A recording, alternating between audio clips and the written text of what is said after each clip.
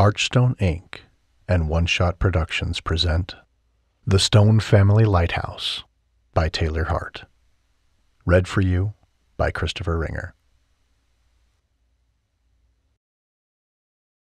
Chapter 1 Marshall drove through the streets of Southport, remembering all those summers and the fun that he had shared with his brothers and sister.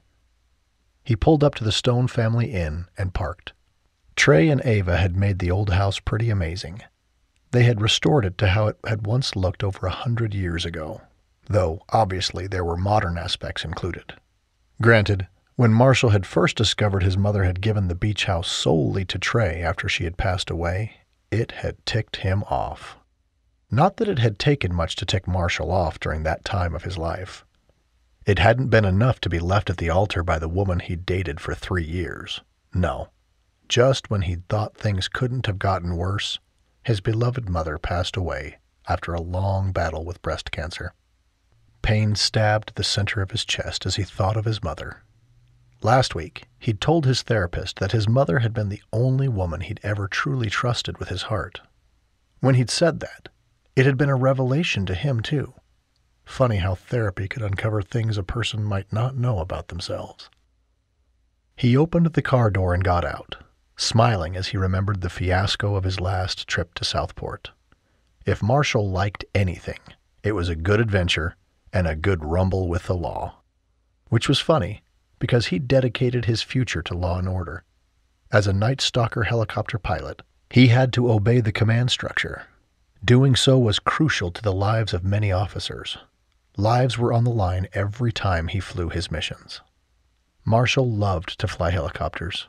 When he had joined the Army's elite 160th Special Operations Aviation Regiment, or SOAR, he'd hoped to be one of the recruits chosen to fly Navy SEALs and Delta Force in and out of special operations. And he had indeed been chosen. Fifteen years later, he was an old pro at it. He thought of his last mission before his time off. It had ended with the helicopter burned and crashed, and half the crew dead. He sucked in air and tried to push away the feeling that he was suffocating. Breathe, he commanded himself. He closed his eyes. He did not want to have a meltdown. The therapist had told him to focus on breathing, not resisting when the anxiety started. In, hold, two, three, four, and out, two, three, four. He was okay. Really, he was. The front door of the inn opened, and his brother Trey walked out. You're late. Marshall straightened. Seeing his brother was like having a bucket of cold water splashed on his face. It sobered him up. Actually, I'm right on time, he countered.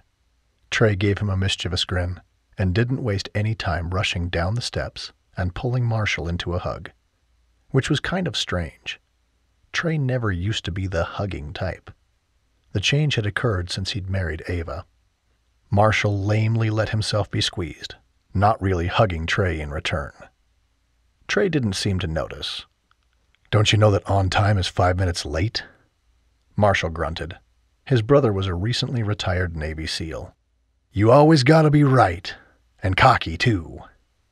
Trey laughed, moving past him to the car. What, me? Never. You're here? A female voice called. Marshall turned back to the inn and spotted Ava rushing down the stairs. She was gorgeous, of course. She looked better and better every time he saw her. She opened her arms and he fell into them. He and Ava were like siblings. In nearly every one of his beach memories, she was there, with Trey. It felt right that they would end up together, much like it had a couple of months ago when Kenzie and Tim had finally married. It was like destiny had finally gotten its way with all of them. Things were how they should be. Marshall pulled back. Did I tell you that if this guy ever gives you problems, you can always come to me? He waggled his eyebrows flirtatiously. I'd be happy to step in. Ava rolled her eyes and laughed. Right. Trey punched his shoulder as he sauntered past. Sure you would, cowboy, but that's never going to happen. Marshall had to grin at the threat packed in Trey's punch. He purposefully didn't rub his shoulder. He wouldn't let his brother see that he'd inflicted pain. What? Are you threatened, big brother? Trey jogged up the steps. You wish. Ava patted Marshall's arm. Would you mind following me and talking while I pack this stuff? Ah, sure. Ava moved to the back of the SUV and began organizing the bags. Trey may be a Navy SEAL, but I wish he would learn to make things fit properly, she said under her breath. Marshall couldn't ignore the disorder she was working with, and he helped her stack the bags so they weren't a jumbled mess. Oh, that's a good idea, Ava said, nodding when he'd arranged the bags so they fit together like a stack of Tetris pieces. Thank you. No problem. His mind had been trained to solve puzzles, as he had to think of where the best spot would be to land the bird on any given op. There were times when he had to be creative with his landing, and that was something he prided himself on fitting into tight spaces. Ava shut the back door and turned to him. Okay, we have the binder out on the counter in the kitchen for you that will tell you all the major stuff you need to know. The infamous binder. Right. Marshall thought of Kenzie's story. She'd looked over the binder right before Hurricane Sharla had come in and wrecked a bunch of the inn's windows. Ava gave him a look. Read it, please. He surrendered. Fine. She ticked off her fingers. We have two couples and a family here now. We've told them you'll be here this week. Her eyelids fluttered. Marshall felt like she was nervous to leave the inn in his care. It'll be fine. Next week is a pretty light week, too, she hurried on. There will be two families and two couples.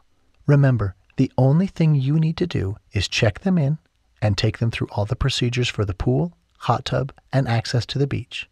Waivers have all been filled out online.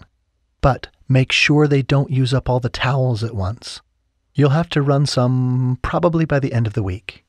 Wash the towels. Check. He nodded. You feed them breakfast. The fridge is stocked and recipes are on the counter. He hadn't really thought about that. He didn't want to tell her that he didn't cook. Perfect. Protein shakes for all. And Kenzie is just down the beach. You know that. So don't be afraid to call her. Kenzie had made it abundantly clear in the last family email that it was everyone's responsibility to help Trey and Ava take care of the inn. After all, Trey had given each of them a percentage of it, even though they hadn't asked for it, as Marshall had wanted to point out. Nevertheless, he was still grounded, so he may as well help. I got it, Ava. Don't worry. Ava pressed a hand to her head I know I'm forgetting so much. Please check the binder. She pulled in a long breath and then put her hand on the SUV for stability. Marshall was alarmed to see that she looked pale. Are you okay? She put her hand out. I'm fine. I'm fine. He grabbed it. You don't seem fine. He put his other hand beneath her elbow to stabilize her. Let's get you inside. Maybe you can rest a bit. No. Ava straightened. We have to go now. We have to catch our plane in Wilmington. But as she pulled away, she stumbled and reached out for the SUV again. Marshall put his hands beneath her arms. Hold up, little sissy. We're not going anywhere for a sec with you like this. Trey! Don't. Ava turned and leaned into him. Please, he's already worried enough. Don't worry him more. Marshall brought her closer. You okay? For real? Of course, his thoughts immediately went to his mother. This was exactly how his mother looked when she had been diagnosed with cancer tired and pale. I'm okay. I think we need to get you to a doctor. His I have to save you skills took over, and he kept her steady on her feet as he started to pull her to the house. I don't care if Trey is stressed out. He needs to know what's happening. Wait, Marshall. She dug in her heels, preventing them from setting foot on the front stairs. Stop. No! He was about to call for Trey again, or just pick the woman up and haul her into the inn and stick her on the couch. I'm pregnant. Marshall screeched to a stop, both literally and figuratively. He quit trying to push her up the stairs. What? I just get tired, and sometimes the nausea hits me at random times, making me lightheaded. But I'm fine. Her smile widened. You're pregnant. A little thrill went through him, and he gave her a hearty hug. She laughed, then said, Shh, we only found out last week. I'm not even two months yet, and we're waiting to tell everyone. Her lips turned down. You know, as you get older, you're more high risk, and I don't want to tell Micah before he goes to be with his dad all summer. He worries about me. Marshall let her go, but he couldn't let go of his happiness so easily. That's so great. Wow. A baby. Trey would have a kid. Not that Micah wasn't his kid, but Marshall was really thrilled that Trey was having this experience. Trey rushed out of the house just then. He was holding another bag as he plowed down the steps. Were you bellowing at me, bro? He rolled his eyes at Marshall in annoyance and kept walking to the SUV. Micah, we have to get on the road. Unable to stop himself, Marshall barreled at him, plowing into his shoulder as he opened the SUV. You dog! Trey took the hit and deflected it, shoving the bag in the back. He gave Marshall a stern look. Trey, Ava said softly. Their eyes met, and Trey seemed to deflate. Marshall had always been baffled at the way Trey and Ava seemed to talk, without saying anything. A huge, satisfied grin filled Trey's face. She told you. Marshall took this chance to bear hug him. Trey laughed and hugged him back. I can't believe it, Marshall said, releasing him. Trey put his dukes up and play punched him. Who knew I'd ever be in charge of one of those little humans? Marshall laughed and did the same, falling right into the little play punch fight he and Trey had worked out years ago in order to distract anyone they wanted to mess with.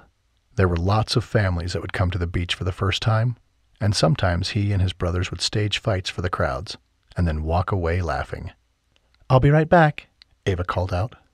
He and Trey kept circling each other and play punching. You're gonna be a dad, Marshall said, trying to process this. Wow. Trey shook his head. I know, right? Trey gave him a right hook, and Marshall dodged and pretended to sweep the legs. Trey jumped, and both of them chuckled. We still got it. Marshall bumped Trey's knuckles with his own. Yeah, we do. Trey put his arm around Marshall. It's weird. Marshall beamed with pride. It's great. You seem so settled and happy. Whoever would have thought that my big bro would be.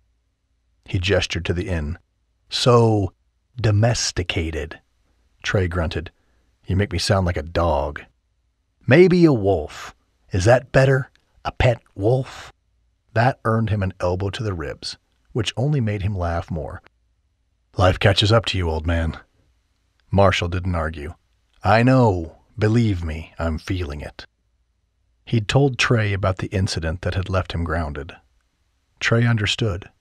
He also had his fair share of battle wounds. Trey jerked his head to face him.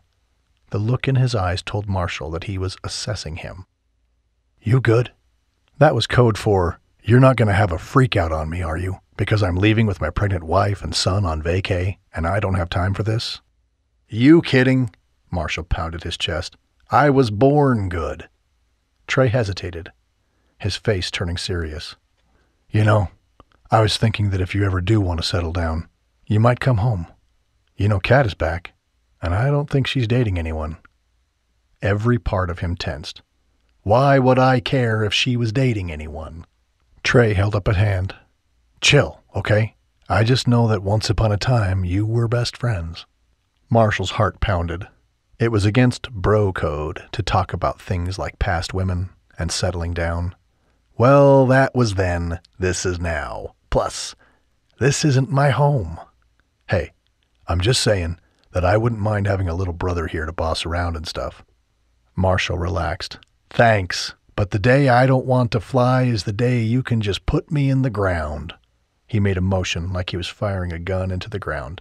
Pine box is fine with me. Trey grunted and looked away. Marshall knew he understood. SEALs and Night Stalkers and Special Forces would say that to each other. They'd rather be working and doing than stopping. The hardest part was when they weren't spun up. They had endless hours with nothing to take their minds off of the things that they'd seen, the things that they'd done, and the ghosts that haunted them. Trey began walking to the garage. Come with me. I've got something for you. Marshall followed. Well, dang straight he'd follow. When Trey said to come, all of his siblings followed without arguing. At least, without too much argument. That was how it had always been. Except for Kenzie. He grinned, thinking of how good it would be to see her. She came and went when she wanted to, no matter if Trey was calling the shots or not. Somehow, those two worked it out. The garage door was open on one side of the two car garage. The farthest side went two cars deep. Trey moved over to the back of the garage. I thought you might like this. There was a black tarp over something. Trey yanked it back, revealing a red Harley in pristine shape. What? Marshall couldn't believe it. He pulled the rest of the tarp off to uncover another motorcycle standing beside it. A very broken down motorcycle. He paused. What? Which one am I supposed to be looking at? Trey reached into his pocket and pulled out a ring of keys, flinging them at Marshall. Both. They're both yours. One to ride, and one to keep you occupied. If Santa Claus himself had descended out of the North Pole and dropped the bikes in the garage, Marshall wouldn't have been more surprised. He stared down at the red Harley, running his hand lightly over the polished leather and shiny silver. Wow. You like it? Marshall was a bit overwhelmed with the gift. Uh, yeah, I like it. This is too much. No. Trey waved a hand in dismissal. Ava and I wanted to do it. Marshall didn't know what to say. Trey moved to the pile of junk next to it.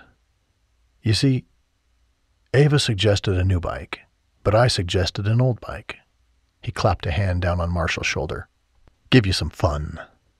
It was true. Marshall yearned to pick up tools and begin working. Well, after he rode the new one, of course. Emotion stuck in the back of his throat. Thanks. Trey nodded. You bet. Marshall turned his attention to the bike that needed work, feeling purpose flow through him. This will be fun. Only to you, Trey said with a grunt. Marshall crouched and began to take mental notes. The fuel gauge would need to be replaced. The brakes needed new brake pads. The Remember when you and Kat would spend hours in this garage while you worked on that old bike of yours? Again, her name caught him off guard. He stood, unsure how to handle his brother's question. She told Ava you looked good last time she saw you. Marshall swallowed hard. He and Kat had sat in jail with the rest of his siblings and the beach crew, and he'd found himself right next to the woman. It had been strange. The girl had been his best friend for a long time, but it had been his desire to be more than friends with her that had ruined their friendship so long ago. Oh. He didn't know what to say. Her husband, the guy she'd picked over him, had passed away while serving last year. You should reach out to her. Why would I do that? No reason. Trey smiled brightly. You and her? You two were together all the time when we were here, and that was a long time ago, Marshall said quickly, unnerved by the way Trey was looking at him. I know. Trey rolled his eyes and sucked in a long breath. Never mind. Yeah. Marshall wasn't going to do this with Trey. Hadn't he talked enough about Kat in his therapy sessions recently? Which had been weird. He still didn't know what to think about the fact that he was still angry about something that had happened back then. The two men stood staring awkwardly at each other. Uncle Marshall, Micah called out, rushing toward him. Marshall had been surprised by how easy it had been to accept and love this kid. He hugged Micah, then ruffled his hair. I think you're two inches taller than the last time I saw you. It had been at Kenzie and Tim's wedding a couple of months ago. Micah pointed to Marshall's arm. I think your bicep is two inches bigger than the last time I saw you. How do you do that? He scrunched up his face. No matter what I do, I can't get definition. It didn't hurt Marshall's feelings to have the kid hero worship him a bit. He managed to keep his next thought to himself.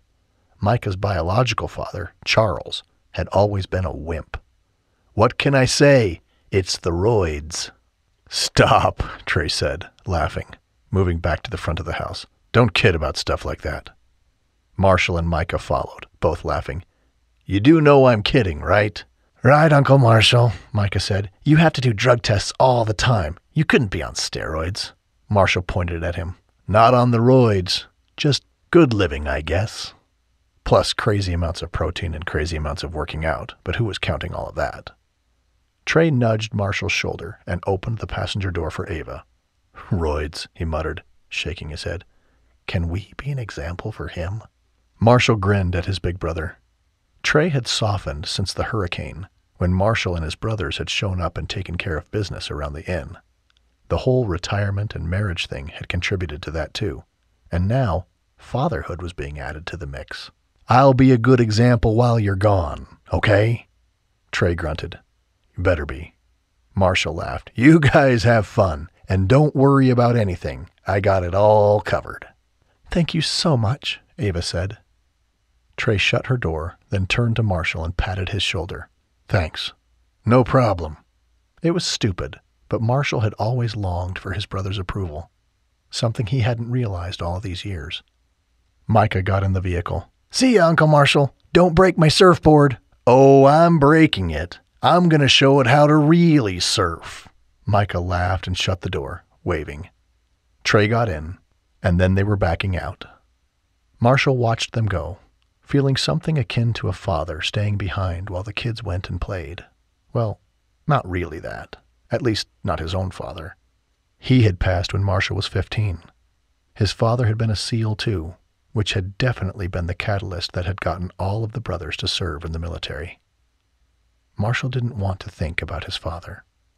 Slowly, he moved to his rental car and opened the trunk. All he had was a duffel bag. He pulled it out and then walked up the stairs and into the inn. The place was pristine. Every part of it looked polished and scrubbed. Trey treated it like he would if he were a captain of a ship. Marshall moved up the long staircase to the second floor, heading straight to his room, the Night Stalker room. He grinned at the plaque on the wall next to the room with his face on it, and a little bio about him. Even though he would never admit it, he liked how Ava had given each of them their own room, and would only rent it out if they were full, which wasn't often, Trey had confided. Neither he nor Ava liked to rent out the siblings' rooms. Marshall tossed his bag on the bed and sorted his pants and shirts into a pair of drawers. The rest was emptied into a miscellaneous drawer, and he put his bag in the closet. That was done.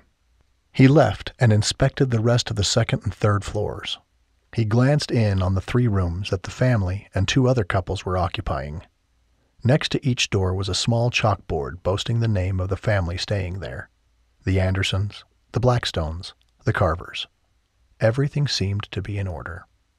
He moved downstairs and inspected rooms on the east side of the house, then moved through the smaller bedroom, which looked magical. Sure, he would never say the word magical out loud, but as he stared up at the skylight, he noted that he wanted to come here when it was dark, so he could see the moonlight cresting over the glittering glass skylight. Ava had restored a sense of fun to the home.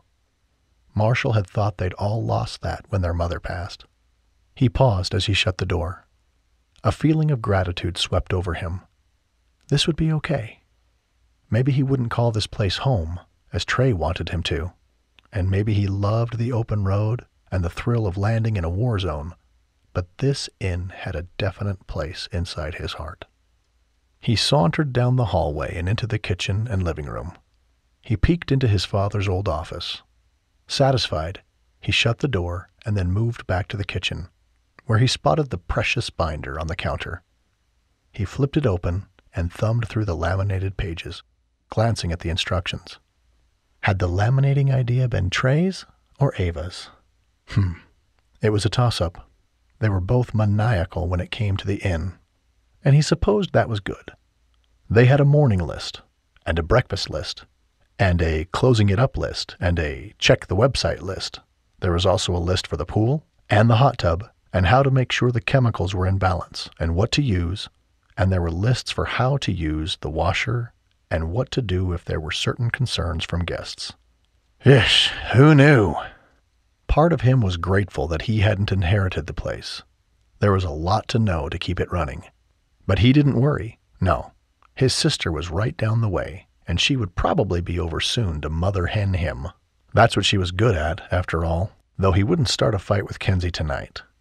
He grinned and took a cold water bottle from the fridge, twisting the top off and guzzling it. The side door to the pool opened. You're here. Kenzie rushed toward him, wearing a summer dress. He opened his arms, and she was instantly in them, clinging to him. It was silly, but Kenzie had always been so affectionate with all of her brothers. In some stupid, psychoanalyzed way, he liked that about her. He'd always wanted someone warm to be around. His ex had been the least warm person he'd ever known, never wanting any kind of PDA. He pushed his ex out of his mind. Thank you for coming, Kenzie said when they broke apart. I've missed you. He grinned at his newly married sister. She and Tim had looked so happy at their wedding. No, you don't. You're too busy honeymooning with Tim. She laughed and smacked his shoulder a blush washing over her. Shut it. He laughed. His sister had always been so prim and proper. Hey, I think it's great. Make me a little nephew. Now her cheeks really caught on fire. Did Tim tell you? Stopped short. Marshall gave her a sweeping glance, and his instincts told him what was going on. No. What? There was no way his brother and his sister. We're pregnant. She covered her face, then burst into a huge smile. What? He was stunned. He swept her up, and they hugged again. Are you serious? Who knew? She laughed. His sister was radiant, and more beautiful right now than he had ever remembered her being. I didn't think we could because Jeff and I had such problems. So we haven't been doing anything to prevent it, and, she smiled again, tearing up, and voila. It happened on its own. Wow. She sucked in a long breath and nodded. I'm only barely two months. Same as Ava. Her eyes became misty with tears. She smiled. She told you? He nodded. Kenzie laughed. I know. I'm so happy for them, too. Yeah. Kenzie shook her head. It's so weird that it just happened like this. Out of the blue. Marshall bit his tongue cutting off his knee jerk response of pointing out that it wasn't like a stork would be dropping them off. They knew how this process had happened, but he didn't want to upset how happy she was. She beamed at him. I'm so glad you're home. That word again. Home. He didn't really like being in the same sentence as that word. I'm here for a visit. To take care of this place.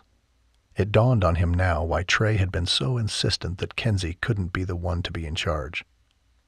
This is why Trey insisted that I come, and you couldn't handle it.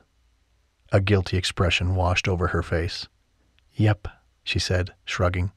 Who knew that my husband and my brother would be so protective and that I'd be okay with it? Well, I'm glad I could help. She cocked an eyebrow at him. How long are you grounded for? A topic he didn't want to discuss. Nervous energy punched at his gut, and he tried to push it away.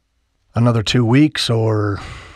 It just depends on how the psych test went. A light hand rested on his shoulder. You okay? He shrugged the hand off and moved to pick up the binder. He didn't want to discuss that. Fine, thanks. He put the binder by the counter out of the way. Okay, tell me what I need to know for when the guests get back. Kenzie went through everything. We have a college kid that watches the desk during the day in case someone comes to the door or the phone rings. Vince makes sure that only the guests are coming and going during the day. That job can be tedious. Oh, good. Marshall hadn't really thought about the details. Vince comes over at 10 and leaves around 7. He'll also help if the guests need something for the pool or the beach. He just sits at the front desk by the door, but sometimes he locks the door and sits in the main kitchen area. Okay. Marshall didn't love the idea of this dude being there all the time, but he also didn't want to be on call every second. Sounds good. And the nighttime ritual is that you put on a movie at 8 and pop popcorn and put out drinks. The guests can view the movie or not. Sometimes they just want to chit chat. Chit chat wasn't his thing, but he nodded. Got it. It's not hard. And if you want to go out one night, Tim and I don't mind coming down and hanging out. She smiled at him. But I am tired a lot more, and Tim insists that I rest a lot. I would agree. You rest. I'll be good. Okay, Kenzie said, heading for the back door. I'm going to walk home and get dinner going. Call me if you need anything. You bet. She opened the door, then turned back to him. Marshall? Yep. You're going to be the best uncle ever. He grinned. Part of him was delighted that she'd said that, as her opinion meant a lot to him. But there was this other feeling, this nagging feeling. Would he only ever be an uncle? Was he okay with that? He realized he couldn't sit around all night. Kens, hold up. She was about to shut the door, but she paused. Yeah? Would you and Tim be able to come down after you eat? I don't know if you know, but Trey got me a new bike. She laughed. Yes, it's so cool. You want to go for a ride tonight? Yes, the open road. That was what he needed. If that's okay. We'll be back around seven. Sounds perfect.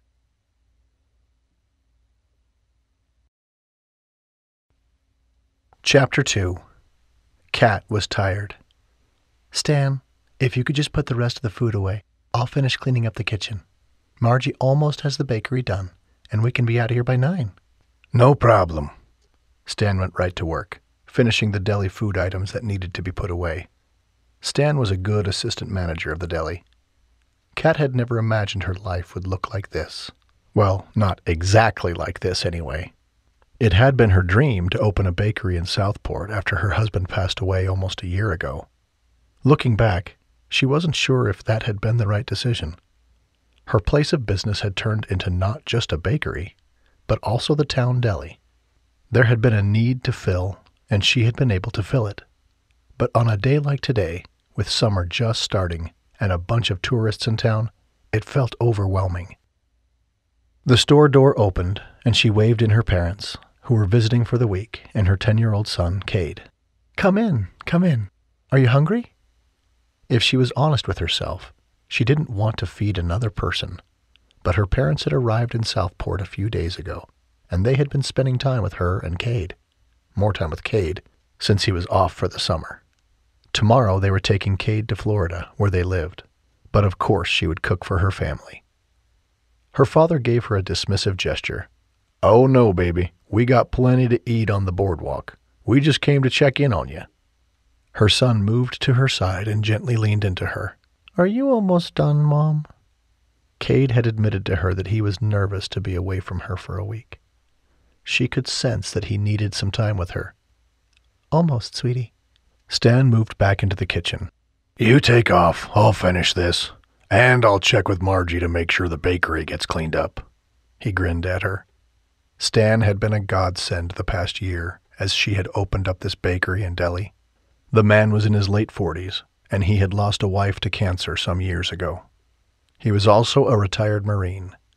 He sympathized with her since she'd lost her husband. She wouldn't have been able to bite off so much if Stan had not helped her at every turn. Normally, she would refuse his help. Are you sure? I'm sure. Stan moved his arms and gestured for them to leave. He pointed to her purse, then took Cade into a little hug. We're going to miss you around here, but have fun in Florida. Cade adored Stan. Thank you. I'll miss you too. Cade was emotionally fragile. Kat could see it in his face, though he was trying to hide it.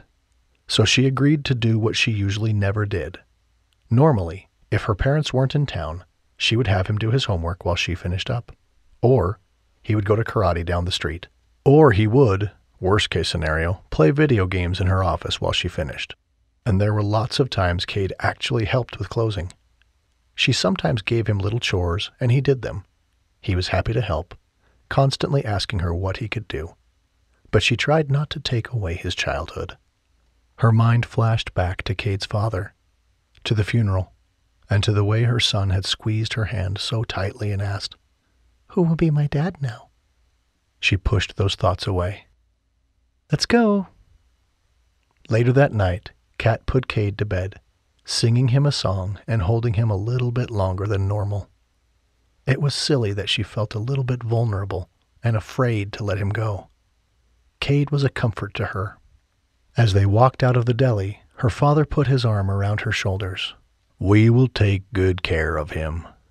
Her mother smiled at her. Yes, we will. Kat nodded. She knew they would. They were the best people in the world. Her father hugged her to him. Remember, it's just a week. Then you're going to join us, right? Right. She'd worked it out with Stan and Margie that they would take over while she went to Florida. It was overwhelming to think about being gone. On a broader scale, it was overwhelming to think about her future at all. Usually, she focused on dealing with that day or that week, making sure she had enough food going into the week and the vendors were in place. Granted, she often had to book out food and vendors a month at a time. But as for her personal life and Cade, she took it one day at a time. Later that evening, as Kat made sure all was in order for Cade to leave, her mother put her hand on Kat's shoulder. You work too hard, sweetie. I know you don't like it when we talk about this, but why don't you move to Florida? You can live close by. Dad and I can help you get a little place. We will help you figure out a job, and we will definitely help with Cade. The trouble was that Kat didn't want to be that woman, a woman who couldn't do it by herself and who always needed her mom and dad. She hated the idea. She didn't need anyone's pity. No, I'm fine. Kat opened Cade's travel bag and rummaged through it, making sure he had a swimsuit, a bunch of shorts, a bunch of t-shirts, and extra underwear. Ah, he forgot his swim shirt. She moved to his room and cracked the door open. Cade was already asleep. Quietly, she walked inside and opened his drawer and got the swimsuit shirt. As she was leaving, she hesitated at the door and suddenly stared at Cade, feeling overwhelming gratitude for this boy. Out of the corner of her eye, she caught a glimpse of a framed picture on the shelf by the door. It was a picture of her husband, J.D., in his uniform. He had just gotten back from a deployment, and they had met him at the airport. He had his arm around her and the other arm around Cade. All of them were smiling. Resentment boiled within her. The smile on her face had in no way reflected her inner state of emotions. She'd been living a nightmare. She shivered. That same day, she'd made the decision that had led to JD's death. No, she couldn't think about that. She sucked in a long breath and blinked away the sudden moisture in her eyes. The closer she got to the anniversary of her husband's death, the more she thought about everything that had happened between them. She hated it. She walked out of Cade's room and put the swim shirt in his bag, directing her thoughts back to how much she loved her son. Kat, are you still getting those weird things from someone? Her father wore a look of concern. It was so stupid. Kat hated even talking about how she sometimes found a batch of cookies left randomly on her porch. And the notes were the most ominous. Enjoy the sunshine somewhere else. What did that even mean? I got one a couple of days ago when I left the bakery. She turned away from her parents and moved to open the sliding door that led from the kitchen out to the deck. Her parents followed her onto the deck and into the cooler air. Why didn't you tell us? her father said, leaning on the rail next to her. Her mother approached her from the other side. Kat, every time you get something like that, you need to call Tim and file a report. You need to document this stalking. When we do figure out who is doing this to you, then you can get a restraining order. Feeling extra tired and not wanting to deal with this, she glowered at her mother. It's not a big deal. It's probably just a silly crush or something. It could be a big deal, her father said softly. She wasn't in the mood to be parented. Don't treat me like a child. I have talked to Tim about the situation. I can handle it. Her mother sighed and crossed her arms. Kat, she said, her tone low, mimicking the same tiredness in Kat's voice. We know you can handle it. I know you can handle it. Sweetie, her father said, with a similar long suffering patience, we just want you safe. We care about you and Cade. Just because we voice concern doesn't mean we don't see how much hard work you put into everything. All of this is you. He gestured around at her little rental house that she had fixed up. You've painted and you've fixed so many things in this house. You've made this place really nice and a great home for Cade. Not to mention you've opened a deli and a bakery. That's impressive. Very impressive, her mother agreed. We just want you and Cade safe. Kat wanted that too. Her son's safety nagged at her like a little pebble in her shoe. The thought was always there, wearing her down until the skin was gone and it was just raw. I know. She backed down and forced a smile. I will talk to Tim again tomorrow. I do appreciate you guys so much. You have been the best parents. And I know Cade is going to have such a good time with you guys. He's not going to want to come home. Her voice cracked at the end of the sentence, revealing that her real worry was about letting him go. Her parents were more equipped to deal with Cade than she was. Of course, her dad was retired, and both he and her mother were amazing.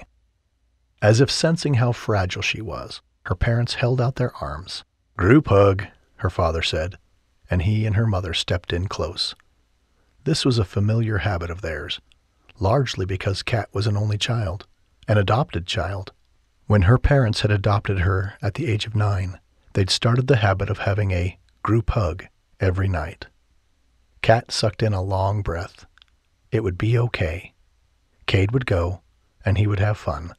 Then she would join them and get a little break. Well, she wouldn't really call it a break. When she was at her parents' house, she started feeling more like a child and less like herself. But she would be grateful for the time away. Thank you. Her mother pulled back and searched her face. Sweetie, do you think it's time to start dating again? The question took her by surprise. Why would you say that? I just want you happy. Kat steeled her nerves. I don't want to date. I don't want to risk bringing someone into Cade's life who won't be good for him. Reluctantly, her mother nodded. Her father sighed and said, I hear Marshall will be in town the next couple of weeks. I ran into Kenzie yesterday. Irritation pulsed through her. Why would that matter? I don't know. Her parents had always liked Marshall. Kat and Marshall had been best friends, and he'd spent a lot of time at their house. She thought of what she'd overheard her father say to her mother in the reception line at her wedding. I always thought it would be Marshall. Kat stepped away from them. I'm going to head to bed. The next day, Kat cleaned up after the dinner rush. Stan worked at her side in relaxed silence, which was another thing she valued about him. He didn't say much, but she never felt uncomfortable around him. If he talked of anything, it was about fishing. Pastor Henry handed over his card, taking the bag of takeout in exchange. How are you doing, Kat? She smiled at the pastor. He was Tim's uncle, the one who had raised him since he was young. He was a good man. I'm good. How is Lily? A soft smile filled his face. She's good. Kat handed back his card. That's good. The pastor hesitated. I'm just feeling like I should tell you that it's time to trust again. What do you mean? The man was notorious for his feelings, and it kind of freaked her out. The pastor smiled at her. Have faith and remember something. Kat swallowed hard. Whatever he was about to say, she had a feeling it would be important. Okay. When it seems like there's no way to make something happen, God makes a way. A chill swept down her spine. He nodded and walked toward the door. Good night, Kat. Good night. She watched the pastor walk away, a bit mystified. Margie walked in, taking off her apron and hanging it on the hook. Stan and I have a proposition for you.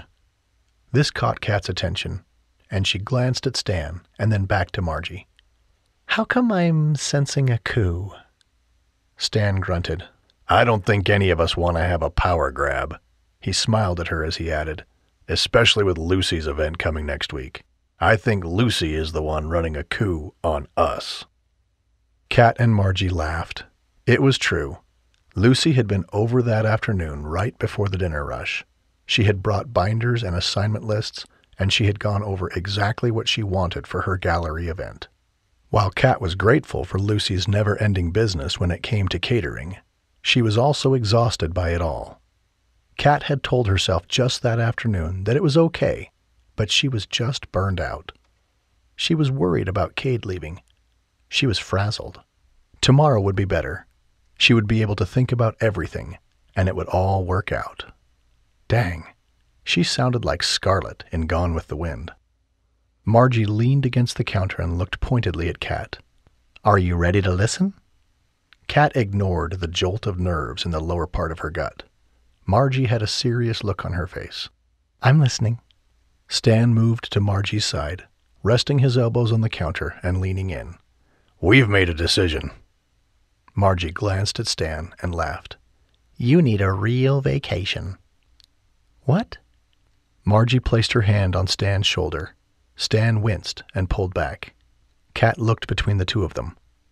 Margie seemed like she was trying a bit too hard lately to get Stan's attention. What do you mean vacation? Kat asked. Are you talking about watching the bakery and deli next week while I'm in Florida?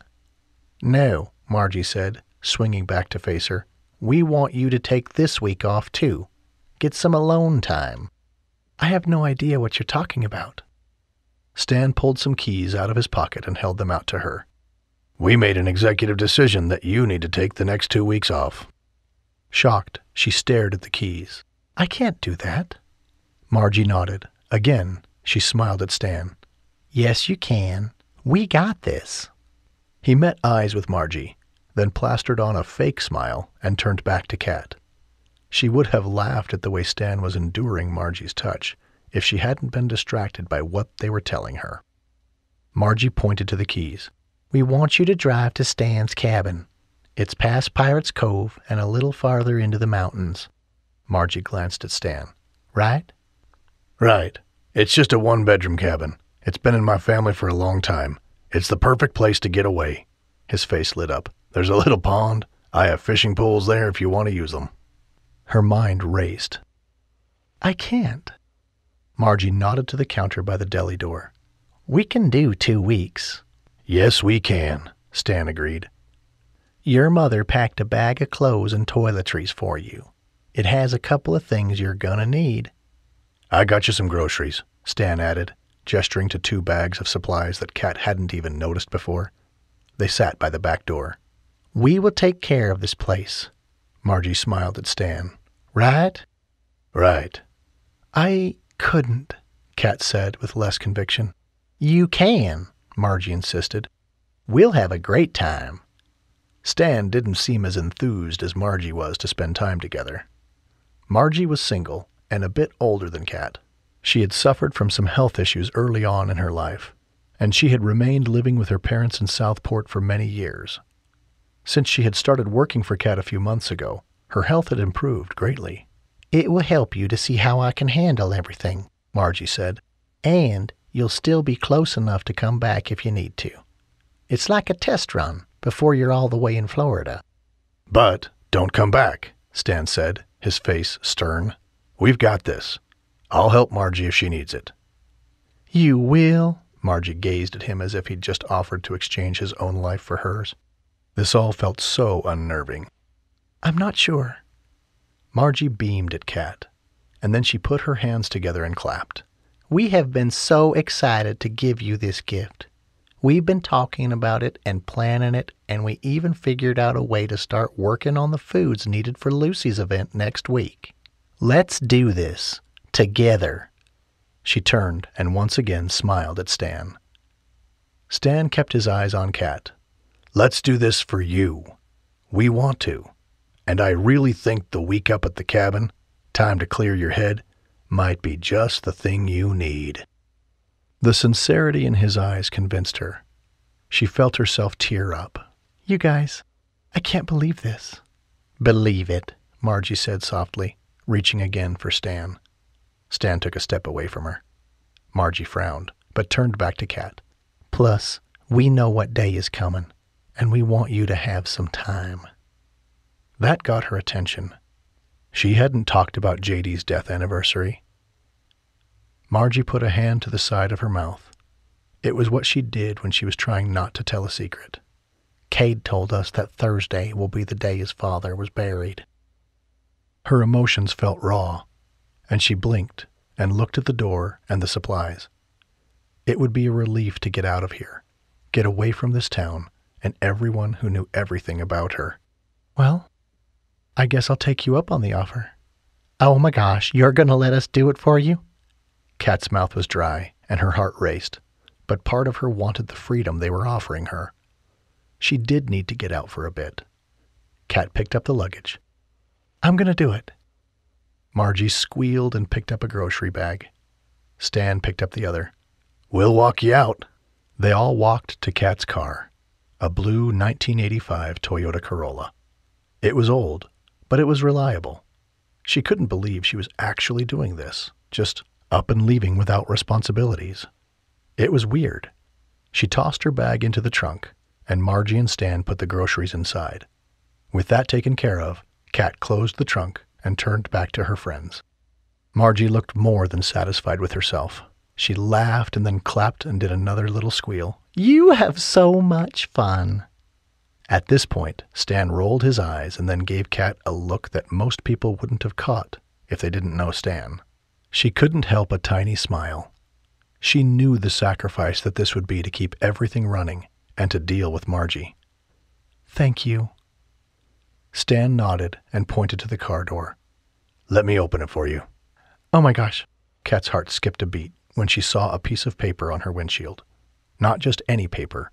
It was the same type of paper that was always left on her windshield from whoever was stalking her. Oh no. Margie rushed to the windshield and tugged the paper out skimming over it. Of course the stupid stalker has to show up at a happy time like this. Kat's mouth went dry.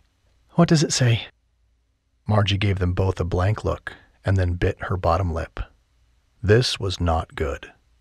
Stan took the note gently from Margie's fingers. His face soured.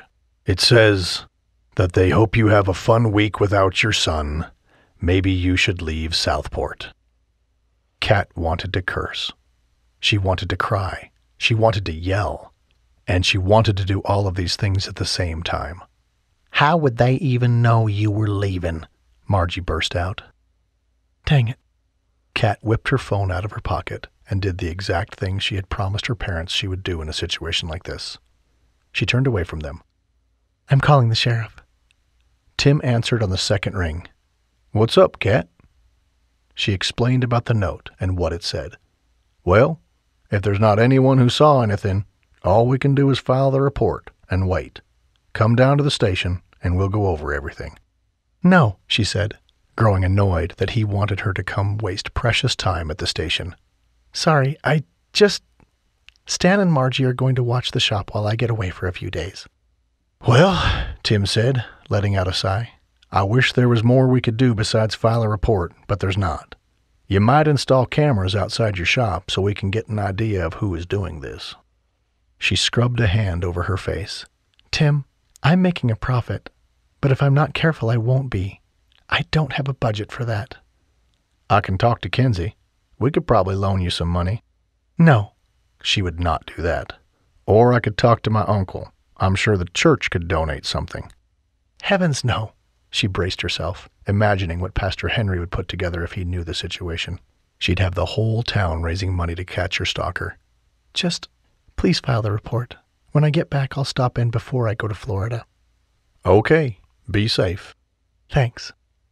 She hung up the phone and turned back to Stan and Margie. The looks on their faces betrayed their concern. I can't put you guys in danger. I can't go. Margie frowned. He's not stalking us. Our lives aren't in danger. Stan glowered at Margie, then turned to Kat. Maybe it would be better if you got out of town for a bit. Maybe things will settle. That was true. Kat's head spun as she thought about everything. But he seemed to know I was leaving. Does he know where I'll be? Margie snapped her fingers. Whoever it is probably just heard me and Stan talking about giving you a vacation. We've been putting together how we would convince you to take this week off. She tapped her head. But I don't know who it could be. Stan frowned. We really haven't paid much attention who we were talking in front of, besides you and Cade. I wonder if Margie's right. Someone overheard us. Margie pointed to the paper. Clearly, they know where you work and live. So, I think you should go. Stan pulled out his credit card. Actually, why don't you go to a different town? Maybe go into Wilmington and get a hotel for a couple of days. That way, no one will know where you're going to be. I don't know. Kat rankled, knowing that her confusion and slight fear was obvious to them. She would never use his money. No, I'm just going to go home. No, Margie smacked the car. You can't. We are ready to give you the week off. If you're home, you'll work, and you know it. You deserve time to yourself. Kat couldn't help but smile at Margie's determination. Stan shoved his card at her. Please, just go. Consider it the gift you deserve for saving me from retirement oblivion. She tried to push the card back. No, I couldn't use your money. Yes, you could. Stan put it in her purse. You can pay me back later. Go and have fun. Her mind raced. Could she do that? Just go somewhere? She pulled the keys out of her pocket. Then here's your cabin keys. No, keep those too. Maybe you'll bounce between places. Margie nodded. Yes, and we'll tell everyone we're not sure where you're at. Her eyebrows waggled. Then the stalker won't know where you are. She liked the idea of no one knowing where she would be. Oh, okay. Stan gestured to the car. Go. Have fun. Don't worry about anything. He winked at her. Especially Margie. Margie let out a light laugh, then smacked his shoulder. Stop, Stan. But Kat could tell that Margie liked it. Stan rolled his eyes at her.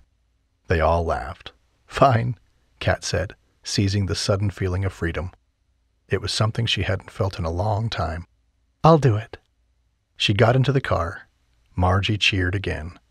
Stan held the door long enough to tell Kat, Be safe. Chapter 3 Marshall relaxed as he drove the pristine Harley through the streets of Southport. He stopped at a gas station and got himself an energy drink. Most of the time, he had a protein shake as a meal, but there had been no time, and he needed a pick-me-up. Granted, it probably wasn't the best for him, but what could he say? There weren't many occasions for him to get a proper meal by himself. When he had been with Sarah, she didn't cook much either. She was a school teacher. They ate out quite a bit when he wasn't deployed. It didn't bother him much. He cooked a lot of eggs. He had a lot of nuts. The most he did in the evenings was grill steak, chicken, fish. He tried to keep a clean diet, a simple diet. He liked simple. When he got away from simple, it didn't work for him. And hadn't that just proved itself the past year? He'd thought he could have a life with Sarah, but she'd shattered that idea with the vicious words she'd said to him when he'd tracked her down after she left him at the altar. Hearing those words had been like a dagger through the heart. After a couple of months in therapy, he'd discovered that Sarah had taken something that she knew about him and used it against him. He could see that now. Maybe they called it gaslighting. Whatever. All he knew was that she had broken him. But he was recovering it was in him to rise up again, and that's exactly what he was doing. He pushed thoughts of Sarah away as he focused on the road. He didn't know where he was going, and he found himself on the road to Pirates Cove. He thought of the last time he'd been in town, about all the shenanigans with Mr. Banks. He was grateful that after six months of intense looking for the treasure, he had seemed to drop the whole thing. Trey and Kenzie had kept the rest of them informed about how Mr. Banks had come to the family and apologized before he left town officially, and he'd given the Stone family the petroglyphs to keep with the rest of the collection. The sun was starting to set. As Marshall stared at the oranges, blues, and yellows that filled the sky, he realized that it felt good to be back here, even though he'd been annoyed when Trey and Kenzie brought up the word home. But if he did have to pick a home, maybe it could be here. Maybe. Depending on what the psych eval said, he could be back in action any time. It had been over a month, and he was tired of waiting. Stupid government bureaucracy. He needed to get back in his bird and fly. He believed in his country. He believed in serving others. And the recent therapy had actually been good for him. He was fresh and ready. He flashed back to that last mission, the explosion that hit from the front of his helo, the feeling of helplessness as he tried to gain control of the aircraft that was no longer intact. Marshall pushed it all away. As he took a curve in the road, he had almost reached the turnoff for the caves. He spotted a car on the side of the road. It was an old Camry. There appeared to be a woman hunched over, inspecting her engine. He pulled over. Maybe it was stupid of him to help people stranded on the side of the road. Sarah had often told him that it was dangerous to assume people weren't trying to pull something on him. Sarah had been consumed with listening to true crime podcasts. She'd always told him that the easiest way to capture someone was to make them think that they could help you. If someone wanted to capture him, they would be biting off a little more than they could chew. Marshall wouldn't go down without a fight. He turned off his bike. Marshall? He startled as he tried to place the voice. He got off the bike and moved toward the car. He hadn't been expecting anyone to recognize him, but as he got closer, he recognized the woman standing there. Kat? What are you doing here? A surge of chemistry spiked between them. He couldn't help but grin. This night had just gotten a lot more interesting. Sure, Marshall had seen Kat when they had tried to steal the petroglyph and ended up in jail together, but that had been a few months ago. The energy that had passed between them had been off the charts, but it would never lead anywhere. She'd made it clear a long time ago that she wasn't interested. Everything okay? Fine, Kat waved a hand in dismissal. I heard you were coming to town to take care of the inn. You can go. This mystified him. You don't want my help? You quit giving me your help ten years ago, didn't you? Ouch. Why did she act like he had done something wrong? He wanted to fire back, but he focused on the car. What's wrong? I said you can go. Kat had been his white whale. The girl next door he'd been in love with his whole life. The girl who had broken his heart. The fact that she wanted him to leave made him determined to stay. But you need me to stay. Finally, she let out an exasperated breath and gestured to her car. it won't work. He flashed back to the day he'd bared his heart to her and she'd broken it. But cry me a river, it was over 10 years ago. He could be mature. He moved to her side and peered down at her smoking engine. What have we got here? She put a hand to her forehead, which was unfortunate as she had grease on her hands. I have no idea. I've been trying to figure that out, but I honestly don't know cars that well. I don't know what I'm looking for. Marshall checked the fluids. When was the last time you had an oil change and refilled the fluids? I don't know. He turned to face her. What do you mean you don't know? How could people not know when they had oil changes? He kept a little log in his phone on all of his vehicles and their maintenance. She threw up her hands and shook her head. I don't know. It was probably last year. He sputtered out a laugh. You've possibly ruined the engine and, uh, he bent and inspected the radiator. You have a hole in the radiator. He shook his head, thinking of all the times he'd tried to show her how to maintain her car every summer he was visiting. Didn't I always tell you that you should keep a log in your car and write the numbers down? Why do I need a log when they just put a sticker in the window? He grinned at the fire coming off of this woman. Dang, Kat still had it. He'd always liked that she could dish it out as well as she could take it. Clearly, you never look at the little sticker in the window. Anger washed over her face, and she pushed him in the chest. Back off, Marshall. The jolt of her pushing him actually sent him into a minor shock. Then his mind threatened to drift off into nostalgia. What were they doing? It had been over ten years since they'd really interacted. We're already fighting, he said, unable to stop a smile tugging at his lips. Just like old times. Her eyes caught his, and then she cracked a smile. It's nothing like old times. True, not old times. It was weird. They had slipped into best friend mode after all these years, and then she'd slipped them right out. Kat wagged her finger at him.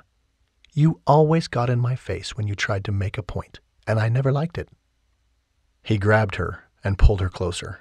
Attraction hit him like a bolt of lightning. You think you can touch me and not pay a price for that? It was something they used to say to each other if one of them bugged the other one. A nervous buzz swept through him, the same kind of buzz he felt before daring to land in a place that he might not come back from. A tiny smile touched her lips. Then she glared at him. I don't think you can stop me. He wanted to kiss her, which kind of surprised him because he'd tried to erase this woman from his brain a long time ago when she'd full out rejected him. He released her hand and decided to be his mature self. You should have kept up on the oil changes. Kat cursed and turned away from him. Isn't it enough that I have to keep track of the bakery, deli, parent teacher conferences, haircuts, every event Lucy is doing, Margie's schedule, Stan's schedule? My mom wants to try to book me out to come to Christmas, and those stupid notes. Marshall recognized when someone was spinning out of control. He should recognize it. He'd done it a few months ago. Calm down. She moved back to his side and peered into the engine. So what's wrong with the car? An inkling of worry pulsed through him as he went back through what she'd said. The same kind of worry that he also felt if he shouldn't land somewhere. What notes? Her face went blank. She turned away from him. Nothing. If the Stones were good at anything, his mother used to say, it was sniffing out the truth. Why would you mention it then, Kat? What notes were you talking about? Don't, she said, shooting him a fierce glare. But her anger only served to incite his own. Don't tell me what to do. A standoff. That was what they were in. And if he knew this woman at all, which part of him doubted that he did anymore, he knew she wasn't the type to back down so easily. Tell me. No. He turned to walk away. Fine. Then good luck with the car. Are you serious? You're going to leave me here? You told me to, she scoffed. I don't believe you. It's not in you to leave me. Well, strike that. You did shut me out. If anything could strike a nerve, it was that. He turned back to her. Shut you out? She stuck her chin up in the air. Yep. Deep, seething rage lit inside him. But he wouldn't let it show. For one thing, it had been over ten years ago. For another, none of it mattered. He smothered it. Tell me about the note. She cringed and pointed to the engine. Tell me what's wrong with my car. Then you'll tell me about this note, he said, making air quotes. Sure. She flashed a smile. And he didn't know whether she was telling the truth or not. He didn't know this Kat. Fine. Like I said, you have a hole in the radiator. He checked out the specs on the car. Let's see, it's a 1985 Toyota Camry. Yes. He nodded. Was it having problems before today? She ran a hand through her hair. It was pulling to the side and making noises. He frowned. After someone fixes the hole in the radiator, you need to have them flush the whole system. You need to have them check everything, because it's all connected. If debris is in there, it's going to cause other system problems. You've done a number on it. Would it affect the AC? Because it hasn't been working. This was ridiculous and irresponsible. What? Why didn't you take it in? For a long time, Kat didn't respond. He didn't know what to say as he thought about her predicament. Tell me about these notes, he said again. Gosh, you don't give up, do you? She ran a hand through her hair and looked nervous. It's so stupid. I have a, for lack of a better word, stalker. He puts random stuff in random places. Today the note said, I hope you have a fun week without your son. Okay, that was serious. All past transgressions aside, this was Kat. His Kat. She was his best friend. Or she had been. You have a stalker? You've told Tim? Yes, Dad. But it's stupid. I mean, harmless. She turned away from him, her hand going to her mouth. What other stuff does he do?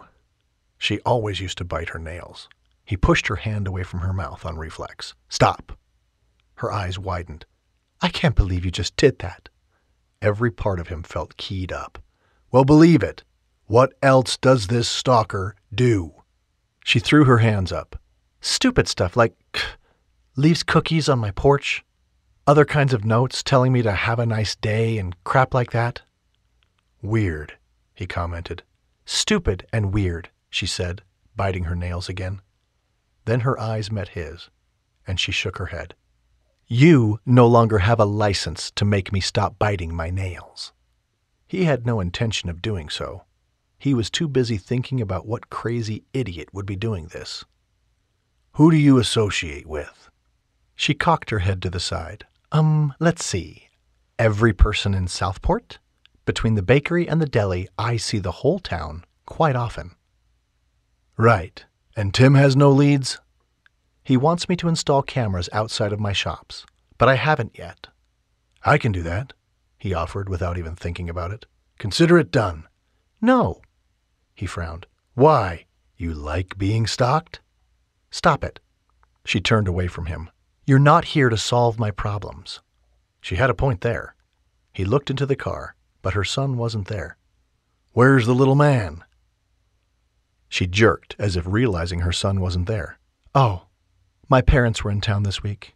Cade is out of school for the summer, so they took him back to Florida with them to spend two weeks. Something began to brew in Marshall's mind that he hadn't really been anticipating. She didn't have her son here, and he was going to be in Southport for two weeks as well. What cabin were you headed to? She stared at the car, absently talking to him. None now. I was going to take the week off to have time to myself. She cursed again and pulled out her phone, staring at it. But now I may as well just stay and work. Who knows what this will cost me? Was she seeing someone?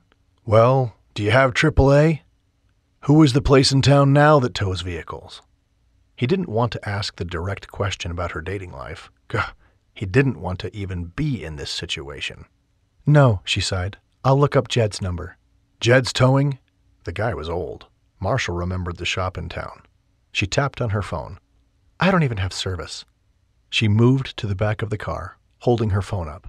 Do you have service out here? He tugged his phone out of his pocket and checked. There were no bars. No. Dang it. She stomped her foot. Her hand went to her head and covered her face like she was in pain. I can't afford this right now. I. She turned away from him, and then she made a little noise. She was crying. No, he wasn't good with tears.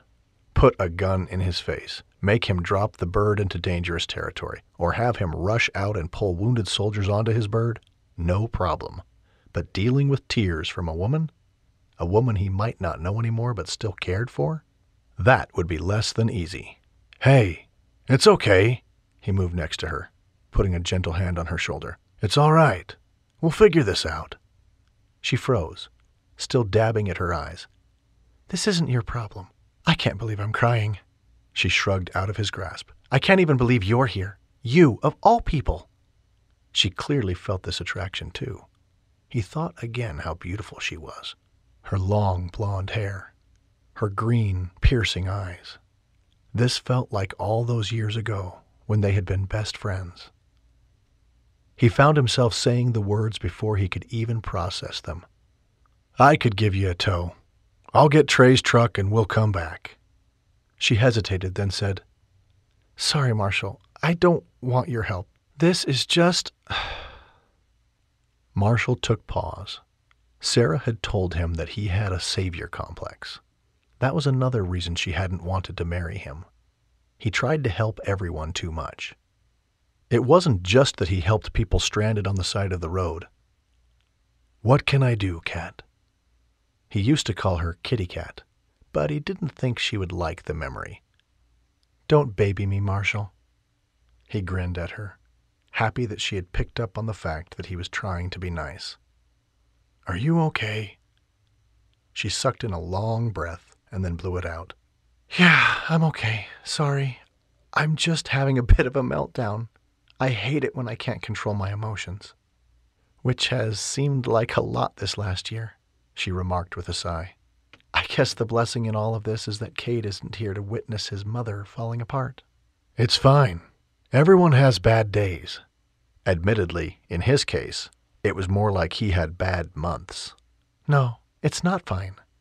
It was stupid, but he couldn't stop wondering who she was going to meet this week without her son. Do you need to call this guy and tell him you've had a hiccup? She turned to face him. What? Jed? I don't have service. He gestured to her. The guy you're going to meet at this cabin you're going to. Her lips pursed. No. Okay. Clearly, she didn't want to talk about said guy. It had just gotten completely awkward. She sighed. Not that it's any of your business, but I was going by myself. The cabin belongs to Stan Henley. I don't know if you know him. Marshall's mind scattered. Oh, yeah. He's older than we are. I think he's even a couple of years older than Trey and Ava.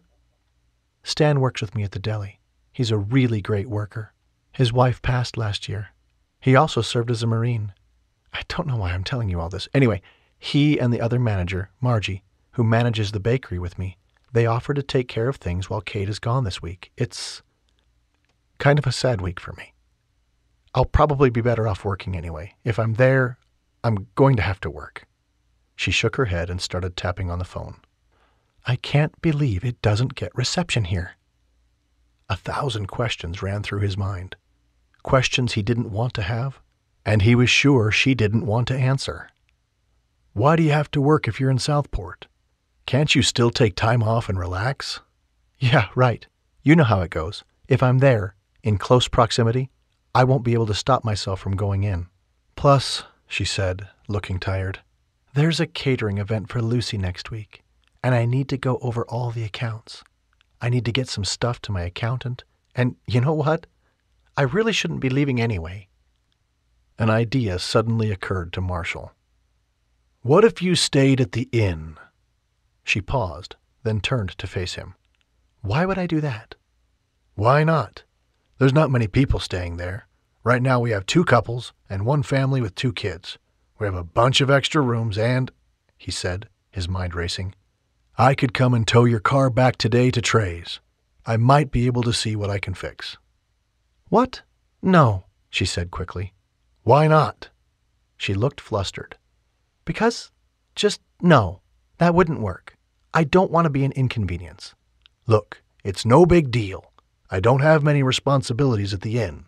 Breakfast in the morning and a movie and popcorn at night. It's not a biggie.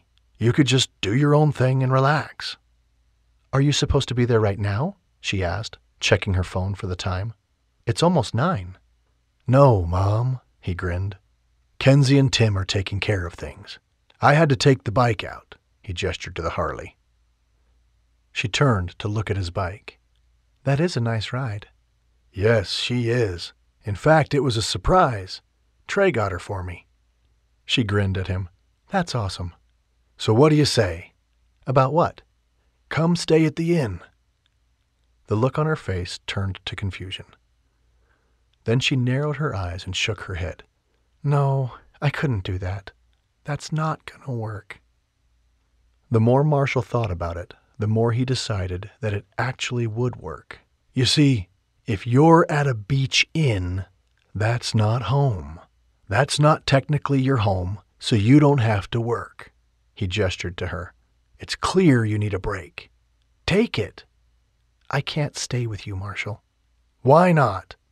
We were friends once. His adrenaline kicked up, and he thought of that horrible day she'd turned him down. He blinked, then stared at her. We were best friends, if I recall. Her eyes narrowed. Were we? The reaction confused him. Uh, I think so. Since we were nine? Remember the day I met you on the beach? It had been the story they had always told people over and over through the years growing up. In truth, they had been unlikely best friends. She put her hand up. I know the story, Marshall. I don't need a recap. Ridiculous. He cursed and threw up a hand. Why are you giving me all this guff? he demanded, pointing at her. You're the one who. He didn't want to relive that day. She pointed back at him. You ignored my calls for a year. You ignored my texts, my emails, she said, ticking them off on her fingers. Her eyes became misty with tears. You were my best friend, and you cut me off like I meant nothing to you. Marshall couldn't believe this. The anger and pain flooded back. I ignored you? You're mad because I ignored you? I left you a hundred voicemails. One hundred voicemails. And then. Her eyes blinked rapidly. Never mind. I can't do this. Just leave. Until right now, it hadn't occurred to him that she had viewed what had happened between them much differently than he did. He wanted to grab her and turn her back to him and demand answers. Go away, she said, venom in her tone. Just go. Fine. He started walking away. But then he heard her crying again. He squeezed his hands into fists. Every part of him screamed that he should just get on his bike and leave her alone. After all, hadn't that been what she'd told him to do? But all faults aside, his ex had been right. He couldn't leave someone on the side of the road to suffer if he could help. Nope, I'm not leaving. Yes, you are. She was walking the other way. I'm going to walk until I have phone service and I'll figure this out. Inwardly, he winced, but he caught up to her. Just come with me. Get on my bike and I'll take you back. I can tow your car. It's fine. Their eyes connected, and hers flashed with anger. I don't need a man to save me. I'm not some damsel in distress, okay? Could this woman get any more infuriating? It was clear that right now she was a damsel in distress. She was on the side of the road with a broken down car. But he didn't point that out. Look, I'm just trying to help. Her angry look turned blank. She crossed her arms. Listen, I know we have a past, but I'm here, and I'm willing to help. You need the help, and I'm offering it. Plus, it would be a favor to me. Her head jerked to face him. Oh, a favor to you? Really? She threw her hand at him in the air. It's a trick that all of you stone people have always had. Ava had it, Lucy, Cherise, Trey, Matt, Tim, the whole town, she said, scoffing. It's like everyone in this whole town thinks that I'm not okay, that I need help for some reason, when clearly I am the one getting stuff done around here. Who caters all the events? Who runs two businesses in this town? All right, you're right. I'm done. He started walking back to his motorcycle. Fine. She said she didn't need help, and he didn't need this crap. He had plenty of his own crap to deal with. The hog still looked amazing. It made him smile as he got closer. The other thing that made him smile was when he heard her call out his name. Wait, Marshall, hold up. He didn't stop until he got to his bike. She rushed at him. Are you going to help me or not? He grinned at her defiant eyes. If there was anything that made him happy, it was a woman who needed him. So maybe Sarah was right. Maybe he did like helping too much. He did like helping a dang beautiful woman at that. Fine. He got on the bike and waited, just the way he'd done since they were kids, and before he could legally drive the motorcycle he had fixed up. He would sneak over to her house, and she would get on, and they would drive for hours. He started the engine. Get on. She hesitated. Not in the mood for more drama, he swung his gaze to her. What? She looked caught. I'm sorry for what happened ten years ago. He wished he could dismiss the time that had passed and tell her he didn't care about it, but that wasn't the truth. Are we discussing this now? No. She slipped behind him and wrapped her arms around his waist. So many memories rushed through him, almost drowning him in this moment. So many things he denied for so long. Thank you, she said, leaning into him and pressing her face against his back. He took off with a grunt because the past was suddenly all stuck in the back of his throat. The funny part was how much he'd missed her. You're welcome. Chapter 4 Kat awoke the next morning and jolted upright in bed. The sunlight streamed through the windows, and the teal green walls seemed to mellow in the morning light. True to his word, Marshall had taken her back to the Stone Family Inn and set her up on the third floor in the red sand beach room. She looked around, feeling overwhelmed. The flooring was an engineered hardwood with a lush white rug. Soft white curtains and a puffy bedspread could have been pulled down from the clouds. The whole thing made her feel like she had been transported to a different world. Like she was one of those people who came to Southport to vacation. That wasn't the case, of course. She had grown up here. Her family had lived in town, and her adopted parents had owned a restaurant. Maybe that was why it had been easy, in some ways, to come back to Southport and open a restaurant. Well, a deli and a bakery. She had watched her parents make a living that way but she had discovered that it was a lot of hard work. Truthfully, she felt a bit worn out from it. Kat focused on the rug. Her feet sank into the softness. Heavenly, she sighed. She padded to the window overlooking the beach. It had been a long time since she'd taken a moment to admire the view. It was gorgeous. It was funny to her that even though she lived only eight minutes from the beach, she never came here. Rarely did she take a day off. There were families out there, and an ache blossomed in the center of her heart. Of course, she had called Cade last night.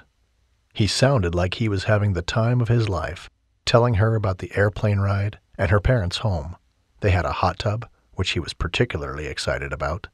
He happily filled her in on how they had all kinds of things planned for the next two weeks the beach, trips to museums, snorkeling, and baking lessons with her mother. His happiness was infectious. Why hadn't she made it a priority to teach him basic baking this past year? She moved to the bedside table and unplugged her phone so she could check the time. Six o'clock on the dot. It didn't surprise her that even though Marshall had told her to sleep in, she was up so early. Normally she awoke at 5:30.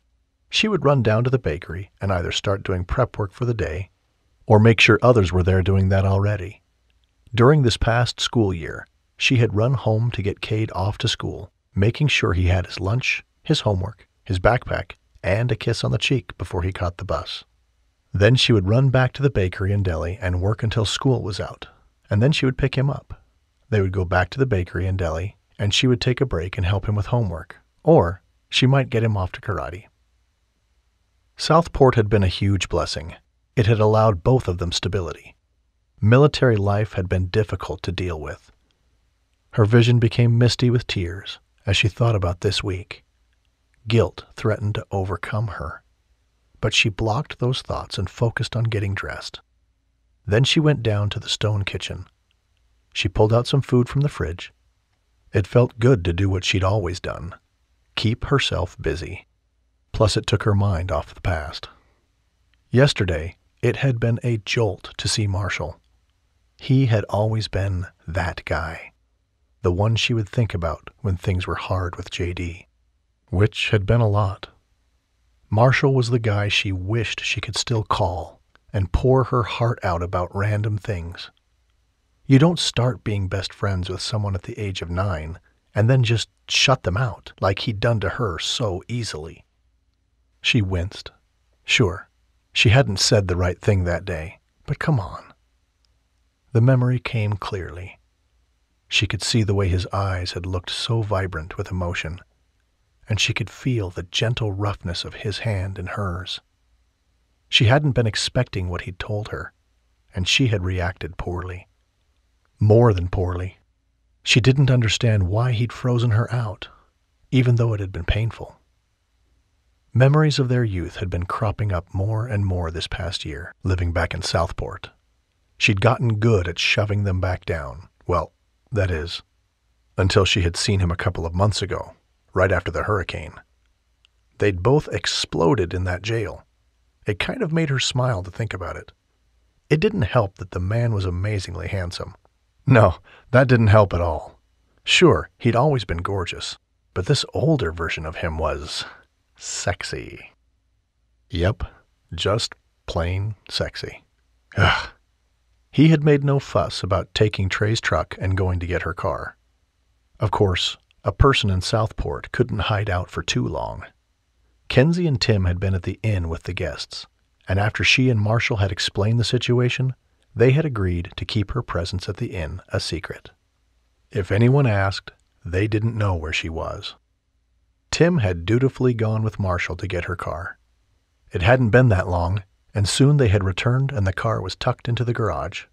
Both men had complained that she hadn't serviced the car in over a year. Marshall hadn't even asked her if she wanted this or that with the car or the parts or anything. He had just taken over the project, calling people and looking up stuff on YouTube. Truthfully, it had reminded her of JD, but in a good way. Kat didn't want to think about JD. Instead, she focused on scrambling eggs, and she made some French toast as well. She cooked the bacon in the oven, not wanting to get bacon grease all over. Twenty minutes later, she had the table set and most of the food ready. What the hell are you doing? Marshall walked in, acting like she was in the middle of destroying the place. Chapter 5 It wasn't hard for Marshall to get up early.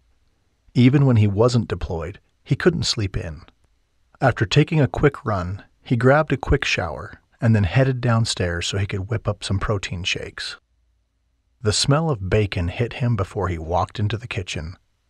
Then he saw her, standing over a pan and stirring some eggs. Her presence affected him more than he wanted to admit. Yesterday, when he had brought her back to the inn and gotten her settled, it had been unnerving how on edge he was just being around her. Of course, throughout the years, he'd thought about her. A lot. Even though they'd only kissed once, he'd thought about that kiss a million times. He'd replayed that scene too many times to count. It was stupid. He hated himself for even caring about her. The woman had turned him down flat. The following summer, when he'd been visiting South Port and planned to talk things out with her, he'd seen her with the Marine. He'd been so ticked that he'd gotten on his bike and driven for a long time. As he walked into the kitchen, still battling with old feelings for this woman, he was further thrown off when he saw that she was playing house. What the hell are you doing? He looked at the table. It was set for everyone to eat, she glared at him. A simple thank you would suffice. He yanked open the fridge and grabbed the milk. I was going to make them shakes. He began the process of getting his protein powder out and mixing it all together in the blender. Once he'd peeled a banana, he added that as well. So I don't need to thank you for nothing, Missy. Protein shakes? These people are on vacation, Marshall. You don't feed people on vacation protein shakes. He surveyed her. The woman was wearing exercise clothes that were tight. They showed off her curves, and he had to focus on the reason they were arguing. Maybe they're health conscious.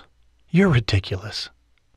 It was probably a good thing that they were interrupted by a family and their children right then. Yum, said a little girl named Dora, who was probably around five. Can we have some? Kat acted like she was the one hosting them.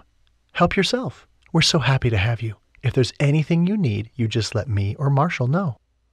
And so it went on the rest of the morning as the other couples came down for breakfast. It was both humbling and annoying that Kat was so good with people and serving them. She had saved him. He really would have given them all protein shakes. Now that he was thinking clearly, he could see it was a bad idea. After everyone had eaten and talked and then taken off to their activities or to go shower, it was just him and Kat left to clean up the kitchen. At one point, he turned to her. I got this. You can go relax. She scoffed at his suggestion. No, I'm staying here for free. I want to help out. I insist. Marshall could respect that. He liked a woman willing to work and pull her weight. He'd been raised that way. Everyone worked, and work was good for people. His ex, Sarah, had always made a point to go half on all chores. Once, he'd asked her why she never went half on car maintenance, and she'd told him he was being a baby. Why had he liked her again? Marshall, He jerked to face Kat. Yeah? Her brows knitted together. Are you okay? I said your name two times. More and more he was getting lost in his own thoughts, and he hated it. Sorry. She held up a bag of trash. Which garbage can does it go in? There's like three out there. He put down the wash rag, rinsing it out, and then reached for the trash. The second bin, but I got it. Great. She let it go and glanced around. The kitchen looks good. Yeah. He was halfway to the garage when he thought he'd better mention something. So the uh, new radiator won't be here for a couple of days. If you need to go somewhere, you're welcome to borrow my rental car. He'd already been thinking about making sure she had wheels, since I have the motorcycle anyway. Oh, she nodded. Did I mention how much I appreciate you?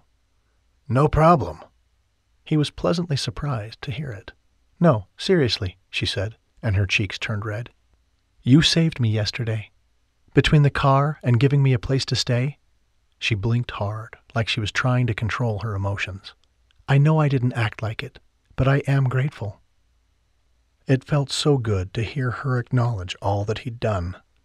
Sarah had always told him that he looked for too much praise, but he didn't want to think of Sarah. He pointed at Kat and said, Not to mention hiding you out. I mean, that's the hardest part in South Port. She laughed. Yeah, it was interesting that she seemed so emotional. He wanted to ask more questions about this cabin she'd been going to by herself, about her life in South Port, about the Marine. No, he couldn't let himself get wrapped up in all of that. So go relax. Thanks. He waved his hand at her. Have fun. Enjoy. Help yourself to anything in the house. I might swim, if that's okay. Are you going to hot tub? She hesitated. No. Stupid. Why had he even asked that? He remembered sneaking her out of the house to come back in hot tub when they were young. Again, she blinked and swallowed. Okay, I'm going to go. It felt like there was a lot she wasn't telling him, but it was not his business. Right. He went to the garage and put the trash inside the garbage bin, then stopped in front of the hood of her car. Thoughts of Kat crowded in again. What was she going to do today? Why had he asked her if she wanted to hot tub? That was stupid. Would she read? She used to love sitting in their library. She would read for hours. His mother and Kat used to talk about books all the time. Warmth filled him as he thought of that memory. Dang, he missed his mother. The more he thought about Kat and the memories from those summers, the more he knew he couldn't be here. He couldn't just sit at the inn all day. Ava and Trey had told him he just needed to make sure he was back by 8 for the popcorn and movies. Vince would soon be here to watch the place, so Marshall could leave. He needed to get out of the house. As he went back inside to grab his phone to text Vince, he noticed that Kat was still in the kitchen. She was standing by the French doors, staring out at the deck with the pool, the hot tub, the pool house, and the view of the beach. Hey, she said, turning to face him. Hey, he paused, his heart racing. What are you doing? she asked. Her face was innocent, exactly the way it had been so many times when they'd been young and she'd stopped by to see him. Time was like a pretzel, curving back on itself in this moment. I'm not sure what I'm doing. Me either. All kinds of ideas burst into his imagination. He thought of the things they used to do together all summer surfing, hiking, walking the beach to find seashells, lying up on the roof and staring at the stars for hours. He didn't want to say any of that. Well, there's lots of things to do here that I think you'll find relaxing. Marshall was about to go up to his room when Kat said, do you remember how your mother and I would read for hours in the library? His adrenaline spiked. I was just thinking about that when I was in the garage. Your mom was the best. I mean, I'm pretty happy with my mom too, but your mom was just. She just spent time with people when they needed it, you know? Marshall hadn't thought about his mother like that, but it was true. She did. She sat out in the garage and talked to me about as much as you did in the summers. The memory of those times softened him. I guess, looking back, I never felt I didn't have time with her. Even though there were six of us, she always found time to spend with us. A smile played at her lips. She was a good lady. Listen, I know you, and I. Well, we're a bit explosive in nature, but I'm glad that you stopped yesterday. He thought of how she'd looked so angry, had accused him of shutting her out. I'm glad too. Unable to stop himself, he asked, Can I ask why this week is so important for you to get away? To go to a cabin by yourself? What do you mean? I don't know. It just feels like I was missing something when you were so upset and talking about how you really needed this week. I mean, I know everyone needs a vacation, time away, but is there something that is making you sad? No, she said, answering quickly, and turned back to face the window, which meant yes. Marshall sighed. Sarah had been lots of drama. He didn't want drama in his life. Okay. He left the room, calling over his shoulder. Good luck. None of her problems were his business. In his room, he grabbed his shades and his wallet. It was evident that she didn't want to talk to him about whatever it was, so that was fine. She could chill here, do her thing, get rested, and he would do his thing. They could just be normal people who didn't know each other. Yes, he could treat her the same way he would treat any acquaintance in his life. He strode back through the kitchen and to the garage door. She was gone. Good. He didn't need to think about her. He would take a ride. Yes. He would go where he'd been kind of planning on going yesterday, before his attention had been hijacked. But as he opened the garage door, he was held up. There she was, sitting on his new motorcycle. What the? Sorry, she said as she got off the bike. Again, he had to admire how slim she was, how graceful. Not the girl he'd once known. She had definitely matured. It's fine. You can sit on the bike. She gestured to the bike. I was just enjoying it, that's all. I'm done. She didn't meet his eyes as she walked past him.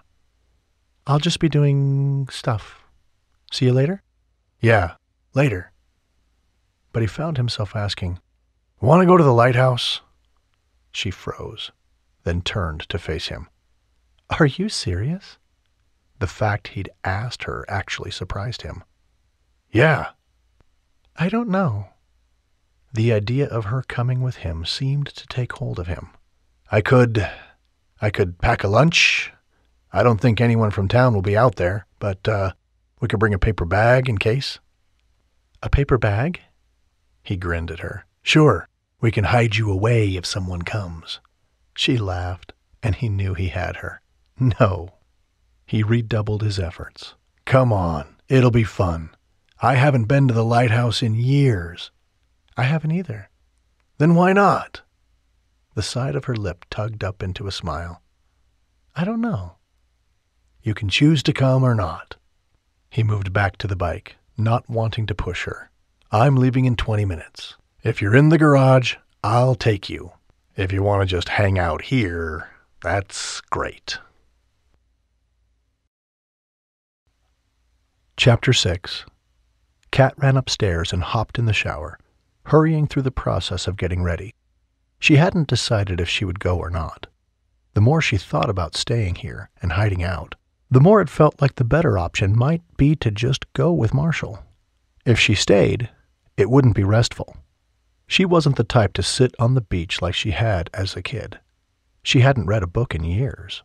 Sure, that sounded good. But if she was going to be on the beach, it would be with Cade, or Lucy, and Kenzie, and Ava, and Cherise, and they would be relaxing and chatting. It wouldn't just be by herself. That felt lonely. She put on makeup, which she hardly ever did. She had no idea why her mother had packed it. But she was grateful. After slipping into shorts and a t-shirt and lacing up her running shoes, she wondered if she should look nicer for this excursion. Why would she need to look nice? This wasn't a date. It wasn't anything. As she walked to the garage and opened it, she noticed that Marshall had changed his clothes. To her relief, he had put on jeans, a t-shirt, and tennis shoes as well. He lifted his brows. You coming then? I'm here. The man could be so infuriating. He'd invited her, right? The air was thick with tension. There had always been tension there, even when they were younger. Sure, they had been best friends, but the older they'd gotten, the more the tension had ramped up. Now she couldn't stop thinking about the night he'd kissed her. If he'd only knew how many times she had replayed it in her mind. Marshall started the motorcycle and got on, and then turned to face her. Daylight's wasting. You still know how to make a girl feel exactly like you want them to come. It had been one of their jokes when they were younger that Marshall was often not very good at communicating his feelings. He grunted, I'm not pretending to be anything I'm not. She let that comment go and moved to the motorcycle, getting on. Somehow she managed to put her hands around his hips. Yesterday, she hadn't really thought about it when she'd grabbed him tight and held on for dear life, partly because she had no other choice. Truthfully, she had been so consumed with thoughts about her car that she hadn't really thought about their history. It had been easy not to think about it. He took the highway and headed back toward Pirates Cove. There was no direct road to the lighthouse, so driving through the cove was the only way to get there. How many times had she held on to Marshall when they'd been kids? She had always complained about how fast he went, but she'd never missed a chance to go with Marshall when he asked. Of course, she hadn't had much in the way of money. Her adoptive parents had struggled to make ends meet until they retired and sold the business. Back then, Marshall Stone was not only hot and fun and crazy, but he was the richest guy she knew, even though the Stones didn't act rich. She closed her eyes, relishing the sunshine on her face and the breeze on her body. They hadn't been driving very long when they arrived at the caves. He parked and turned off the motorcycle. How many times had they replayed this same scene over the years? She slipped off the bike. He got off and put the keys in his pocket, and they started walking toward the caves. After a bit, she realized the tension was gone. She had always liked that about Marshall. She could just be with him, without talking, without explaining, without entertaining.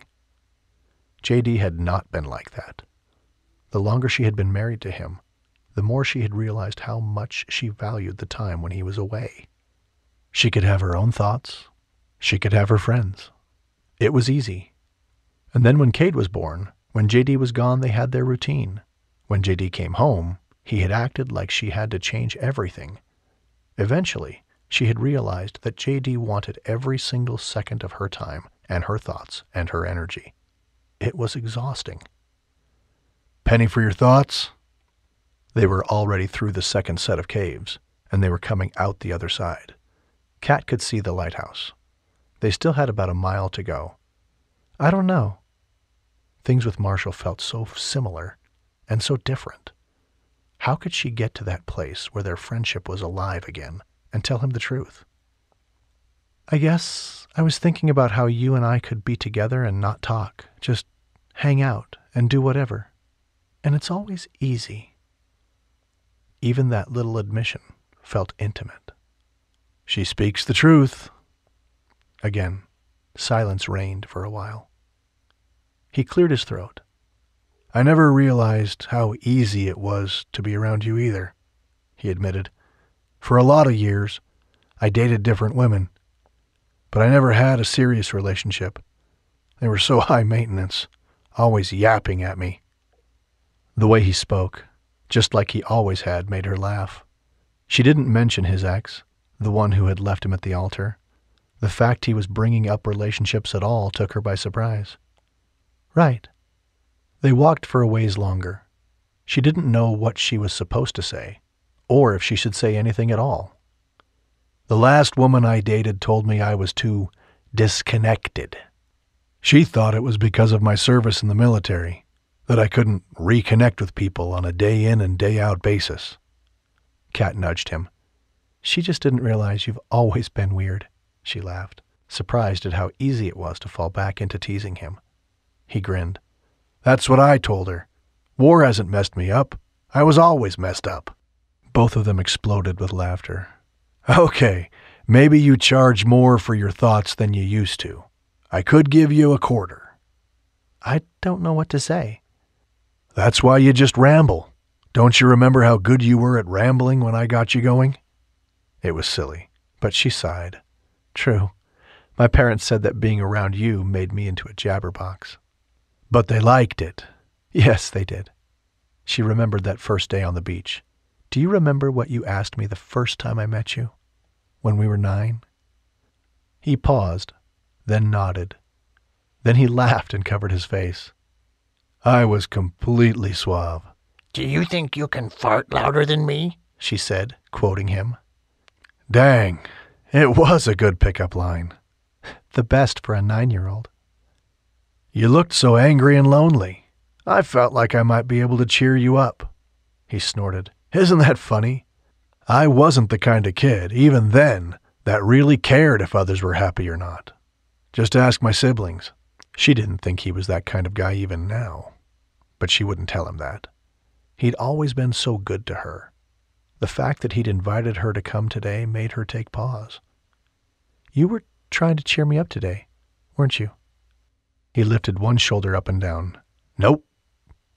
He was infuriating and could tick her off in seconds, but he had always been kind-hearted, and clearly he still was. It was a little harder to see with Marshall sometimes. You're still the gooey center of a Tootsie Pop, aren't you? I didn't like the comparison then, and I don't like it now. Whoo, whoo, she said, mimicking the noise of the owl from the Tootsie Pop commercials. Seriously? But his lip turned up. Goofy references had always made him angry, then happy. Whoo, whoo, she repeated, cracking up. I swear, you've never grown up, Dixon. The way he called her by her new last name took her aback. He always used to call her Hanson. That had been her old last name, the name he'd known her as. It felt strange that he would call her by her current name. Sorry, he said, seeming to sense her discomfort. I didn't mean to. She didn't look at him. Why was she having this reaction? She refocused on their conversation about their childhood. You were my first real friend in South Port. I had just come to live with the Hansons a few weeks before that, and I had been through some rough things. Her eyes turned misty, and all of those insecurities rushed back to her. You okay? Over the years, I thought about what you did for me, Marshall, in just making me your friend, she said, meeting his gaze. Thank you. Being part of your family and part of the beach crew changed my life. You were the catalyst that led me to being friends with everyone. Honestly, you were the catalyst for making me feel like I wasn't an outsider anymore. I think most of them liked you better than me, he laughed. Most of the time, my siblings asked where you were, or Mom would tell me to go get you because she knew that you made me happy. They kept walking, and even though they were talking about feelings and she was thinking about things she normally didn't like to think about, it was okay. Because finally, after all these years, she was communicating with Marshall again. I'm really glad we're hanging out right now. A smile played at his lips. Me too. She didn't respond. She didn't want to get into what had happened between them before he had shut her out. Right now, it felt good to be out in the sunshine, to be talking to a friend. They arrived at the lighthouse. It looks exactly the same. She couldn't help the excitement that pulsed through her. She walked faster to the door, which was only hanging halfway on the hinge. Marshall pulled the door back and held it open for her. It does look the same. She stepped through. Thanks. Then both of them were walking up the stairs to the second floor. Okay, it doesn't look the same, she said. It was a mess. There were papers and trash all over. Old pop cans, beer cans. The disrespect. Marshall went to the window. Kids these days. We need to bring some trash bags the next time and clean this up. This place shouldn't be treated this way. She moved to his side and peered out over the water. Let's do that. Her mind went back to the times she and Marshall had come to the lighthouse during a storm. They had liked to watch the storm rolling in, and sometimes they would point out the waves as they got bigger and bigger. Do you remember that time we thought the wave was going to go over our heads and smash this place to smithereens? He laughed. That was the summer. She trailed off. That my dad died. Stupid, stupid, stupid. Why had she even brought that up? Marshall's brow furrowed. I broke down like a baby, and you just held me and told me it would be okay. Right in this spot. Their eyes met, and he glanced down at her lips. Lightly, he touched her hand, holding it for a second before letting it go. You were a good friend to me, he said. I never got to thank you for that. For years, she'd thought about talking to Marshall again, explaining why she'd acted the way she had. But she'd never imagined she would feel this intensity, or this much attraction and confusion. It was like someone had stuck them beneath a magnifying glass and just ramped up the old feelings. Look, Marshall said, pointing to the inside of the little window. Do you remember that? Her heart skipped as she saw the words he'd engraved a long time ago. You and me, always. K and M. Yeah, she said, feeling a bit breathless. Marshall peered closely at the words. This place has always reminded me of you. Has it? Her mouth felt dry. Marshall nodded. You were always a light in my life, Kat. You. He trailed off. She was floored by his confession. He shrugged. I guess it doesn't matter now, with all these years passing. She wanted to press him, ask him why he didn't respond to her messages, she didn't know how in this moment. After a long time, Marshall turned back to the door. Should we go check out the top? See if they destroyed the equipment up there? Yeah. They climbed to the top the old equipment was still there, just rusty. It didn't look like anything had been vandalized. I guess the punks didn't ruin it. Marshall began heading back down. Good thing, she said, following after him. A light in his life? A light in his life. The words were on repeat in her brain. He didn't stop at the second floor. He just kept going down to the entrance. Should we walk around a bit? We could eat lunch at the infamous rock out there. She knew the exact rock he was talking about. Let's do it. It was easy to hike with Marshall. They fell into the routine they had always done as kids. They hiked up to the top of the mountain, paused at the rock, and looked out. Neither of them spoke. There was so much between them, but there was no way to say it. Kat's mistakes and the things she didn't know how to explain to Marshall. Marshall opened his pack and pulled out the sandwiches and water. Here you go. Thanks. She took a sandwich and unwrapped it. Marshall did the same. I guess it's probably not as good as yours, since you have your deli. Trey told me it's the best in town. The compliment warmed her up, but she didn't accept the praise. She took a bite. This is good. I like the tangy mustard. I like the mayo. I'm a mayo person. I like your use of pickles. You make it sound like it's a Rembrandt or something.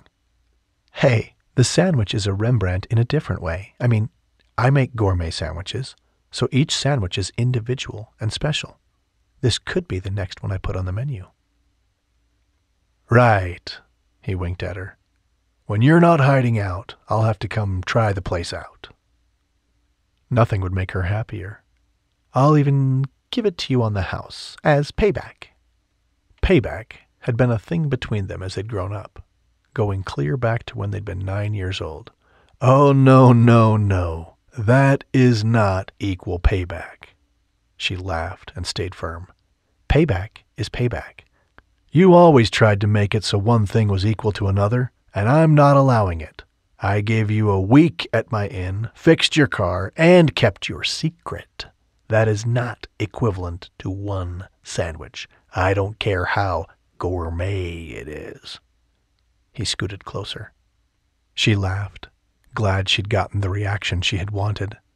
It's equal if I say it's equal. No, it's not. He was close enough to kiss. It is so, she taunted. She looked at his lips. She wanted so badly to kiss him. She scooted away, her mind spinning. Fine, whatever. What had happened to make her so insanely attracted to this man? She had always been attracted to him, but not like this. He laughed and turned back to his pack to unwrap another sandwich. He tore off a bit to stuff in his mouth, and then flashed her a grin through his mouthful. You're such a pig. That was another thing she had said to him all the time.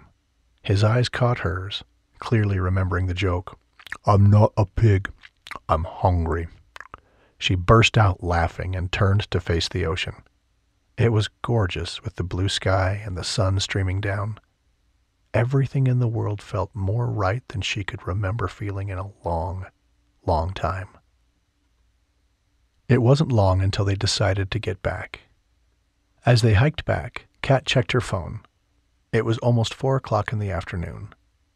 Marshall got back on the motorcycle and waited for her to join him.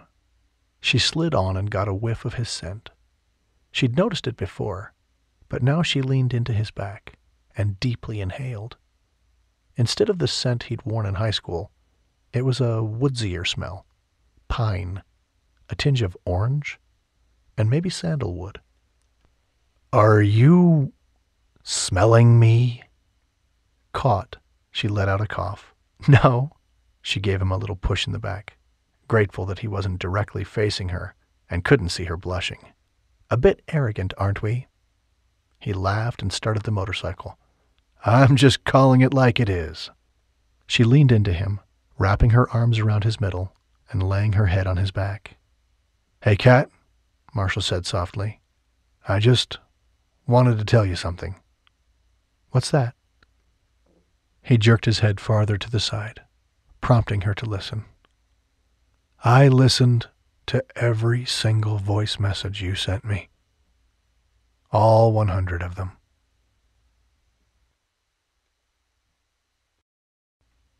Chapter 7 It had been a quiet evening after their trip to the lighthouse. Kat had said she wasn't hungry, and she had gone up to her room. Somehow, she'd avoided talking about what he'd revealed to her. After dismissing Vince, Marshall had been pleasant to the guests as they had come and gone. It had been easy to turn the movie on at eight o'clock, pop some popcorn, and get some drinks out. What he hadn't anticipated was that his sister, Kenzie, would show up. How was your day? she asked, without preamble. Oh, dear. His sister was clearly trying to bond with him. Not that he was opposed to that. He just had a lot on his mind. He might as well tell her. She probably already knew. Kat and I went to the lighthouse today. They headed into the office to talk. Kenzie sat on the brown leather couch, then swung her feet around and propped a pillow behind her head. She did seem more tired than normal. And don't say a word about it, Marshall added. What are you talking about? I'm just here to chat with my brother, to find out about his day, to catch up. She flashed him a grin that said she had an agenda. Okay, he said, sitting in the leather chair across from the couch. Then let's catch up. How was your day? What book are you writing? How is the writing going? He was being a bit sneaky, because Trey had confided in him last week on the phone that Kenzie had writer's block, and he wasn't supposed to push her about the book. She cast a glance at him, and then leaned her head back. Well, I do have this great romance sizzling in my mind at the moment. Oh, yeah? Tell me the good parts. His sister, of course, made sure people knew that she wrote romance. That was more about emotional bonding. But Marshall and his brothers liked to tease her. Well, if you have to know, it's about these two people that were best friends growing up. She turned on her side, and a large grin swept over her face. The guy, let's call him Marsh. He was not finding this amusing. Marsh? Her grin widened further. Yes. And the woman was known as, let's say, K. Not humored, but not wanting to admit defeat, he flashed her his own kind of grin. Sounds boring. Well, it's just in the beginning stages. He stood, no longer wanting to play this game. It was nice catching up, sis, but I think I'm gonna do a quick perimeter check. I'm gonna chit chat with the guests, and then I will make sure everyone is comfortable. Well, we'll have to, you know, talk tomorrow. His sister flipped her legs to the floor. No, you don't, brother. I am still your big sister, and I am keeping the little secret that we have a stowaway. A stowaway? He grunted. What are we, on the Titanic? Marshall, will you just tell me what's going on with you and Kat? Nothing. Is everything okay? I mean, I know that Kat has been through a lot, but you're my brother, and you've been through a lot too. I just don't want to see you get hurt again. His sister had a heart of gold, and as he'd gotten older, he found that his mother also had one. I'm fine. Kenzie had been the one to pick him up all those years ago, after he told Kat his real feelings. Are you sure? She moved to his side and put a hand on his shoulder. Then she leaned up and quickly kissed his cheek. Because I know that you're rough and tough, she smiled at him, and he smiled back. It was an inside joke about what his dad used to call him. But I love you, and I just want you to be happy. Marshall did not enjoy being coddled. Sure, he put up with it from his mother and Kenzie, but only to a certain point. I am fine, and I love you too. He slipped an arm around her shoulders and walked her out of the office and down the hallway to the front door. I want you to go home and rest and get that bum husband of yours to make you some kind of pastry that you like. Her face lit up and then turned down into a frown. I do love pastries, but I'm too sick for them at the moment. Have you been sick? Marshall chided himself. He should have been asking questions like that. He'd known she was tired, but he hadn't realized she'd been nauseated. She waved a hand through the air. What is that line in The Devil Wears Prada? Something like, I'm just one good stomach flu away from my goal weight. You're ridiculous. Kenzie laughed and patted his cheek before opening the door. She paused at the threshold and winked at him. I am being ridiculous. I honestly don't care if I gain 50 pounds with this baby. I'm just so grateful. Her voice cracked, and he felt the center of his chest burst with happiness for his sister. I'm having a baby. A rush of chills washed over him and he pulled her back into a hug. You're having a baby, he said, rubbing circles into her back. It's going to be amazing. She sniffled and pulled back, grinning at him. For the first time, he understood what people were talking about when they said that pregnant women glow. You go home now and rest, he told her.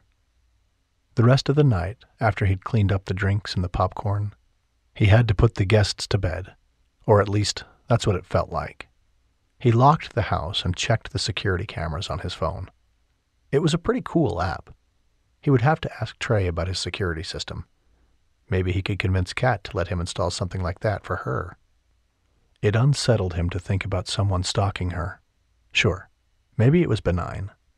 Maybe it was just some harmless weirdo who was baking her cookies and leaving her notes. But the latest one had told her to enjoy her time at the cabin, which suggested that they were paying close attention. He walked up the staircase, and instead of going to his room on the second floor, he took the next flight of stairs to the third floor. It was only eleven o'clock. He didn't see any lights on beneath the crack in the floor of her doorway. Dang. If only she was awake. He was restless. Spending time with Kat had awakened so many memories inside of him, things that he had almost locked out. He did a cursory sweep of the rest of the third floor, and then he went back downstairs to his room. He opened an app that saved old voice messages on his phone, and he pressed play. Marshall, this is Kat. Will you please call me back? I miss you. It's been a hundred days. Did you hear that, Marshall? One hundred days. I want to explain myself. I want to explain why I acted the way I did after you kissed me. Please. He lay down in bed, closed his eyes, and pressed the play button one more time. Chapter 8 Kat woke early the next morning, but she didn't go downstairs. She wasn't hungry, which was funny because she had skipped dinner. Lazily, she turned on her side and grabbed her phone off the nightstand. 6 a.m. Her internal alarm clock never failed her. She put her phone back, thinking about yesterday. When she had sequestered herself to her room the previous evening, she had spent an hour on the phone with her son. Cade had had a marvelous day, snorkeling and swimming and building sandcastles. Her parents had taken over the conversation then and told her about this really nice couple that they had met at the beach. Cade had played with their son. Cade had been too excited to stay silent, and he'd told her a million things about his new friend, Shane. In fact, they were all going to meet the next day and go to a museum. As thrilled as she was to hear about her son having so much fun, she was simultaneously melancholy about it. Part of it was because she wasn't there, and part of it was because she felt normal mom guilt. Why hadn't she taken them to the beach here? And why hadn't he been making more friends his age here? It was easy to dwell on the things she wasn't doing with her son. She felt like she was failing him in so many ways. She was a good mother, a great mother. But the same questions always nagged at her. Would they be happier living closer to her parents in Florida? Should she just sell her business and move there? The real estate market was still going strong in South Port.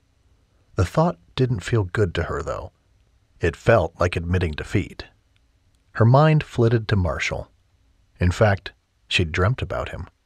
It wasn't uncommon for her to dream about him, but this dream had felt so real. It had included the lighthouse, she and Marshall had been holding hands, and she remembered feeling so happy and laughing. It was exactly the way she had felt yesterday with him. Except in the dream, JD had shown up. He had been wearing his military uniform, and he had pointed a gun at Marshall. The dream had skipped to Marshall and JD fighting and rolling around on the ground. She had worried that the gun would go off, so she had jumped on the men and tried to get the gun. The gun had fired then. And then she was staring at JD's face as he lay in his coffin. The closed eyes and the stoic mouth, the rubbery skin. He had opened his eyes and said to her, This is your fault.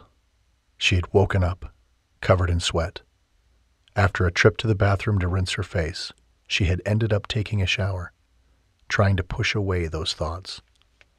Today was the anniversary of the day she found out JD was dead. It had been her fault. All of it. Her vision grew blurry with tears. She buried her face in the pillow.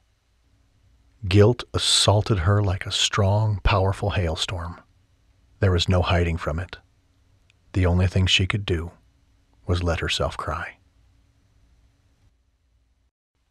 Chapter 9 Marshall got up early that morning to make sure he was the one making breakfast for the guests.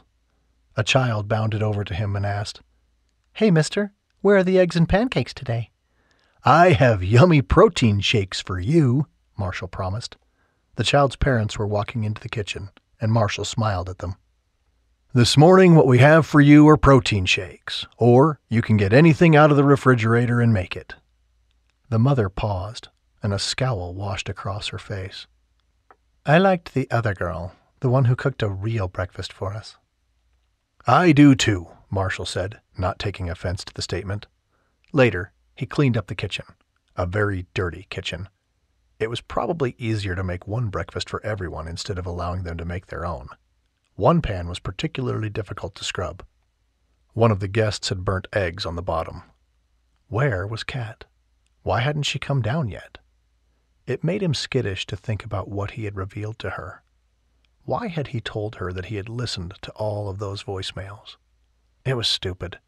It didn't matter anyway. Plus, it had made her completely weird. As he finished wiping up the kitchen, he heard someone at the front door, punching in the code. He rushed to the door, only to intercept Vince. Dude, chill. What's up, Vince? Just ready to sit at the desk and watch YouTube? If Marshall had wanted to be a jerk, he would have gone off on a lecture about personal responsibility, about hard work. about how the inn could use a dusting and Vince could be just the one to do it. The men he trained when they first came into the Night Stalker program teased him about being a stickler. Well, probably a different word, but he wasn't in the mood to shape a young mind right now. Okay, I'll be around. Should he go check on Kat? He swung by the kitchen and got the extra protein shake he'd made for her. As he approached her door, it still looked dark beneath the doorway. This time he knocked. Kat, are you awake? Go away, she said, her voice muffled. He hesitated, not sure what to do, but he wasn't the type to leave well enough alone. I saved you some breakfast. I have a nice protein shake for you. He smiled, thinking she might find it funny. Nothing. Kat, are you okay? Can I come in? Do not come in. I'm fine. I'm just staying in my room today. That news didn't sit well with him. Why? Go away, Marshall. He didn't move, but he didn't say anything else. I know you're still there. Go away. Still he waited. She clearly wasn't fine, but his patience was to no avail, because she didn't come out. He could go get a room key and let himself in, but he didn't want to upset her. She had talked about a weird stalker, and he didn't want to be that. He'd promised her rest and reprieve at the inn, hadn't he? Maybe she wanted to just be in bed today. That was fine, right? Reluctantly, he stepped away from the door and went downstairs. He stopped in the kitchen and dumped out the shake. Then he found himself in the garage, pulling back the tarp covering the old motorcycle. Satisfaction wove through him. Yes, a project was just what he needed. Marshall found tools on the tool bench and pulled them back to the bike. He also found a chair and pulled it over. Without further ado, he began tinkering. He removed some of the really rusted parts and ended up dismantling most of it. Someone pulled up to the house. He got up and moved to the front to see who it was. It was Tim in his police car. As he stepped out, a big grin filled his face. Not gonna lie, it's nice to have you in town. He put his knuckles out and bumped Marshall's. Want to see what I'm working on? You mean the old bike Trey got for you? He showed you. They walked into the garage and Tim patted his back. You should know that now that I'm the sheriff, added to the fact that I married your sister, I'm in the loop. I'm totally in the loop. More than I ever wanted to be in the loop. I'm sure you are, Marshall laughed. They talked about the ins and outs of the bike. According to Tim, Jed had said the radiator would be in tomorrow for Kat's car. After they finished talking about the motorcycle, Marshall turned to him. The guy was like a brother to him, and he knew he could trust him. She's still in her room today. Do you know what's going on? I knew this was going to be a hard week for her. She mentioned that. But I don't know if it's because she's overwhelmed with work or if she's just sad her son's gone. Tim's expression soured. I heard this week marks the anniversary of her husband's passing. Understanding dawned on Marshall. That woman has grit. I have watched her open two businesses this past year. She has poured herself into her work, and she poured herself into her son. A couple of weeks ago, she told the women that she was dreading the death anniversary date. Tim frowned. I'm probably saying too much, but that's because I've been hanging out with your gossiping sister. Those women talk way too much, Marshall said absently, his brain working to process what he'd just learned. Kenzie thinks something else, other than grief from losing J.D., is eating at Kat. She doesn't know what, but she feels like it's gotten worse and worse as this date has approached. Other people feel it too. You know, Stan and Margie offered to give her a break, and her parents took Cade. Marshall hadn't thought about how those things could all be related. Grief is rough. We never know how we will react or how long it will take to move through it. In some ways, he felt like he'd spent the last year grieving. Not just because he'd lost his mother, but because he'd lost the life he'd thought he would have with Sarah. But as he'd listened to Kat's messages last night, he'd realized that he also still had grief inside of him about losing her all those years ago. As Marshall walked Tim out to the front of the inn and back to his car, Tim turned back to face him. Be careful, Marshall. What do you mean? Tim opened the door and slipped inside. I've seen that look on your face a thousand times growing up. What are you talking about? Tim tipped his hat. The determined look, the look that says you're not giving up and you're going to fix something or do something. But I don't know if Kat can simply be fixed. I don't think she's broken, Marshall argued. You know what I mean. Tim pulled the car door shut, started the engine, and began backing up. Marshall watched him go. One thing was certain. He was going to get Kat out of that bed.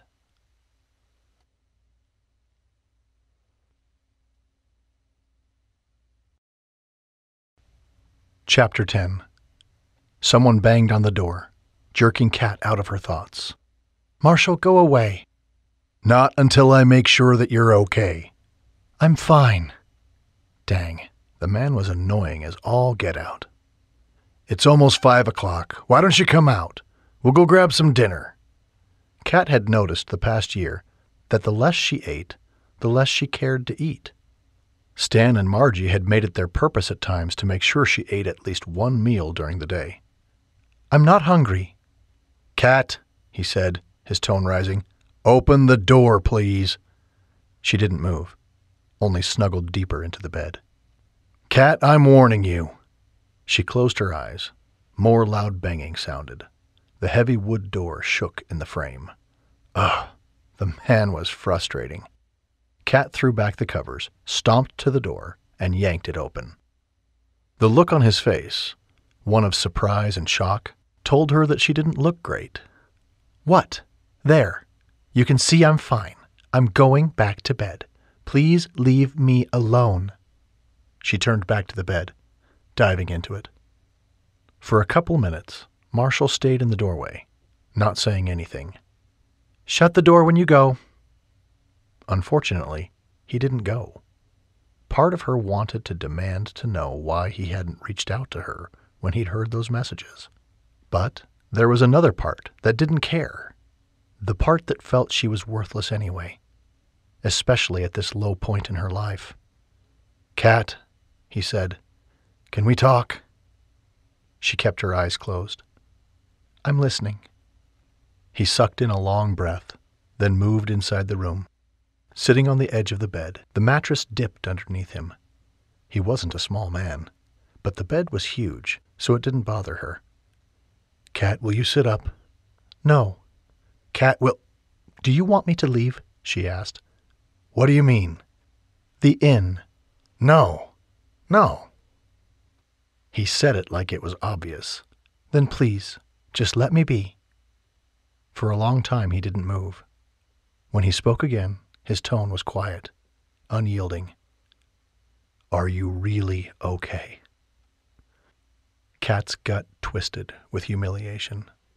It was like she could suddenly see herself through his eyes, this broken shell of a woman. I'm fine. Tears leaked down her cheeks. I'm fine. Please, go. He cursed, but then he was gone. The door closed softly behind him. She cried into her pillow. Memories assaulted her, playing like a broken record on repeat in her mind. The last time she'd sent her husband off, the fight they'd had, what he'd said to her, and what she'd said to him. The relief she'd felt when she found out he was dead. There was no hope for her. She cried until she fell asleep. Chapter 11 The next day, after another argument with Kat about spending the day in bed, Marshall went for a run. He put in his AirPods and let classic rock flow through him as he lost track of everything, letting his thoughts release. It was a tactic Marshall used to release pain, pushing his body to extreme limits. After his run, he returned to the inn and was pleased to see that the pool area was deserted. He took his shirt off, and then he was swimming laps. He'd been on the swim team in high school and had loved it. It had been a while since he'd swam, and his muscles burned, screamed, giving him the release he yearned for. His thoughts returned to Kat, the cat who was sleeping in the room upstairs. He couldn't stop feeling this bottomless pain for her. Marshall didn't like to connect with other people and their problems, even though he had a knack for it. His mother had always told him he had a gift for compassion. He discovered other people's pain, and being unable to help often overwhelmed him and shut him down. He tried to stay away from people who were in pain. It wasn't that he couldn't connect. It was that he'd allowed his ex to get too close. She'd slipped past so many of Marshall's defenses until he'd found himself exactly where Kat was right now, at the bottom of the swimming pool, with no one there to pull her out. Dang it. He hauled himself out of the pool. He was going to pull Kat out, whether she liked it or not. He grabbed his shirt and went into the house, hoping he wouldn't run into any guests. Most of them were off property doing various activities. It was only 11 o'clock. Marshall's mind raced as he retreated to his room to shower and change. He would give her a stern talking to. Maybe she was struggling with her husband's death, but she had to pull herself up by the bootstraps. Sure, Marshall had told her that she could stay here, but not so she could wallow. Wallowing never worked. He knew that from experience. He climbed the stairs to the third floor, prepared to go to extreme lengths to get her out of bed. Her door was open. She was gone. Chapter 12 When Kat received a notification that someone had texted her, she sat up and reached for her phone. Even though she was admittedly having a mini breakdown, she was still a mother, and she didn't want to miss a text from Cade. It wasn't from Cade. It was from Kenzie. Kat, could you come to my house? I need some help. Somehow, that snapped her out of her depression. She pushed the covers back and checked the time. Ten in the morning. Where was Marshall? Where was Tim? Not to mention all the other women in her old beach crew. What if something had happened with her pregnancy? She had confided the good news to the beach girls the previous week at one of Lucy's brunches. Kat texted her back. I'll be right there. Give me 20 minutes. She grabbed some clothes out of her bag. After a quick shower, she didn't bother putting on anything except a little bit of base and blush and a smidge of mascara. Over the last year, as she had battled these depressive feelings, she'd learned that making herself look better actually made her feel better. If something was going on with Kenzie and the baby, then Kat needed to be at her best. She rushed down the stairs and ran into Vince, who was getting ready to leave. He glanced at her, seeming unsure of what to say, but she saw him two or three times a week at the deli. He often came in for a long lunch that usually ended with Trey showing up and telling him to get his butt back to the inn. Hey, Vince said, looking around. I was just leaving. I don't know where Marshall is, but. Could you give me a ride over to Kenzie and Tim's? Vince looked confused for a second, but he nodded. Sure. As they pulled up to Kenzie's house, Kat noticed that Lucy's car and Cherise's car were already there. She got out and called back. Thank you. I uh, could use some gas money, he said. She tossed a $5 bill at him. When Kat got to Kenzie's door, it flung open before she could knock. About time you got here, Cherise put her hands on her hips. We've been waiting. The woman was tiny, but very capable when she wanted to be. Cherise opened her arms. Hug me.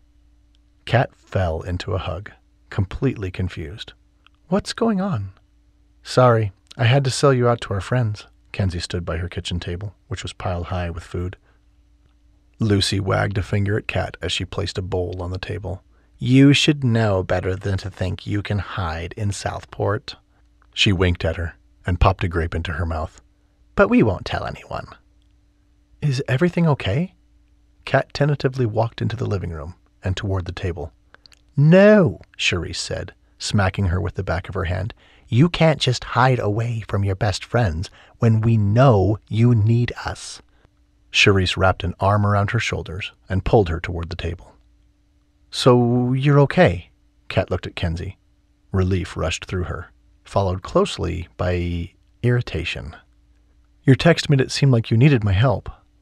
The others sat at the table, and Kenzie gestured to the food. You know, I don't feel that well. I can't eat all this food. When Lucy came by and Cherise showed up, I told them we needed your help. And you can imagine they were surprised you were even in town. She put her hands over her hips. But you know they'll keep your secret. Cherise spoke then.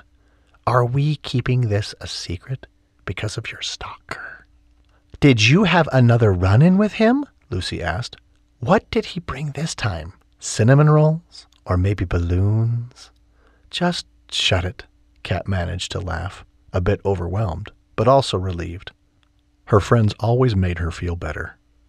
The other women laughed too. Kat usually downplayed any kind of message or baked good from said stalker. Kenzie pointed to the other chair. Sit. I'm hungry, and I'm pregnant, so you guys have to obey. It was impossible not to do as Kenzie had ordered, so Kat sat and closed her eyes as Kenzie said a quick prayer over the food. Then her friends launched into talking and asking questions. Kat picked up her fork and began eating. With a hum of appreciation, she turned to Lucy. Wild orange salad. I know, right? I found that recipe on Pinterest. They have a whole section about summer salads. She snapped her fingers. You should add a whole section of salads to your daily menu.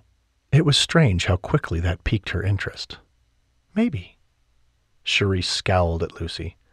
I don't want to talk about summer menus. I want to talk about the little jaunt you took to the lighthouse with. Her hands pounded out a drum roll on the table.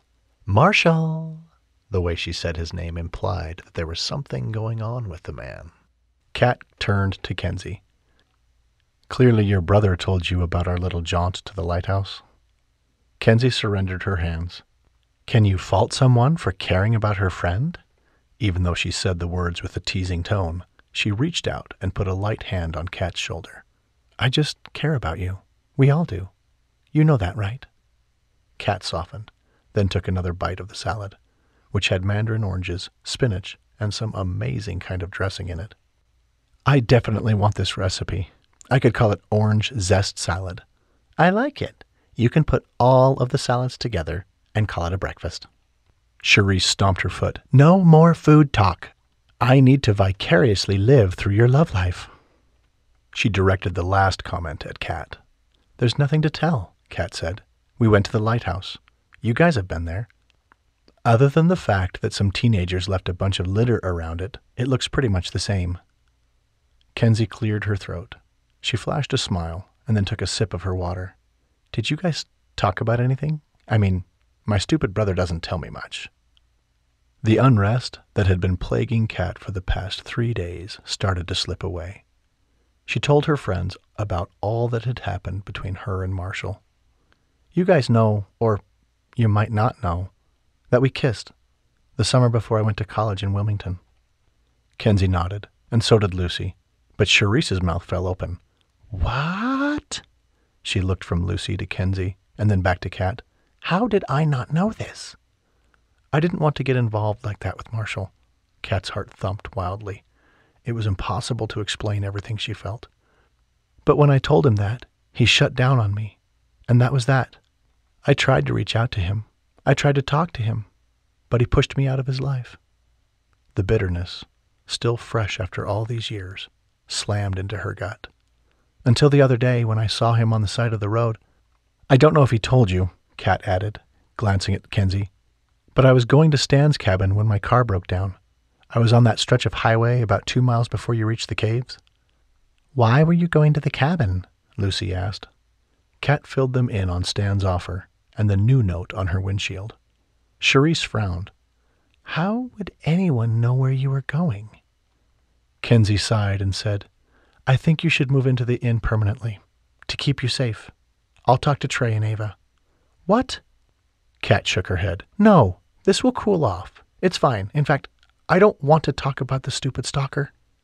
There was silence for a minute. A huge smile filled Lucy's face. Doesn't fate just have a great way of working things out? I mean, for all these years, you and Marshall haven't talked. You married someone else. He got left at the altar, and then bam, You're stranded on the side of the road, and Mr. Delicious shows up. Everyone burst into giggles. Kenzie lightly smacked Lucy on the shoulder. You're talking about my brother? Lucy shrugged. I call it like I see it. The man is hot, Cherise said. I'll give him that, even if he is one of the grouchiest people I have ever met in my entire life. She glanced at Kat.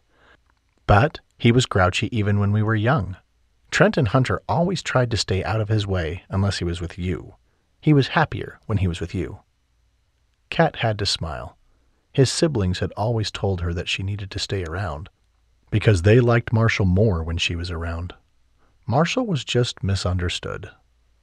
Personally, she had never viewed Marshall as grouchy. Of course, she could see how he came off that way to people, but he had always been her Marshall even when they hadn't been in contact.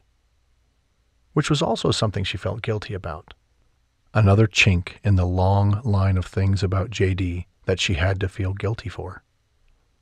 What just happened? Kenzie asked, reaching out and putting her hand over Kat's. Nothing. Cherise and Lucy added their hands to the pile. Talk to us, Lucy said. We love you. For a long moment, Kat held her emotions in, but she was so tired, tired of keeping this to herself, tired of feeling angry and guilty and lonely and sad. So she told her friends everything. Chapter 13 Kat was a grown woman. Marshall knew that. He also recognized that she was in a bad mental place, and he couldn't leave her alone. He whipped out his phone and pressed Tim's number. What can I do for you? I can't find Kat. I went for a run and a swim, and now I can't find her. He raced from room to room to make sure she wasn't somewhere in the inn. Well, she's at my house. The energy whooshed out of him, replaced by relief. At your house? When did she go to your house? Kenzie is having a little powwow with the beach crew. I told her what you had said about Kat being in bed, she told me she would handle it, but I needed to find somewhere else to have dinner tonight.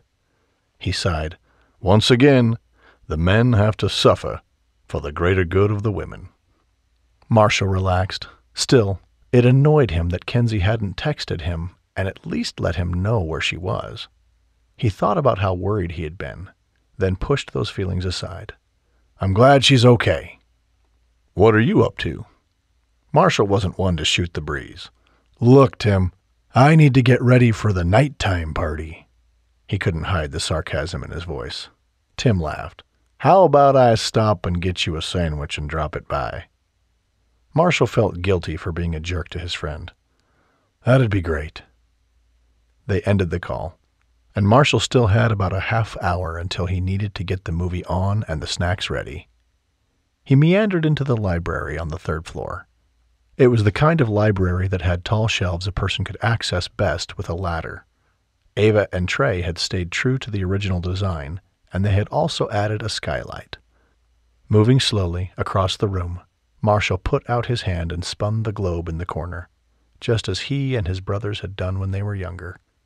He paused in front of the window and looked out, watching several families and a few couples wander along the beach. Of course, his mind drifted back to Kat. He was glad that she was okay. But part of him wished that she was here, talking to him. Out of the corner of his eye, he saw a pile of books. His mother's journals, he realized. He took one out, opening it. They all knew about their mother's journals. She had talked about them before she passed, hoping they would read her journals after she was dead. She'd always been persnickety about that. She'd never wanted anyone to read her journals while she was still living. Marshall thumbed through the dates. These entries had been written when his father was still alive. He paused to read one about how much she'd missed his father, who had been deployed at the time. He shut the book and put it back, exchanging it for another one. But as he opened it, he noticed a page in the book that didn't belong there. It was a piece of notebook paper that had been crumpled. It was his. His heart raced as he flattened it against his thigh. It was actually his and Kat's. At the top of the page it read, A list of things to do in the summer. He remembered writing this list. They had sat together in this library when she had just arrived. According to the date, he had been 16. Marshall smiled. He had wanted to kiss her so badly then. Times don't change much, he mumbled to himself. Since he'd seen her on the side of the road, his attraction to her had been off the charts. He felt like a teenage boy again, only now he was a man and she was a woman, and there was that inkling of possibility that he could have her. The force of that realization struck him like a nine on the Richter scale. He wanted her. He thought about how she'd accused him of shutting her out. They needed to talk about that. At least, he wanted to talk about it. She was so angry at him, but she'd been the one to end things. But she didn't seem to see it that way. Marshall returned his focus to the paper. He couldn't help but smile at some of the things they had put on the list. Number one, egg the Stouts house. The Stouts used to live a few houses down from them. They had two daughters who were close to his age. Both of the daughters had been snobby and rude. Kat had told him Elizabeth was a mean girl at school. She had liked to make fun of Kat and say all kinds of mean things about how she was adopted and a reject. The memory still evoked intense anger inside of him. Number two, play a prank on Ava and Trey. Number three, get Marshall's bike running. He smiled. Living in Boston hadn't lent itself to much driving, even though he had just turned 16. His mother had promised that if he could fix up the motorcycle, he could drive it as much as he wanted as long as he paid for his own gas. When he and Kat had finally fixed it, Kat had jumped on behind him. They had laughed and screamed as he drove it up the canyon as fast as he could. Wasn't it funny that every memory of South Port involved Kat? Then he saw it, a doodle of his mother's with the words Conquistador's Gold on it. Excuse me, Marshall jerked, surprised to see one of the fellow guests. Hey! The woman tapped her wrist. When are you going to put on a movie? We're waiting. Marshall folded the paper and stuffed it in his pocket. I'm coming. He put his mother's journal back and then went down to start the movie. Almost two hours later, Marshall sat in the kitchen and listened to the end of The Lion King. Tim had brought him a sandwich and a radiator. The car part had come early, and he wanted to get it installed. He wasn't paying attention to the guests. All he could do was stare at the piece of paper in front of him. The front door opened. He got up and headed that way. Should we just turn this off? The mom called after him. Sure, I'll come get it in a sec. And don't worry about cleaning up. I got it. How did Ava and Trey handle this all the time? Marshall did not like being a host. Shocker. Kat came through the door, and her eyes met his. Hey, sorry I didn't let you know where I was going. Oh, it's fine. Marshall inwardly laughed at himself. Specifically, he was laughing at this person he'd turned into the one who didn't tell Kat how upset he had been at finding her missing. But he didn't want to be like that. He didn't want to be a dad to her. Did you have fun? She paused, and she looked up the stairs. He didn't know if she would answer or if she would just go to bed. A light smile played at her lips. You know, your sister is a meddler. But she's a good friend. Relief coursed through him. She is a good friend. A couple of the guests moved down the hallway and then headed up the stairs. He put on a fake host smile. Have a good night, he told them as they moved past. Kat had a teasing look in her eye. What? I guess I'm disappointed. He felt like he was being set up, but he didn't care since she was smiling. What do you mean? Who are you? She flashed a fake smile and then mimicked him. Have a good night. So courteous. He laughed. What can I say? This is the mature version of me. Her eyes trailed down his chest. then up to his shoulders and back to his eyes. Had she just checked him out? Yes, it is. His heart hammered. He didn't want to call her on it, but he felt his own attraction grow. There was a lull as their conversation dissolved, becoming a stillness that kept happening in this new relationship between him and Kat. Do you want me to go? she asked. This hadn't been the question Marshall had anticipated. Why do you keep asking me that? I know I'm kind of a downer. I guess I owe you an explanation. Hell yeah, she owed him an explanation. It's fine. Look, I get it. You're dealing with stuff. He shrugged. Is there anything I can do to help? Her eyelids fluttered, and she looked down at her hands. Today was the day I buried JD. There wasn't anything he could say, so he didn't say a word. She sighed. It's been hard. He stared at those perfectly green eyes. I'm sorry. Thank you. She moved past him and then up the stairs. Every part of him wanted to chase her down and demand answers. But he didn't do that.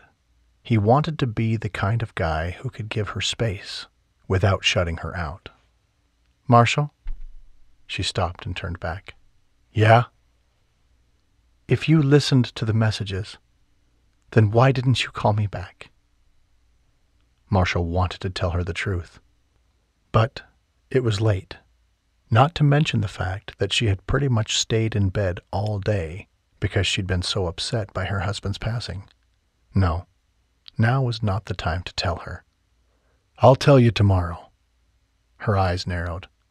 Why not tonight? It's late. Plus, I have good news I'd rather talk to you about.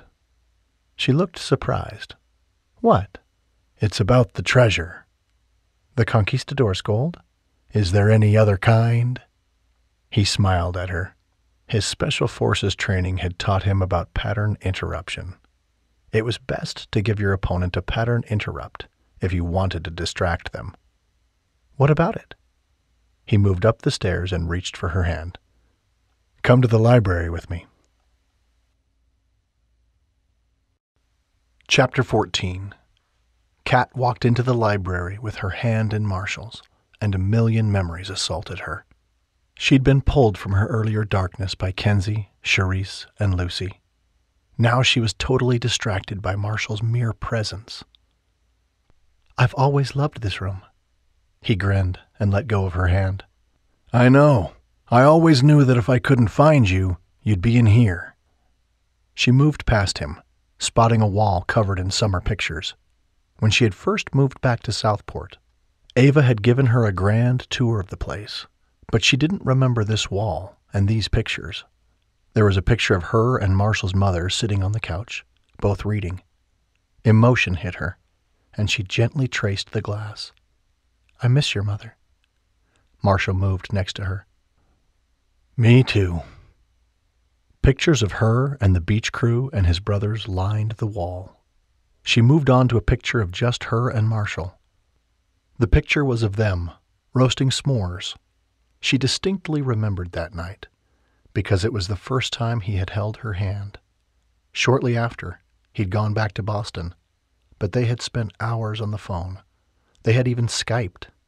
But the more and more she'd thought about her feelings for Marshall, the more afraid she'd gotten.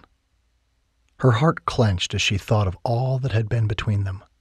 Do you want to know why I didn't want a relationship with you? Marshall seemed to freeze beside her. If you want to tell me. How many times had she thought of having this conversation with him? Way too many. Her mouth went dry. Honestly, I never thought I'd get to tell you the truth. She glanced at him. His eyes were riveted on hers. I'm not going to lie to you, Marshall. It is so hard for me to talk about this. It's fine, Marshall said, crossing his arms and setting his jaw. To others, it might have seemed like he wanted to fight, but she knew he was completely focused. This had been the thing that others never understood about Marshall, except his siblings. The man was just intense. He'd always been that way. even as a kid. That was why they got along so well, she figured. She understood that serious side. And it felt like he understood her too. Even at the age of nine, and even though he'd talked about farting, she remembered he had this look in his eyes, a look that resonated with her and made her feel accepted. I'm waiting, he said. If I had a relationship with you, it meant I could lose you. I couldn't lose my best friend. As I look back, and as I have looked back over the years, I understand that I have a lot of abandonment issues. You were a constant for me. We were friends, and you were always there, and she caught her breath, unwanted tears coming to her eyes. I was so afraid of not having you. For a long time, he only stared at her. The words kept coming. She needed to make him understand. I was afraid to go to the next level of a relationship with you. If you really think about it, I told you that. A lot.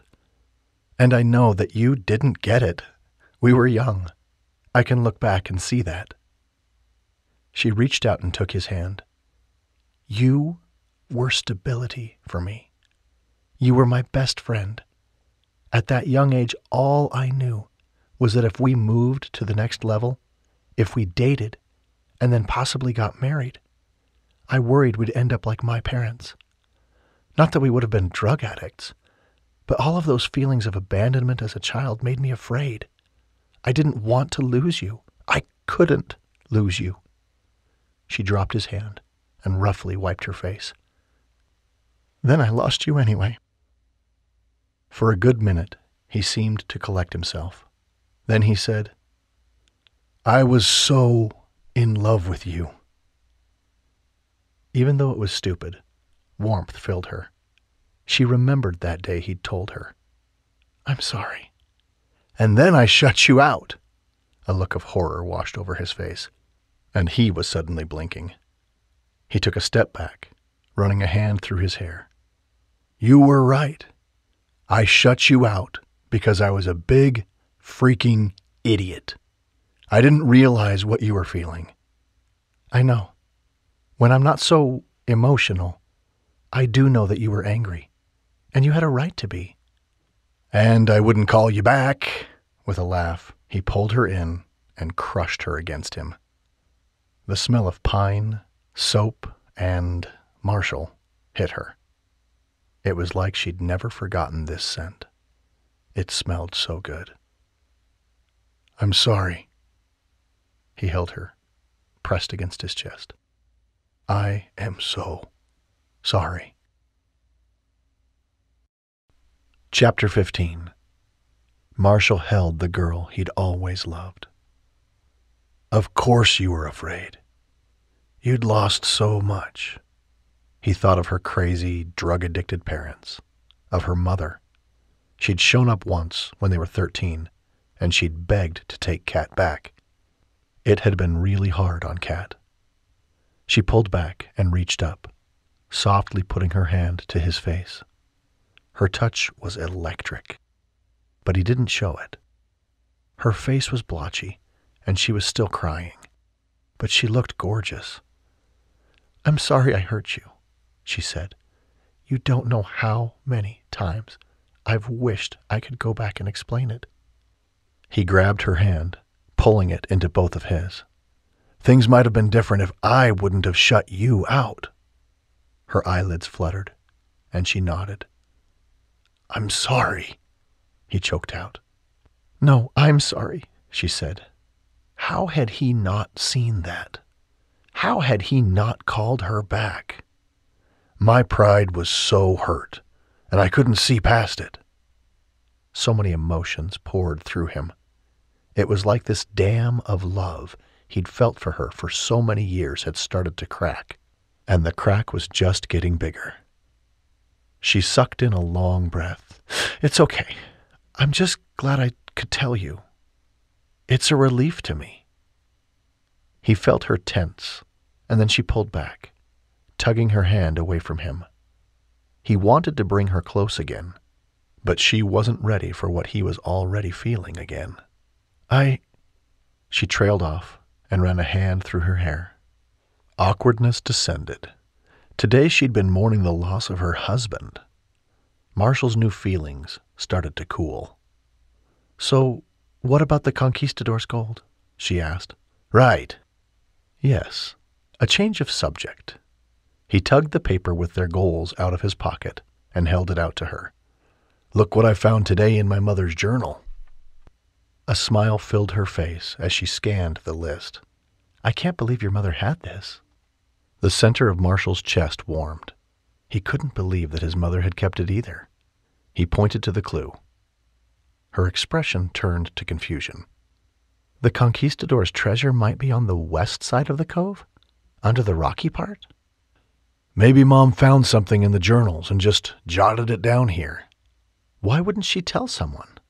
I don't know. This is crazy. She stared at the note. Could it really be there? There was no way to describe how easy and fun discussing the treasure, something they used to discuss every summer, all summer, felt to him. There's only one way to find out. Let's go snorkeling tomorrow. I'm hiding out, she reminded him. Right. There is no one on the west side where the rocky part is. Plus, we are expert snorkelers. She put up a hand. I have not snorkeled in years. He batted it away. Who cares? It's like riding a bike. The memory of him teaching her how to ride a bike flashed through his mind. Wow, she ran a hand through her hair. I remember that day. I was so embarrassed that I didn't know how to ride one. I'd never learned, and you were so encouraging. It didn't take long to teach you. You were a natural.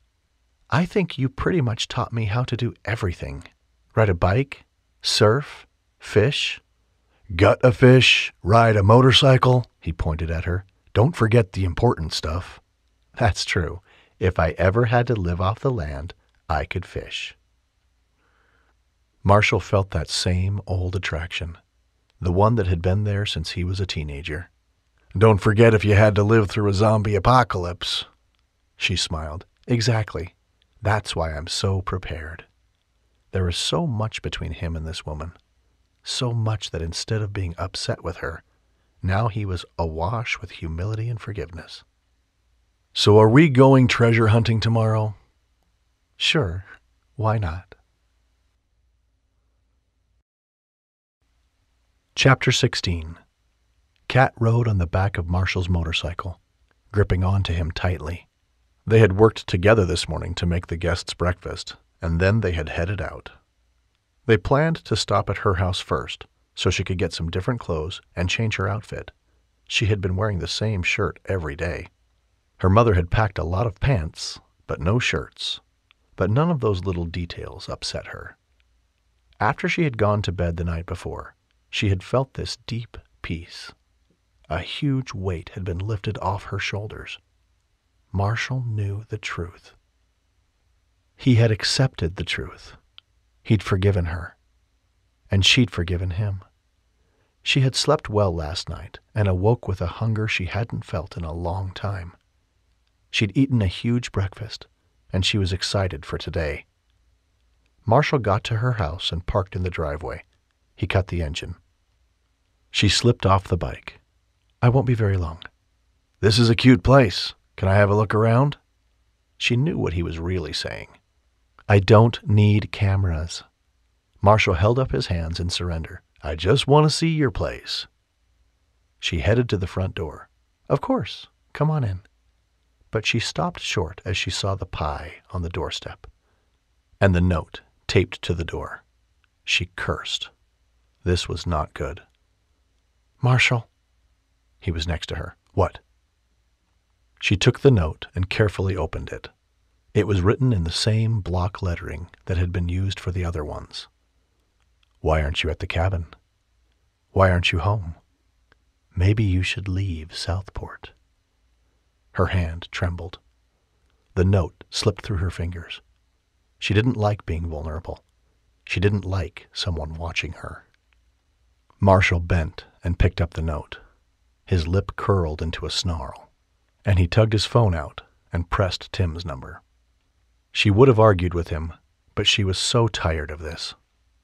Yeah, Tim, we're at her place. We stopped over here to get some of her things, and there's a pie and a note. The note is asking her why she isn't at the cabin and why she's not home, and it says she should leave South Port. Anger rose inside of her as she picked up the pie. In the past, when she had received these baked goods and notes, she had kept herself calm. Usually, Cade was with her, and she couldn't let him know how much it freaked her out. But right now, she didn't need to remain calm. She gripped the pie with both of her hands and then dumped it over and threw it hard onto the deck. Then she stomped on it. I gotta go, Tim. I'll be in touch, Marshall said. He didn't make a move to interrupt her and her toddler fit. No, no, no, she stomped on it again. I hate them. Marshall's arms wrapped around her. It's okay. It's okay. If this had been anyone besides him, she would have pushed them and told them to get away. But she spun and leaned into him, speaking into his neck. I hate this. He held her tighter. I know. Me too. We're going to find out who this is. She pulled back and stared into his face. The man had haunted her dreams for ten years. It was undeniable that she still felt so many things for him. The tidal wave of that realization washed through her, slammed into her, and left her reeling with confusion. I don't want to have these feelings for you. They scare me. Marshall's face sobered, and then softness crinkled into his eyes.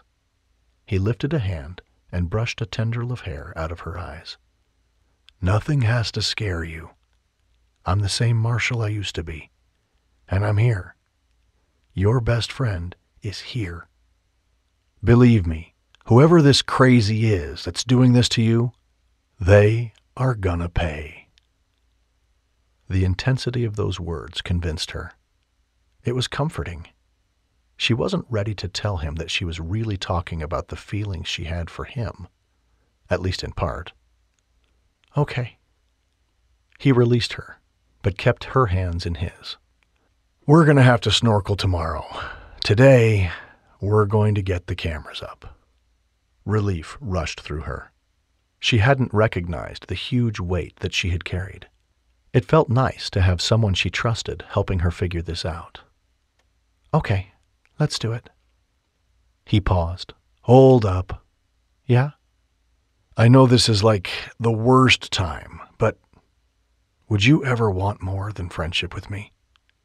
Her heart raced. Marshall. He pulled her hand to his lips kissing the back of it. Don't worry about it. He gave her a mischievous smile and tapped on his chest, right over his heart. But I know right here, Kat, you never stopped missing me. She glared at him. Like a bad rash. He let out a roaring laugh. That's a good one. Chapter 17 It didn't take long to visit the hardware store and get a bunch of cameras. The trouble was that South Port didn't have a lot of options, so they drove to Wilmington to get better cameras. Marshall even called Trey and got the lowdown on what he'd used for the inn. Of course, Trey took this new event as a personal assault on his family. He talked Marshall through how to quickly install the cameras and hook them up to the app. Then he went over everything security wise, letting Marshall know what he needed to look for to prevent someone from even being able to get across the perimeter. They also discussed Kat's personal safety, making sure she had some pepper spray and a taser. His big brother was prepared, and Marshall was grateful for that. It was close to seven o'clock when Marshall finally finished getting everything up and running at her house. Kat had been quiet for most of the day. She had tried to help him, and finally he told her that he would let her know if he needed her. She hadn't lain around, though. She had scrubbed the house from top to bottom. The work seemed good for her, she had way too much nervous energy going on. Not that he blamed her. He had nervous energy too, and more than a few dark thoughts creeping up about the things he wanted to do to the person stalking her. While installing wire, he'd called Tim again and reviewed the past case history. He couldn't believe this had been going on for over a month. It was ridiculous. This guy had tormented her for over a month and nothing had been done? Tim had protested that Kat had been dicey about cameras and even filing reports. Well, that would change. Come hell or high water, they would find this crazy person. Do you want some soup? Marshall turned to find Kat standing in the doorway of the living room. He had been consumed in his thoughts, and he clicked through the camera app, making sure they were all connected. It was hard for him to believe how gorgeous this woman was. Even though she had changed into exercise clothes, and even though her blonde hair was pulled back in a ponytail, and her face had hardly any makeup on, she took his breath away. Yeah, that would be great. Okay. She gestured for him to follow. I set the table. It's ready. It felt so simple to go to the kitchen and sit down at the little table that overlooked the cute backyard. She had a little garden he'd noticed earlier. There was a rope swing and a bin full of balls, including a basketball, a soccer ball, and some frisbees. It was easy to imagine himself living here, to imagine that this was their life. But then he thought about her son. Would they have had a son? Guilt pricked at the edges of his heart. She had just lost her husband a year ago, and he'd seen how upset she was yesterday. Why was he thinking about that? He didn't want to have these kinds of thoughts. He wanted to be here for her. If nothing else, he wanted to be a best friend to her, the one he should have been for the past ten years. The table was set simply, with bowls, spoons, napkins, and glasses of ice water. The kitchen smelled heavenly. Is that fresh bread? he asked, breathing in the warm scent. She grinned as she slid into her chair. I bake when I'm antsy. Delighted, he grinned back at her. I guess that's why you own a bakery. Will you pray? She already had her hands out. It reminded him of his mother. She had always had them pray at the table. Sure. He said a quick prayer over the food and made sure to thank the Lord for the blessing that they were best friends again. Chills washed over him as he said the words. She pulled her hands back after the prayer was over. Do you know that the first time I ever prayed over food was at your house? Marshall had never thought about that. I didn't know that. She tugged the napkin from beneath her spoon and placed it on her lap. Your home was like a magical world to me. I always wanted my home when I grew up to be like yours. Again, a million questions ran through his mind. He wanted to devour the last 10 years of her life and her experiences as he would devour intel on whatever op he was assigned to. But he had to handle her carefully. What was your home like with JD? He busied himself, putting his own napkin on his lap and then taking a sip of water. She hesitated, then let out a derisive laugh. It wasn't like your home. Okay, now his curiosity was piqued. Why is that? JD was gone a lot. When he was home, he made it clear that we were on his schedule. If there was a game on, or if there was a program he wanted to watch, or if he was just binging a show. Then he didn't have time for things like prayer. And he didn't have time to talk. If he was in the mood to talk, then he talked. Unrest simmered within Marshall. He hated the man already. He focused on the food as best he could, but he felt himself getting more and more upset. Kat cut two pieces of the bread and handed him one. This is a secret recipe. If I told you, I'd have to kill you. That was another thing they used to say to each other. I'll take my chances. Marshall took the bread and brought it to his nose, sniffing at it. Wow, can't wait to eat it. He took a bite and was happy that he wasn't disappointed. He practically crammed the whole thing in his mouth. So good, she giggled. You're such a pig. He laughed, then took a gulp of water. Hey, don't make such good bread if you don't want me to stuff my face with it. She shook her head, giving him that smile. He knew it well. It told him she wasn't really mad at him. She actually liked his teasing. Both of them ate for a bit, simply enjoying the food. Marshall, I have to thank you for all your hard work today. I've been such an idiot thinking this would just go away. It feels so stupid. I mean, who just leaves baked goods around? But when I read that note today, I kept thinking that if this person knows where I am, or doesn't know where I am and he's worried about it, then what will he do if I do something he doesn't like? Like not be at the cabin? We're going to find him. Soon. He placed his hand on top of hers. I promise you don't need to worry about this anymore. I got it. I love this kind of stuff.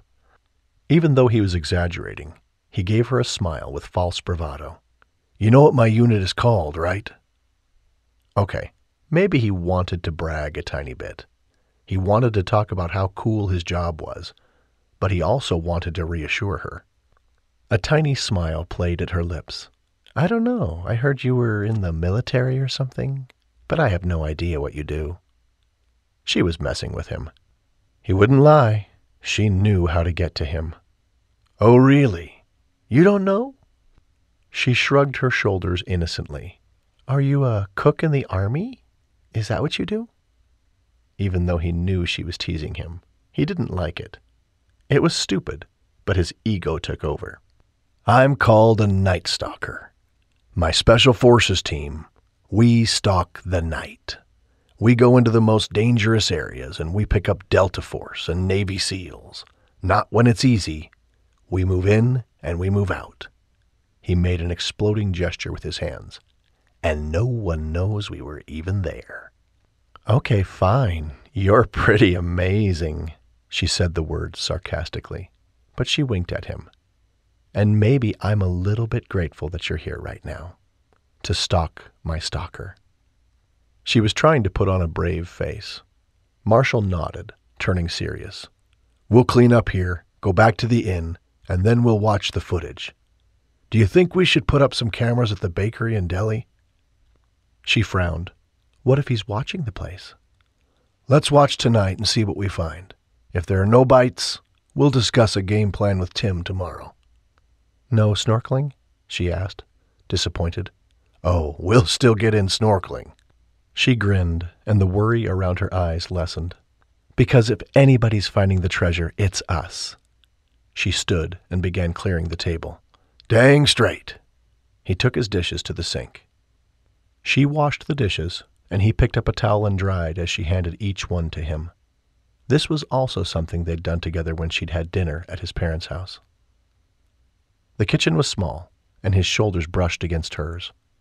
The more he was around her, the more he wanted her back. He tried to push the thought away. She needed a friend, that was all.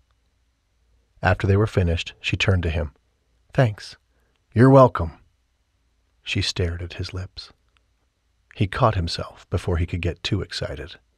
No, he wouldn't worry about that. Marshall, her tone was soft. Yeah? Are you ever going to kiss me again? Chapter 18 Kat couldn't believe herself. Had she just said that? Part of her wanted to melt into the floor.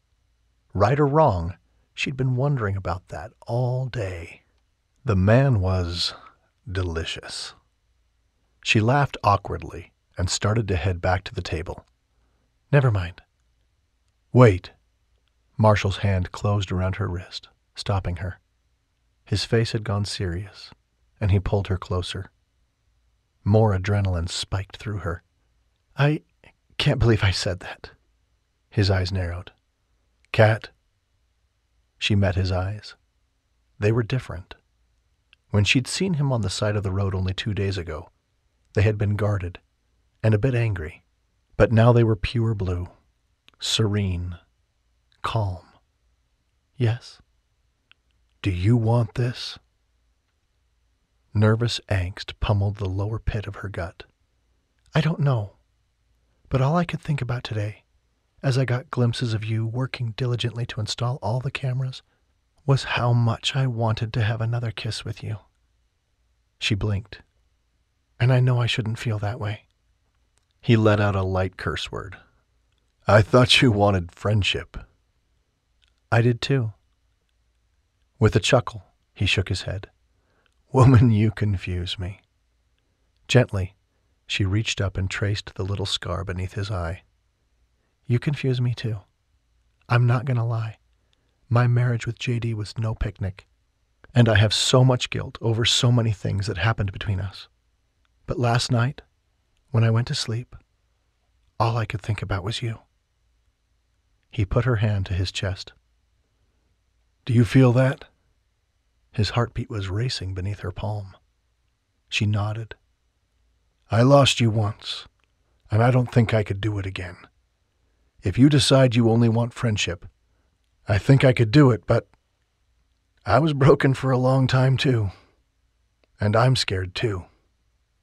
So many emotions washed over her. Compassion welled up to overshadow them all. I'm so sorry. I was afraid of the fear I felt as a child then. But I'm not afraid anymore. He let out a light laugh and squeezed her hand. I always want to kiss you, Kat. I've wanted to kiss you every time I've been with you since I was 16 years old. That is a fact. Even the last couple of days, even when you're ticking me off, I always want to kiss you. Then kiss me now. She stood on tiptoes. Wait, I just. I have to know one thing. Okay. Why did you marry him? He took a step back, crossed his arms, and gave her a sweeping look that didn't make her feel comfortable at all. His scrutiny had her fidgeting. What? JD, I watched you fall apart yesterday. Why did you marry the guy? I. I'm going to tell you something, Kat. I came back the next summer to South Port. I was heading over to see you and finally talk to you and hash all of this out. I saw you with some guy in his military uniform walking down Main Street. And then, when I went home and asked my mom, she told me you were engaged. He clenched his hand into a fist. I was so angry at you. I was so confused. Because even now, even after you told me that you were afraid to lose me all day long, I kept wondering why you weren't afraid to lose him. He wasn't my best friend. Not good enough. She threw her hands in the air. Do you want to know why I even talked to JD? Why I let him in my life? Marshall's eyes narrowed into slits. Yes, I want to know.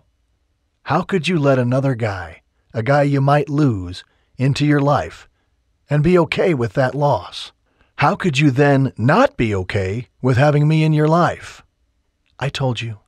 You were my best friend. You meant more to me than anyone. He threw a hand up at her. It reminded her of the fights they'd had over the years when they would get upset with each other and gesture so wildly. I loved you. You broke my heart. Why? Why could you be okay with losing me and not care if you would lose him?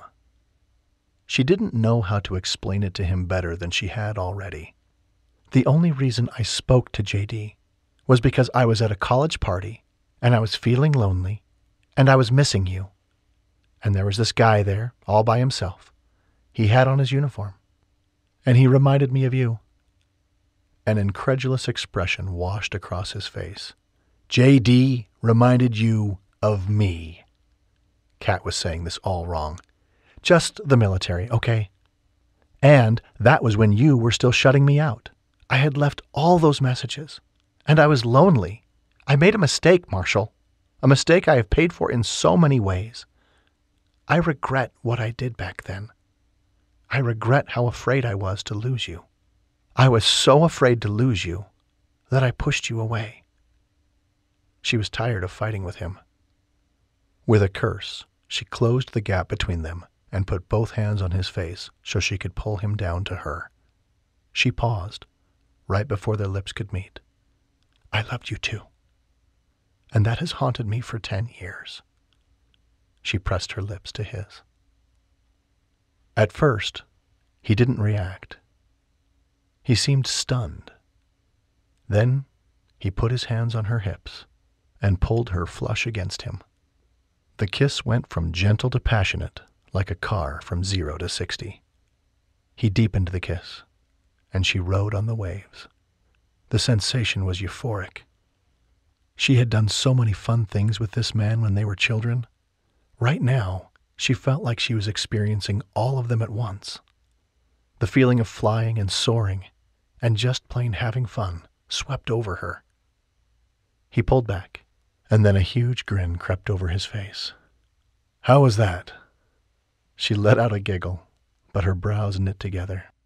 I don't know. Let's try it again. His laugh was muffled by their next kiss.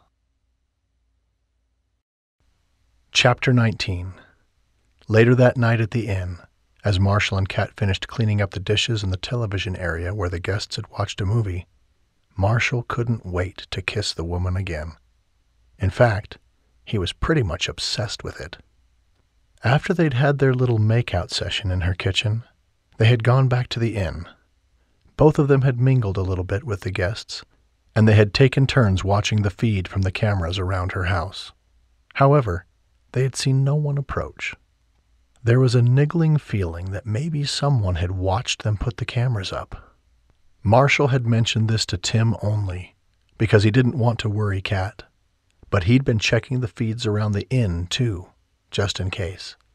He didn't like feeling as though someone might be watching. After the guests had gone to bed, Marshall and Kat sat in the kitchen and stared at the feed. He felt like his mind was in two places. Part of him was with her, experiencing this amazing journey back to love. He grinned as he thought about the words, back to love. Kenzie would have to use it as their book title. What are you smiling about? Kat scooted her chair closer and rested her head on his shoulder. Dang, he liked her. He liked how natural it felt to have her head on his shoulder. She was his best friend, and he connected with her so easily. I was thinking about our book title. What? You know, the book that Kenzie is writing about us.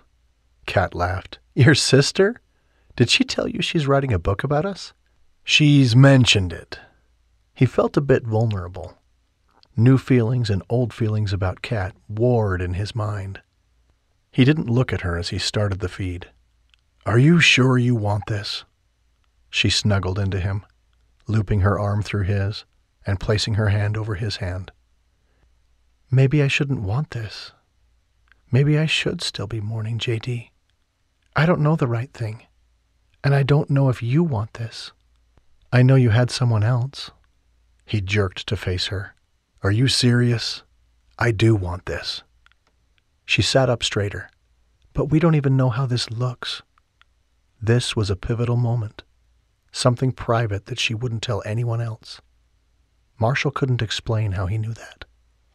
It was just the way he'd felt all those years growing up when they had been best friends and they'd told each other everything. I want however it looks. I want what it should have looked like a long time ago before I was too bull-headed to answer your messages. Her bottom lip trembled. Marshall, I have to tell you something. Okay? The woman didn't know he was tough. Tougher than tough. He could handle missiles flying at him, men dying around him.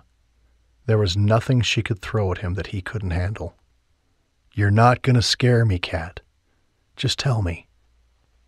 She took a deep breath and released it. The reason I was so upset yesterday is not just because that was the day I found out he was gone.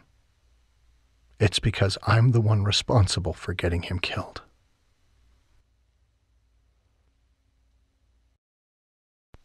Chapter 20 I thought he died when he was deployed, Marshall said, slowly. Kat got to her feet, walking over to the large window. Even though it was dark, the moon was bright, and she felt the urge to do something she hadn't wanted to do in a long time. Can we walk on the beach and talk? Of course. He got up, and they headed out past the hot tub and the pool, and then down through the gate and out onto the beach. After they had walked for a long time, he asked, Are you going to tell me? The day before he left, we had a huge fight. I was done with the marriage. I was done with his narcissistic tendencies. He always had to have things his way. He always tried to make me into someone I wasn't. He criticized everything. so much emotional abuse. She waved her hand through the air. It doesn't matter. I just, I thought I would deal with it for Cade. Then, the day before he was going to be deployed, I was watching him play catch with Cade. They were throwing a baseball, and Cade was trying so hard, but he kept dropping it. JD threw it at him so hard that it hit him in the head because Cade was trying to dodge it. Then JD was yelling at him, telling him he had to toughen up or he wouldn't be good enough. The scene came back to her, clear as day. Cade covering his face and lying on the ground, JD yelling at him. And I just had this clarity in that moment. I knew I was done. So I told him. It was an explosive fight. I knew it would be bad. So I stayed at a friend's house. But the next morning, I got a text from him that said I was responsible if he was distracted and ended up dying. What? Marshall shook his head. That is so wrong. She was crying now, and he enfolded her into his arms. It wasn't your fault, Kat. It. that it. that's just. I know, she said, cutting him off. I do know that, but there's just this guilt. He held her for a long time. Everything quieted inside her. Thank you. For what? Listening. I get it. I've been seeing a therapist this past year. He coughed and pulled back. It's because of my ex, the one who left me at the altar. Sarah told me that she couldn't marry me because she didn't think I would be a good father. What? He shook his head. Truthfully, it devastated me. I finally decided to get help after mom died. I was so angry about so many things, and I needed help. It taught me a lot of things. The most important is that we are never what others tell us unless we accept it. Marshall. He cringed. It's been hard, but I do understand why all those things hurt you. I can definitely understand why it was a hard year. Kat pulled him back into a hug, so overwhelmed by all that this man had endured. The sudden urge to punch out his ex swelled in her chest. What? I hate her, and I don't even know her. Marshall laughed and pressed a kiss to her lips. I know the feeling. Chapter 21 Marshall woke the next morning with a start. He sat bolt upright, instinctively grabbing for his phone. He checked the app. There had been nothing suspicious overnight. He pushed the covers off and slid out of bed. It was only 5:30. He walked over to the large window facing the ocean. The sun was coming up, and the colors of the sky were breathtaking. Home. It felt strange to think that word and feel like it might apply to him. He sucked in a deep breath. Kissing Kat was as good as he'd imagined over the past ten years. When he had walked her to her room, he'd felt like a teenager waiting for a kiss before his date went into the house. But it wasn't just kissing her that did it for him. It was holding her. It was talking to her. It was the exact connection that had been missing from his life. The part of him that was immature and stupid wanted to text his ex fiancee and tell her that he wasn't broken, that he actually did connect with people. It was her who had the problem, not him. Wasn't it funny that Sarah's opinion mattered so much to him? His mother had often told him that she liked how he was around Kat. He was considerate to her and always laughed when he was with her. When the two of them were together, he was always the best version of himself. His mind wandered to what Kat had revealed to him about her life with JD, and his heart ached for her.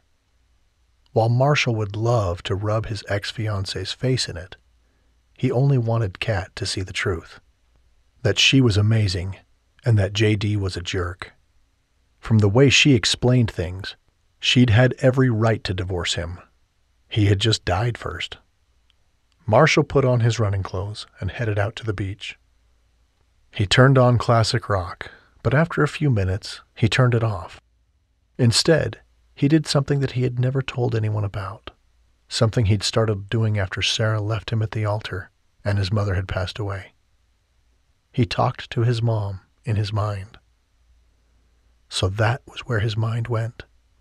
He went to the library where she was reading, and he poured his heart out to her, telling her all about Kat and their situation. Before he knew it, tears had started rolling down his cheeks. In his mind, his mother hugged him. Back to Love is a good title for your book, she told him, smiling. He finished his run, and he wiped the tears off his cheeks. Yes, it is. Chapter 22 Kat had not slept well. Once again, she had dreamt about J.D. But when she woke up, her spirits lifted as she smelled bacon.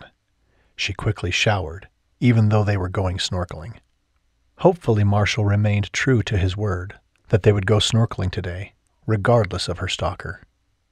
It made her smile to think about how Marshall thought he could boss her around. Truthfully, she didn't mind his bossing in this situation.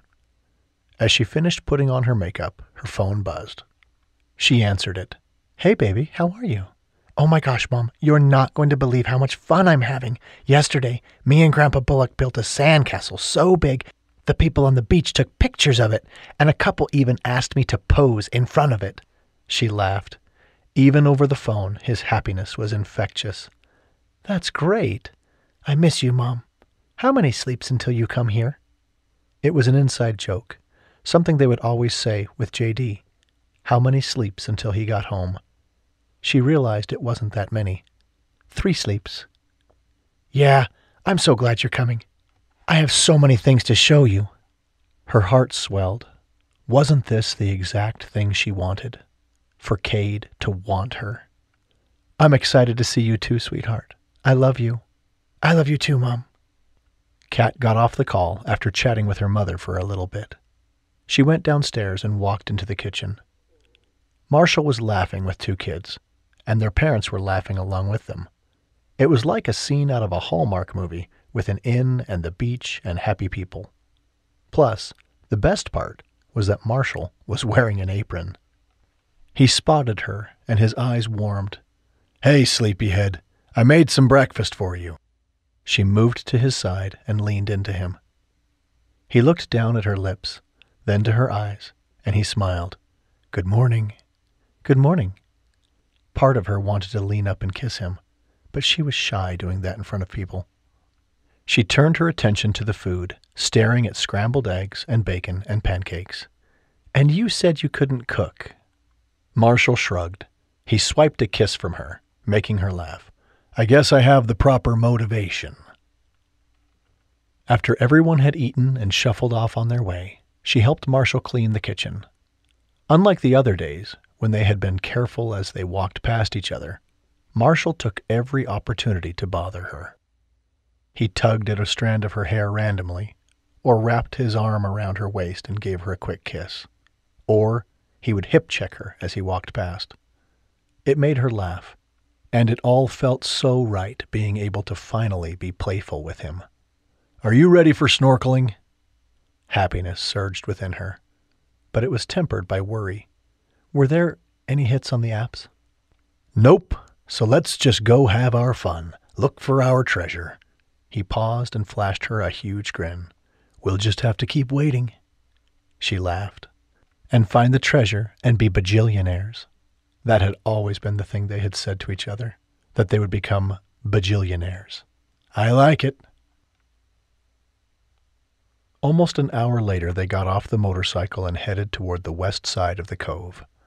They walked through the caves, but instead of heading to the lighthouse, they headed in the other direction, Marshall had stopped at a rental place on the other side of town and rented them equipment for the rest of the day. She hadn't even gone in with him because she didn't want anyone to recognize her.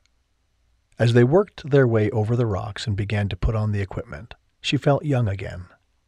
Okay, you'd better give me a penny for your thoughts before I put on the snorkel gear and we can't talk. She finished putting on her fins and turned her attention to him. Thank you. For what? There's not enough time to go into all the things I'm grateful for, but thank you for forgiving me and for still being my best friend. She felt herself blush, and for being such a great kisser. He laughed. Hey, you never have to thank me for the kissing part. Are you going to put up or shut up, Stone? She gestured to the ocean. Let's go find this treasure, baby. And Kat? Yeah? Thanks for forgiving me, too. He winked at her. And you're not a bad kisser yourself. She shoved his shoulder. He laughed. They put their masks on and dove in. The side of the cove by the rocks was shallow, so they didn't have to scuba dive. They had spent many hours snorkeling this area, not for treasure necessarily, but because they loved to look at the flora and the fish and everything that the rocks provided. Their hands came together as if drawn by a gravitational pull. From the time they'd been young, they held hands when they snorkeled. It was easier to keep track of each other while they were circling. Marshall took the lead. The water felt amazing, so warm that Kat felt herself relax. She missed her son, but she hadn't realized how much she had needed a break, not just from Cade, but from work and from everything else.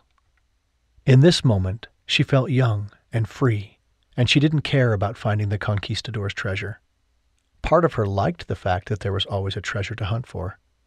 When she had been young, she'd felt a burning desire to find the treasure, but today, just snorkeling with Marshall felt like treasure enough. She didn't know how long they'd been snorkeling, each of them periodically diving deeper to turn over a rock, when Marshall gave her hand two squeezes an indicator that he wanted to talk. They found their footing, and Marshall said, Lunchtime. Kat followed him back to where they had left their stuff on the shore. The man was gorgeous. He hadn't shaved in a couple of days. His facial hair was at that sexy stage, not too long and not too short. His blond hair was almost to his shoulders, and he had a natural wave to it. Add in his piercing blue eyes and ripped body, and the man was a living version of Thor.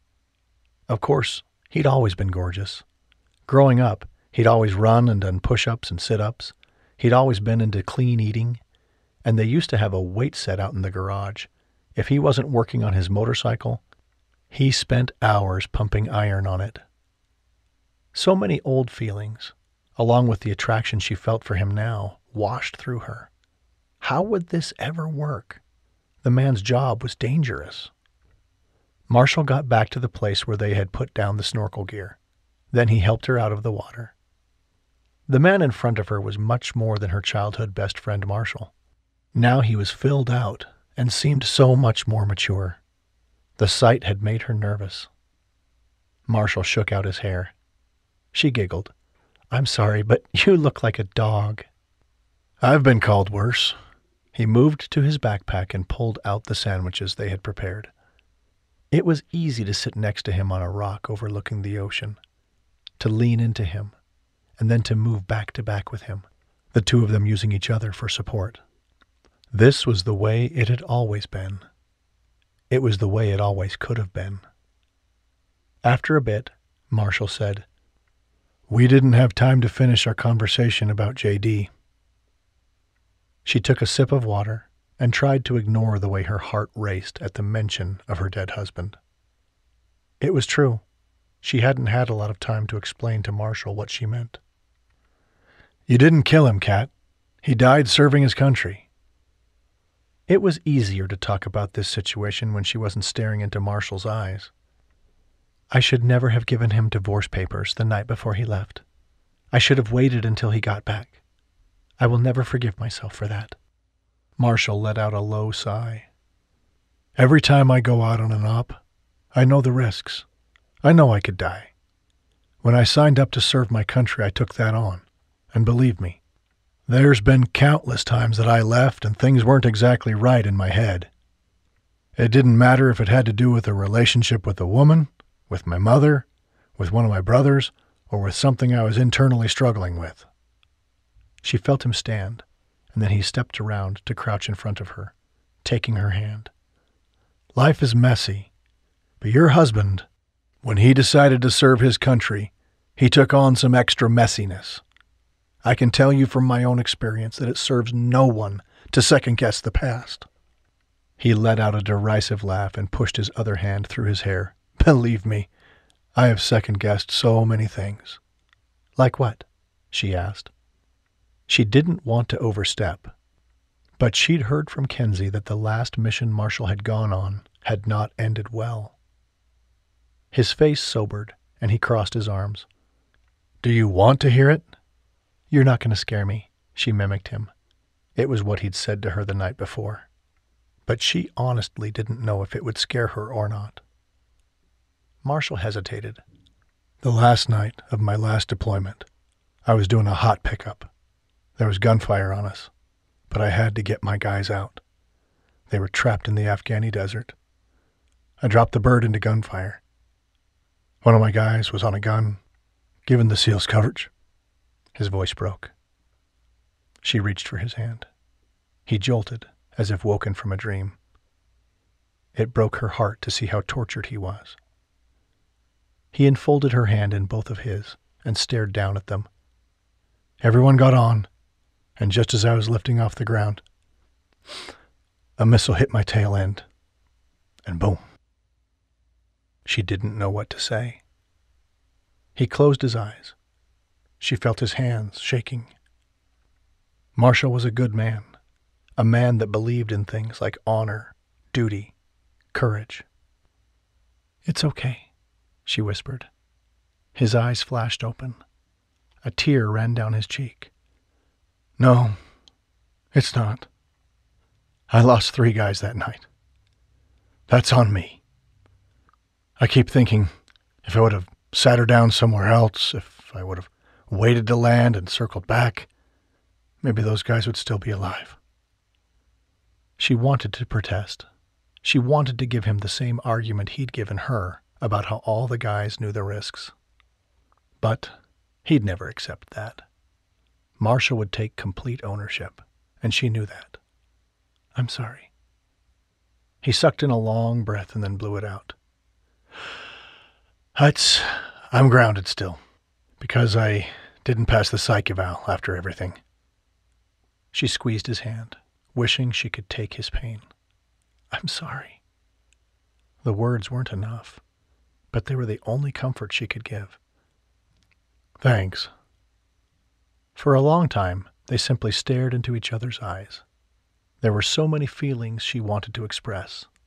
This man, this good man, had been through so much. Fear suddenly gripped her. She released his hand and stood. I don't know if I can handle this. I'm just realizing that a relationship with you would mean you would worry even more. He stared up at her. So what? She remembered Trey and Ava's story. Trey wouldn't marry Ava because he hadn't wanted to die like his own father had done. Marshall stood, a serious look on his face. I still have two years. My commitment is for two more years. Honestly, I've never thought about what retirement would look like. I love my job. I love flying. I couldn't give it up. I would never ask that. Again, a standoff. He reached out, taking her hand. But, Kat, I can't deny that I love you too. How can you say that? She threw her hands in the air. We just reconnected. It's been ten years. You were going to marry another woman a year ago. I was married. Marshall shook his head. No. Listen. There's a place that exists outside of our minds and our bodies. There's a place that, I believe, we came from, and we will go back to. Some people call it a soul, new age stuff. I don't know what they call it. The truth? He tapped the center of his chest. That's the place where I love you. That place will always exist inside of me, no matter if we're together or not. And just because I didn't realize how much I still love you even after all these years, that doesn't mean those feelings weren't there. and didn't exist. She felt raw and naked and exposed. But she knew he was speaking the truth. She smiled at him. I guess that's where best friends exist. He returned the smile and put his hands out. Yes. Yes. He pulled their hands to his lips and kissed the back of her hand. But I'm not going to delude myself or you. I want a life together. And I know that life doesn't have any guarantees. But I've lived 10 years without you. Those were hard years, Kat.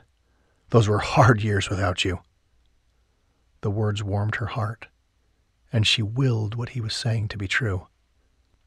Those were hard years. They stared into each other's eyes. Time seemed to stop altogether. We can figure this out together. He turned to face the ocean. There was a hitch in his voice. When I first got here, Trey told me that he wanted me home. He told me that I could belong here. And of course I dismissed it. But I don't think I belong here. He met her gaze. I think I belong with you, wherever that is.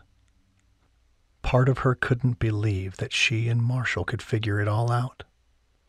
It was the logical part of her, the part that had opened two businesses in the past year, organized her work schedule and her son's schedule, and dealt with Stan and Margie's schedules, and always tried to stay in control. However, there was another part of her, the part that Pastor Henry had spoke about just the other day. That part of her knew God could create a way when there wasn't one. God heard her and wanted to help. God was still aware of her. I guess we have faith, she said, relenting. Marshall pulled her into him and held her tight. He stroked a hand down her hair. We have faith. Chapter 23 As Marshall snorkeled with Kat's hand in his, he replayed their previous conversation. It was plain as day that she was still afraid. He could understand why. She had blamed herself for the past year for JD's death. She had worked so hard to be a good mom and to open two businesses, not to mention the fact that he had shut her out all those years ago. There was so much relief that came with the knowledge that she had forgiven him. There was so much relief that came from forgiving her. For so long, he had built the story in his head, the story about how she had pushed him away, how she had never felt anything for him. He'd imagined that she was living this idyllic life with her husband and son. Now that he knew the truth, his whole paradigm had shifted. Everything had changed. All that mattered was her, and he found himself daydreaming of a life together and being her best friend again. Of course, he wanted more. But he would wait. He had been waiting on her since he was nine years old. Something shiny caught his eye, and he gave her hand a squeeze before he let it go. He deep dived and brushed away sand and grit as he pulled out what appeared to be some kind of metal chain. He scrubbed his thumb over the shiny object. It was some kind of pocket watch that looked old. The front had a cross on it. He swam back to her and then pointed signaling for her to go above water. They both emerged, and he held it up, delighted. Check this out.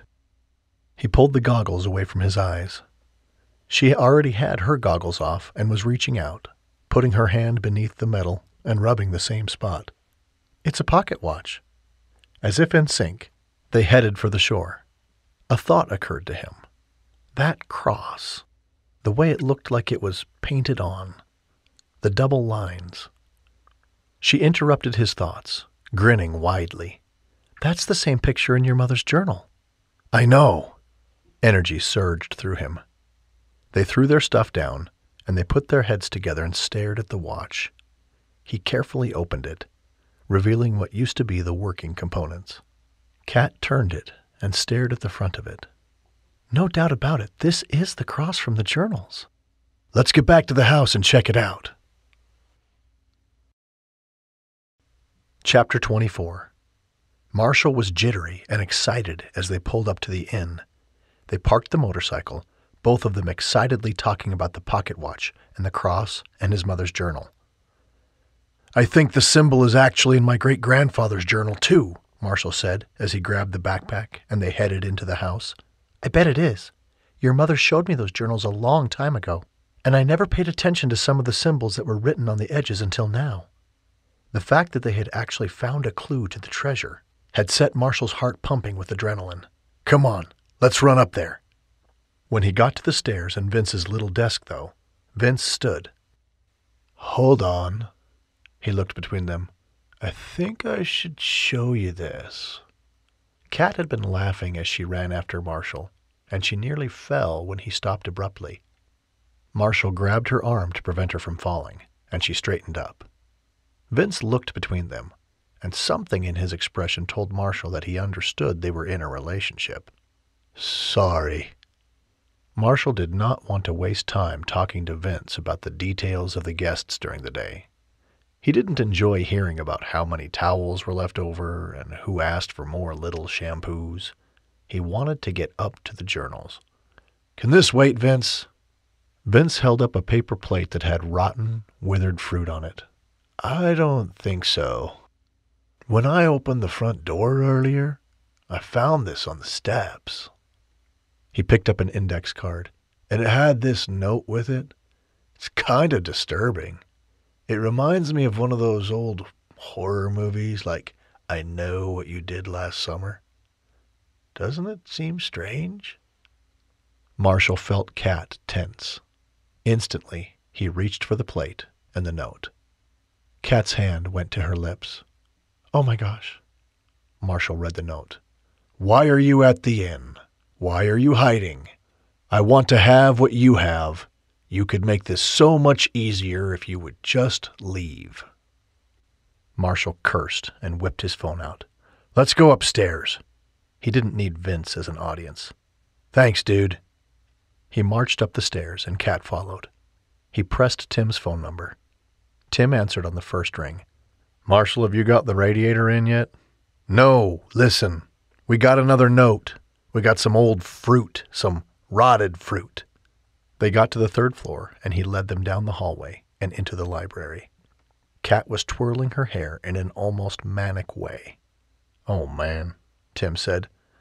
The note says, Why are you hiding? I want to have what you have. You could make this so much easier if you would just leave. Have you checked the cameras? Did anyone see anything? Marshall opened up the app that had the cameras on the end, and he began looking at footage. Vince was the one who intercepted this little plate and note. He said he just opened the door and it was there. He shuffled through the footage. I can't distinguish who it is, but I'll send you the clip. Tim cursed. Okay, I'll look at it. We have to figure out who this is. I hate this for her, Marshall. If this weirdo knows she is staying at the inn, you might be putting the guests in danger. Angst flowed through Marshall. You're right. I'll call Trey and we will decide what to do. He ended the call and turned to see Kat staring out the huge window that overlooked the beach. She was still twirling her hair. He moved to her side and took her hand. I can't stay here. I can't put everyone in danger. His mind was already churning with possibilities that would keep her safe and protect the guests. Then we go somewhere else. She turned to face him. You're here to watch the inn. He shrugged. I'll call Kenzie. I know she and Tim don't want you to be in danger either. Maybe we just go stay at your place. She rapidly blinked and pulled away from him, putting her hand to her head. I don't like this. What does that even mean? She gestured to the plate of rotten fruit. I want what you have? It would be easier if you just left? What is he even talking about? And why did he go from baked goods to old fruit? I don't know. No one's going to get you, Kat. No one. Marshall wanted to fix this for her. More than anything, he wanted to make her feel safe. Determination coursed through him, and he felt like he was on an op. He was going to protect the guests and stay true to his word, no matter what. It's going to be okay. We're going to figure this out. I know we will. She leaned into him, and he opened his arms and held her.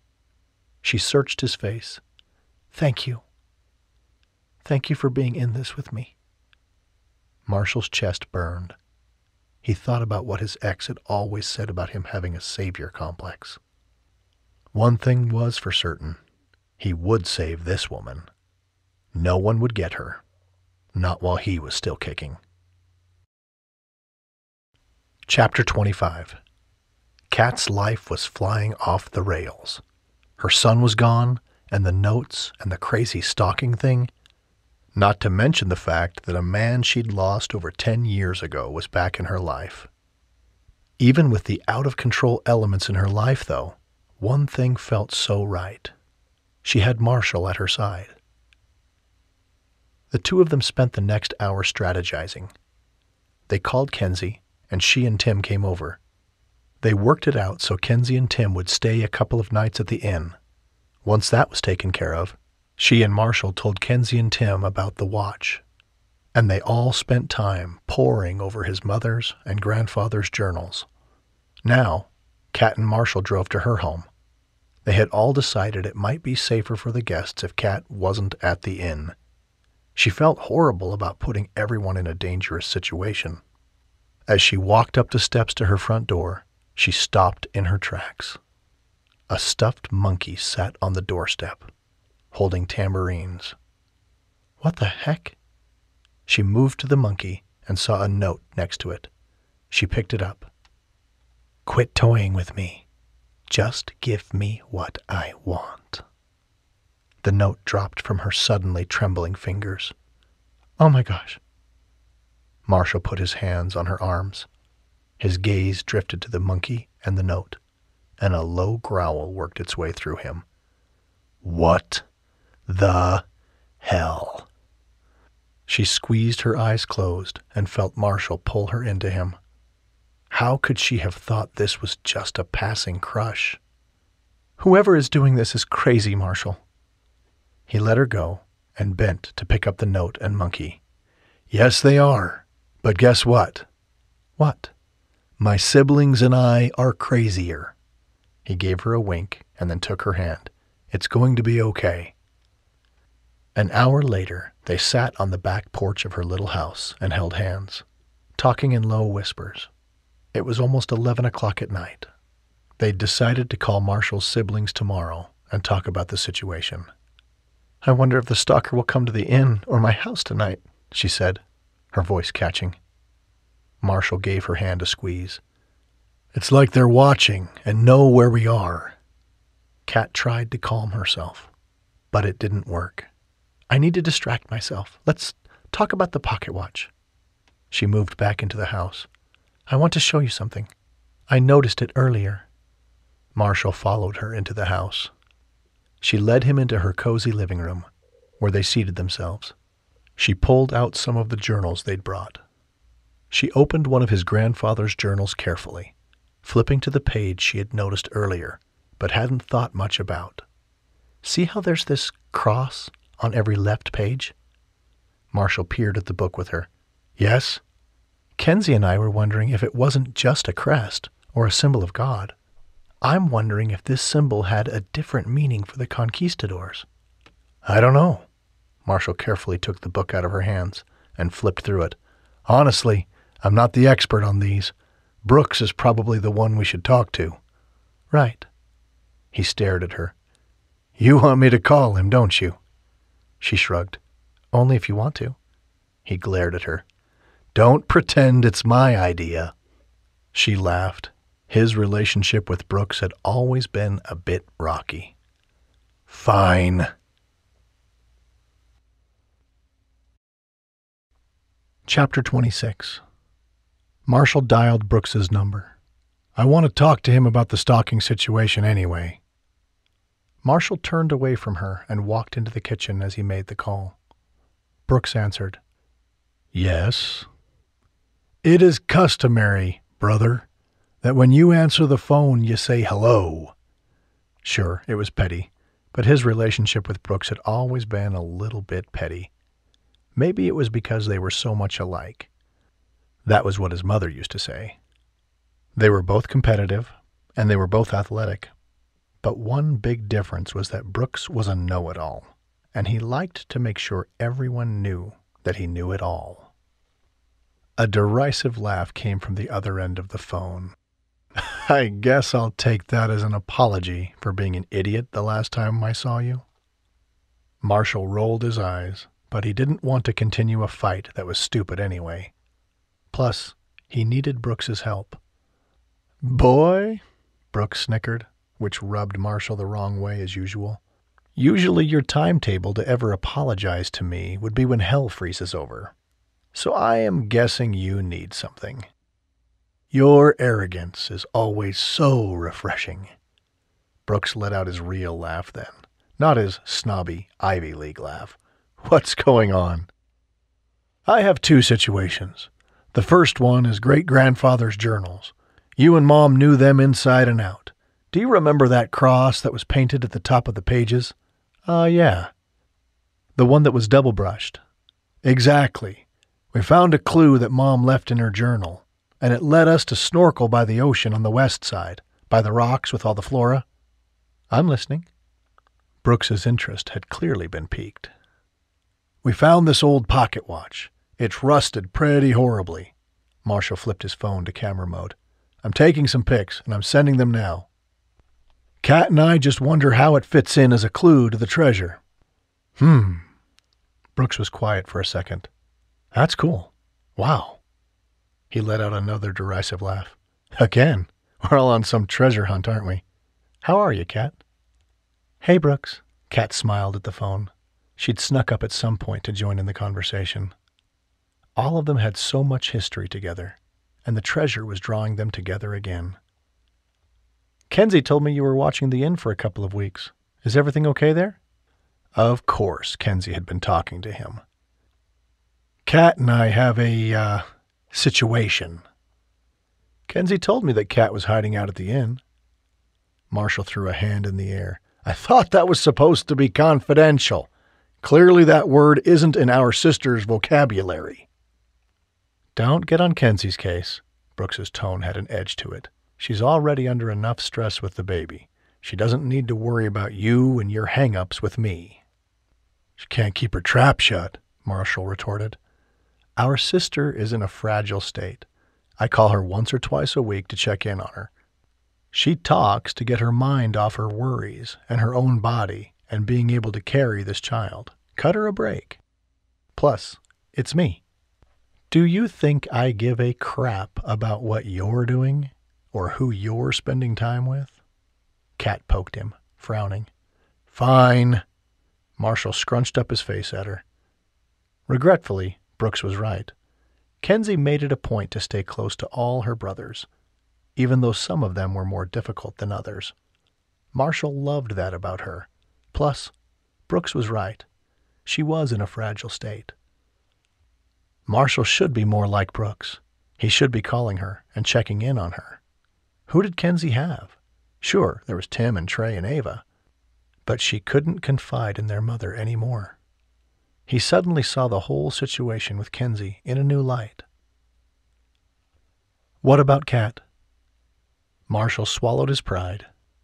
Kat has been having these weird notes left on her car and her home for the past couple of weeks. How many notes? When did they start? Exactly what have they said? Luckily, Marshall knew those details. He rattled them off to his brother, along with the gifts that had accompanied the notes. Dried fruit?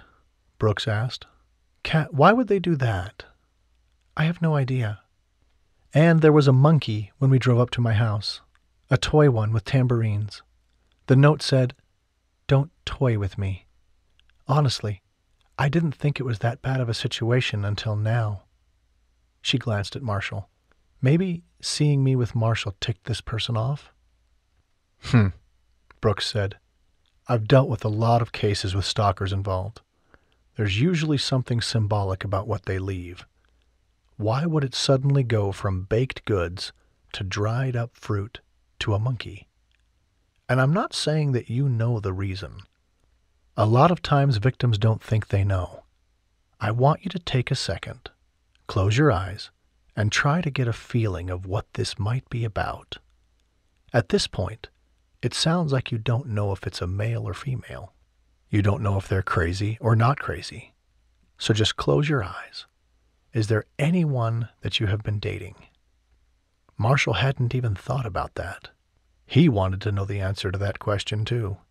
No, I haven't dated anyone. I've been too busy running my businesses. Has anyone asked you to go on dates? Random people ask me out sometimes. There's a guy who comes to South Port that works in a law firm in Wilmington, Richard Hill. He's asked me out a couple of times when he's here to visit his mother. I've always told him no. He doesn't seem like a stalker type, though. Marshall was registering this information. In his mind's eye, he could see a man in a suit coming into her deli, flashing his pearly whites. In his hand, the man held a fancy briefcase, and his head was covered in slicked back hair. Maybe he had just come out of court. Of course, Kat had men hitting on her. She was gorgeous and funny and kind, and I'm writing his name down, Brooks said. Anyone else? Kat scrubbed her forehead absent mindedly. Uh, I mean, I go out with the girls. Lucy, Cherise, Kenzie, Ava. We do brunches that Lucy organizes, but Marshall was happy to hear that. Well, I'm fairly certain the stalker isn't one of those girls. Brooks let out a light laugh. I mean, I'm not 100%. Anyone else you can think of? Anyone that gives you a weird feeling?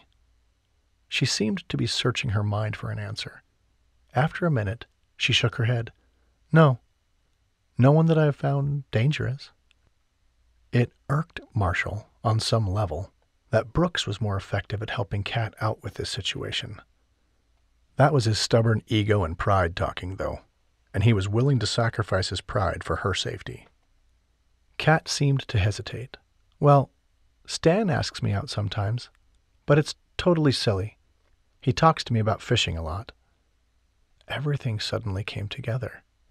I think that's it, Marshall said, speaking into the phone. Brooks, Stan had given her keys to his cabin to give her a break this last week. But her car broke down, and that's when I found her and took her back to the inn.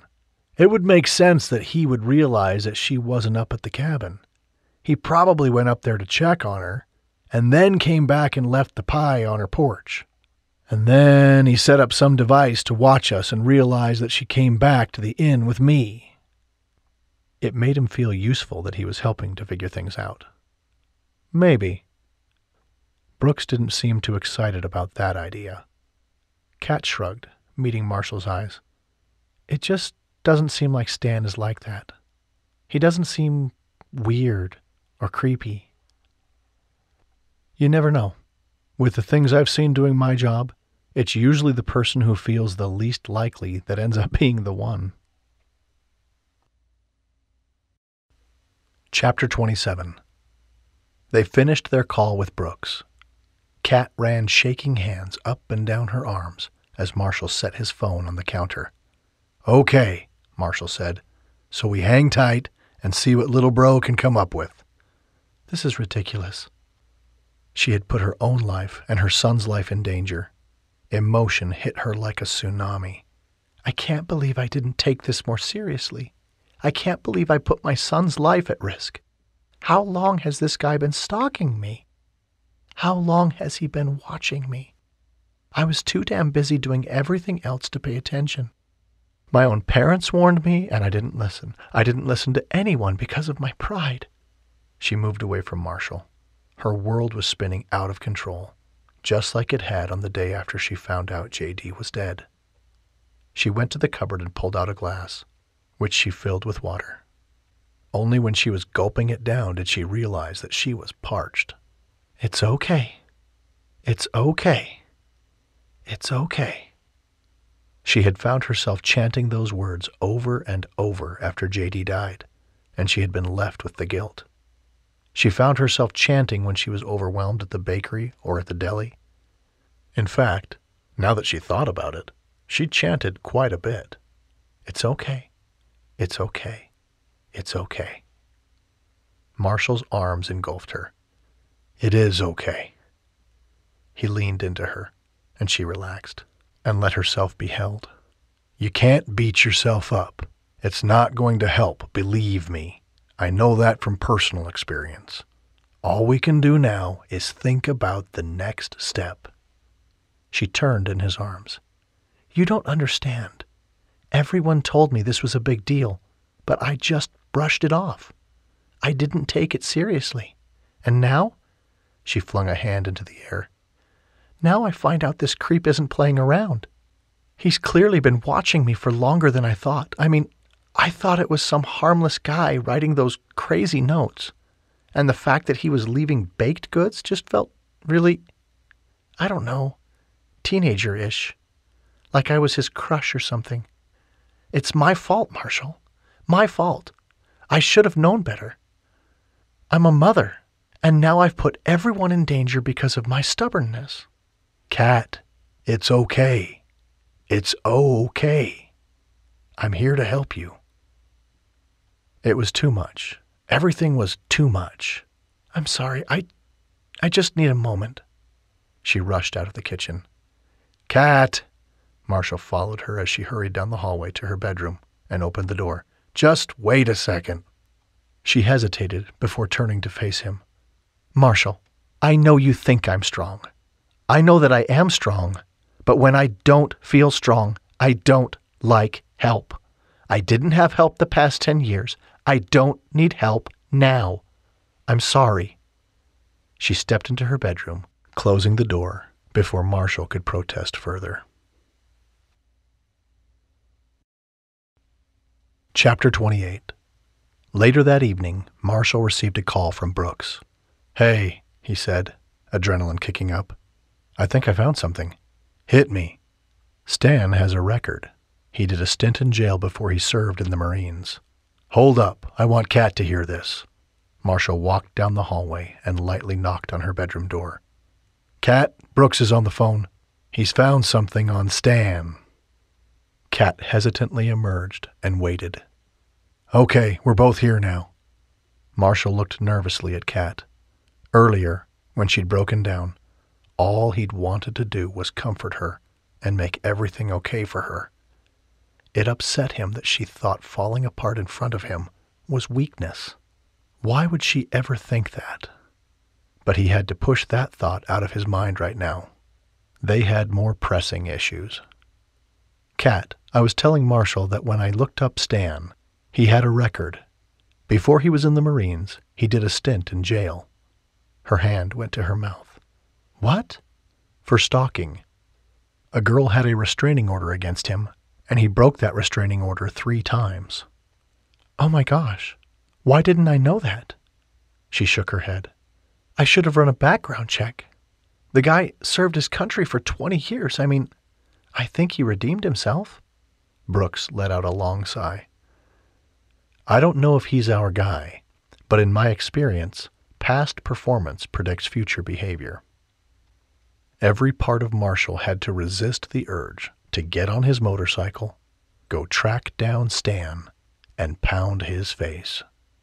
Breathe in, two, three, four. Breathe out, two, three, four. Breathe in, two, three, four. Breathe out, two, three, four. So what's our next step? he asked calmly. It wouldn't serve Kat if he got upset. It wouldn't serve anyone if he exploded right now. The problem with these things is that you actually need proof. You need footage. I know that probably feels impossible to you, Kat, because you haven't been able to catch him. Think about the times you received the notes. Would it have been possible for him to do it? You mentioned that you were supposed to go to his cabin. That leads me to believe that he possibly already had a camera set up. Or he physically went up there to see if you were there. That's the only way he could have known you weren't there. Kat turned in a little circle. She looked lost. I really can't believe Stan would do something like this. He's just not that type of guy. He's so steady. You should have seen him when I first met him. He was grieving the loss of his wife. She died of cancer. He's been mourning her for the past few months.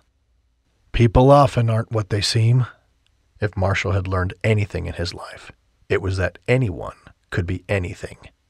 Children could be suicide bombers. A person who said they were working for the American government could carry a bomb and blow up his bird.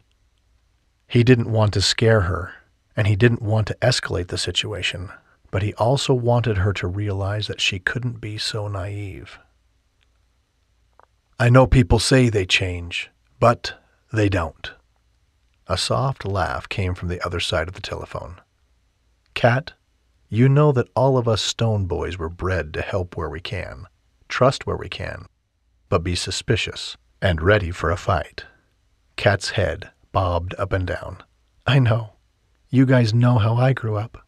I know that not everything in life is roses and daisies. Honestly, I'm blown away thinking that Stan could be the one doing this. I'm just trying to put together the notes. Give me what I want. Is that sexual? He never hits on me, and he's like 15 years older than me. I've never felt like he wanted a relationship with me. It's going to take some time, Brooks said. I suggest you and Marshall get some sleep tonight. I'll get some sleep tonight, too. We'll talk tomorrow about some ideas. Kat nodded. Okay. Marshall? Marshall tugged the phone closer to him. Yeah? I'm thinking we put up some surveillance around her stores. Maybe even some surveillance around the guy's house. You'll need to talk to Tim about that. Can do. I'm going to let you guys go, but we'll talk tomorrow. Thanks, bro. Love you. Thank you, Brooks, Kat added. No problem. At least, no problem for you, Kat, he laughed. Love you, bro. Marshall pressed end. Kat shook her head. I would have never thought it was Stan. Tentatively, Marshall reached his hand out to her. It was kind of stupid. But ever since they had talked through every old feeling, he was unable to stop himself from touching her. Just because you're afraid, just because you're vulnerable doesn't mean you're going to lose who you are. Plus, remember that I've known you since we were nine. You're one of the strongest people I know. Even after all that crap you went through growing up, you were able to succeed and do all that you've done in your life. He grunted and threw a hand in the air. The fact you even went through an abusive husband says a lot about you, Kat and I think you're an amazing mother. Of course, I don't know how you mother. I'm looking forward to seeing that, but you're doing a good job, and I'm grateful I'm here in your life. I hope I can help. Whether there's a relationship between you and me or not, I hope there is. But either way, you have your friend back. You can always count on that. She blinked, and then a smile played at her lips. Sorry I had a mini freak out about us. He shrugged. It's fine. And I mean it. I'll be your friend, no matter what. Okay. I'm going to hold you to that. Even with crazy monkeys and all.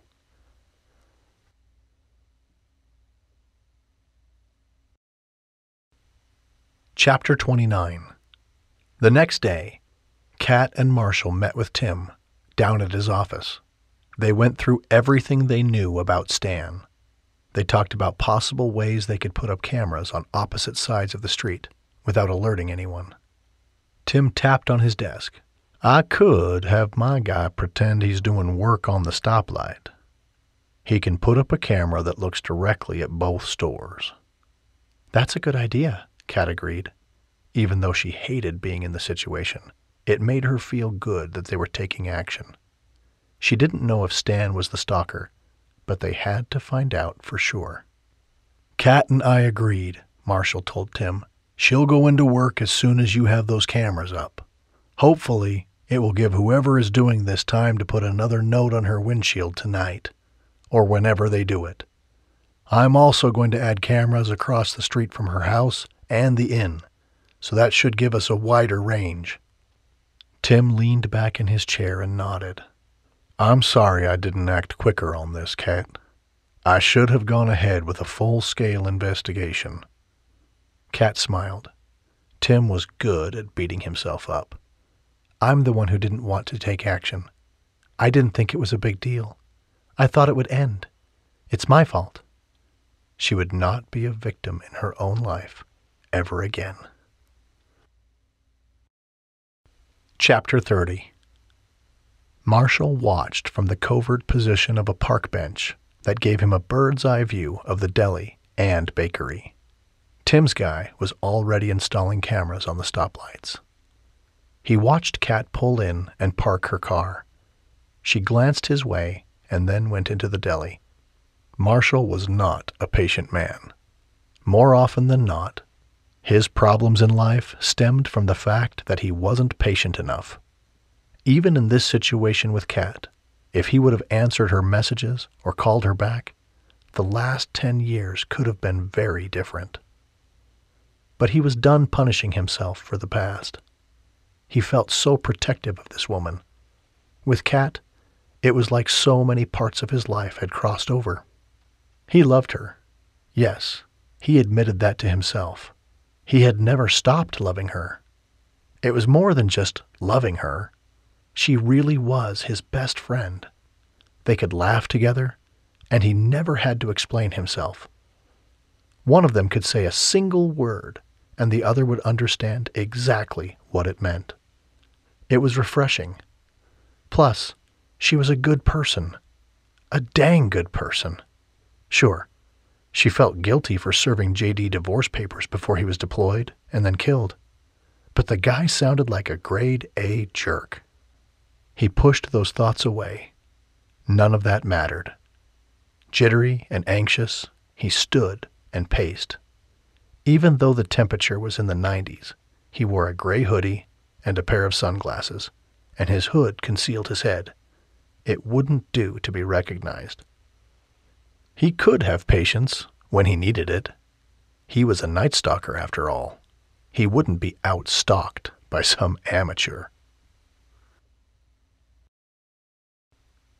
Chapter 31 Even though it felt like bees were stinging Kat's guts from the inside when she walked into the deli, she put on a smile and pretended she was delighted to be back. Stan and Margie rushed to her and hugged her. She explained how she had broken down. Marshall had taken her back to the inn, and she had ended up staying there. She left out that the stalking had gotten worse. She had to play it cool. She had to give Stan the chance to hang himself, if he really was her stalker. So you didn't go to the cabin at all? Margie asked, leaning on the counter and twirling her hair. No, I was lucky Marshall drove by when he did. Kat let out a breath. I don't know what I would have done without him. She tried to cast a glance at Stan, without looking like she was accusing him. Well, I'm glad that you still didn't come back to work. Stan smiled and patted her shoulder as he moved past. You needed a break. Are you hungry? I'm good. Margie grinned at her. I could bake you something. I'm good, Kat repeated. The last thing she needed was to throw up. Chapter 32 Marshall watched for a long time. Finally, Kat texted him. We are just doing closing stuff. I'm going to be another hour. You don't have to wait. He texted back. No way I'm leaving. Did she really think he would even think about leaving? Again, he thought about everything she had told him about JD, the way he used to demean her, how he had made her feel like she wasn't important. Part of him wished the guy was still alive, so he could put a fist in his face. C'est la vie. Wasn't that what he was supposed to say about the past? The things Sarah had told him were ridiculous, he realized. It had been so amazing to talk to Kat about the lie Sarah had told him, the lie about how he would make a horrible father. Part of him was grateful for that experience. Now he understood how people could believe lies, even lies that hurt them. He wasn't sure how long it had been when Margie walked out of the restaurant and got into her car. She pulled out of the parking lot and left. The only ones left in the restaurant were Stan and Kat. His heart sped up. He didn't like to think of Stan being in there alone with her, especially now that they knew about his rap sheet. Fine, it wasn't a rap sheet. It was one case, and after dealing with his own ex's craziness, he didn't want to jump to conclusions about Stan's past. But something in his gut told him there was something going on that had nothing to do with work. Out of nowhere, a figure dashed across the street and stood by Kat's car. He bolted from his seat on the park bench and simultaneously texted a heads up to Tim and Kat. The person was dressed exactly how he had been dressed on camera, with a nylon over his face and a long black coat. He was putting a plate and another note on Kat's car. Marshall dashed across the street and then moved toward Kat's car. As he got closer, he could see that the person wasn't that big. He had a slight frame. It wouldn't be hard for Marshall to disable him. The person turned, stumbling into Marshall. A shrill scream erupted. Ah! Marshall grabbed him by the shoulders. Gotcha! Let me go! Just hold still! Marshall bear hugged the man. But wait, it wasn't a man. The stalker was a woman. Kat threw open the deli door and rushed toward them. Who is it? Whoever it was, she was struggling like crazy. Marshall grabbed the nylon and yanked it off, revealing the culprit. Margie? Kat said in astonishment. Let me go! She tried to run. Marshall simply grabbed her by the coat collar, as if she were a child he was trying to restrain from running. Just settle down now. We're going to talk. Stan rushed out of the restaurant to join them. Margie? Sirens sounded. Tim pulled up in his cop car. Have you been the one doing this? Kat looked shell shocked. Margie quit struggling. Margie? Tim looked just as confused as everyone else. Don't look at me that way. Margie glared at only one person Stan. Don't you dare look at me that way. The last week had been perfect. We were partners. We were a team. We had everything going for us. You told me it was a wonderful week. Tim moved toward Margie, holding up a hand. Margie, he said in a soft voice, I need you to calm down. I'm not going to calm down, Tim. Margie looked possessed. She pointed at Kat. I had to get her to sell the bakery. That's all I was trying to do. If she just would have left South Port, then all of this could have ended. Stan and I could have been together forever. In the military, Marshall had dealt with some crazy people. Not that he ever judged them. He had seen firsthand what it was like when someone had convinced themselves of a truth that only they believed. They would do anything to prove that truth. It was a dicey business when a person started believing something and then acted on that truth. Heck, hadn't he just been thinking that very same thing about what Sarah had told him about being a father? What if he hadn't reevaluated that? Would he have continued thinking he wasn't meant to be a father? That something was wrong with him? He felt empathy for Margie. Kat nodded. Margie, I think we need to ask Stan how he feels about all this. Stan looked baffled, confused. Margie, what would have made you think that if you owned the bakery and I owned the deli, we would be together? Margie's determined look crumbled, and she started crying. Because we talked about how nice it was to run the shops together. You said you always wanted to do that with your wife. Margie, my wife passed away. But you would move on, eventually, she sniffed, with me by your side. Stan let out a long sigh. Margie, I'm really sorry that you ever thought we could be together. I don't like you that way. Margie burst into sobs. But you could have liked me more. I know it would take time. When we were together running the deli and bakery, you would eventually fall in love with me. Marshall and Kat exchanged a look that said, Crazy. It was the look they gave each other when one of their parents freaked out about something, or one of the kids they hung out with was acting crazy. The inside joke made Marshall feel warm and tingly, which was ridiculous because they were in the middle of all of this drama. Tim let out a long sigh. Margie, I'm going to have to take you in and take a statement. I'm being arrested? Margie looked mortified. She turned to Kat. I never would have really hurt you. I was just trying to get you to sell. I swear I never would have hurt you. I'm not going to charge her. Kat's tone was soft. Even though Marshall understood her thought process, he didn't forgive all that Margie had put Kat through. You have to be accountable for your actions. You caused Kat a lot of pain. You scared her. You had all of us scared. Do you want to know what I was ready to do to you?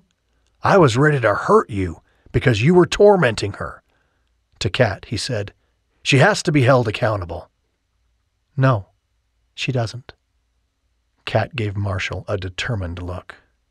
Margie stomped her foot, reminding Marshall of a toddler. It wasn't about Kat, she yelled, glaring at Kat. Not everything is about her. If you would have sold me the bakery, none of this would have happened. The look on Kat's face said she was done with the situation. On second thought, I am going to charge you. What? Margie looked confused. You don't get to treat people like that, Margie. I hired you to work with me even though you had a lot of problems. At every turn, I have given you grace and mercy. But Marshall is right. You don't get to treat me like that. You don't get to hurt me without consequences, so I am going to charge you. There was something about the determined way Kat said those words that made Marshall smile. He was proud of her. She deserved to charge Margie, even though he knew, deep down, that she would have liked to be merciful. He also knew that Kat needed to stand up for herself. She needed to value herself again. Tim turned to Margie. I'm going to take you downtown. You can do this in handcuffs, or I'll just let you sit in the back of my car. But if you act out, I'll have to handcuff you. He started listing the Miranda rights. They all watched Tim put Margie in the back of the car. Before long, Tim turned to Kat. Meet me down at the station. He drove away. Stan let out a long breath. I am so Sorry. I had no idea that she felt that way.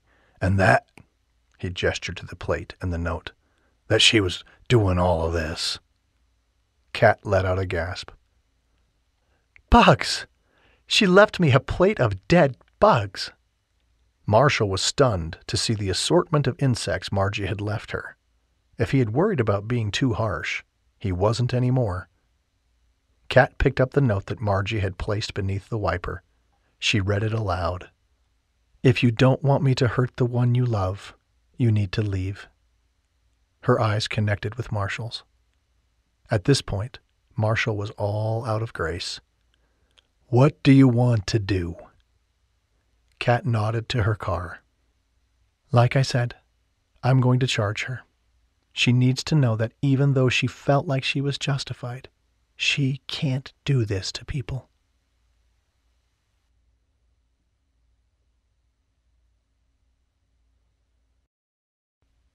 Chapter 33 Kat stared at Margie, who was huddled in on herself on the chair in front of Tim. Margie managed to answer Tim's questions between fits of weeping. I never meant for it all to go this far, I promise. I just thought that if I could get Kat to sell the place to me and sell the deli to Stan, then me and Stan would have a chance. But, she said, indignantly lifting her head and staring at Tim, have you seen the way Stan looks at her? She glanced at Kat in an accusing manner. When you are in the shop, he only sees you. He doesn't even try to joke with me or anything. But if it's just us working, she trailed off, and her cheeks reddened. Then he sees me. So many emotions rushed through Kat. Part of her truly felt sorry for Margie. The woman had been trying to get Stan's attention for so long, but she clearly had some problems. Her actions were not okay. Tim inhaled a long breath and turned to face Kat. What charges do you want to file? Her heart raced as she faced Margie. In the blink of an eye, compassion swelled within her. She thought of J.D. and how different things could have been if he would have gotten the help he needed. Margie, I won't file charges if you take steps to get help. Mandatory therapy and possibly medication if it's recommended by a professional. For a long time, Margie didn't speak. Then she nodded. Okay. Much later that evening, after spending time going over options for mental health care with Margie, Kat moved down the stairs with a towel in her hands and her swimsuit on. Marshall had talked her into relaxing in the hot tub. She walked down the hallway of the inn and through the living room to the French doors by the kitchen. Light music drifted in through the cracked door. Her heart thrummed, and even though it had been a rough day, butterflies swarmed inside her. When she was young, she and Marshall would often sneak into the back and swim when it was dark. Of course, he would have to come pick her up on his motorcycle. It had been so much fun. Now, she thought about the last few days and how amazing this grown up version of Marshall was. Everything was so different.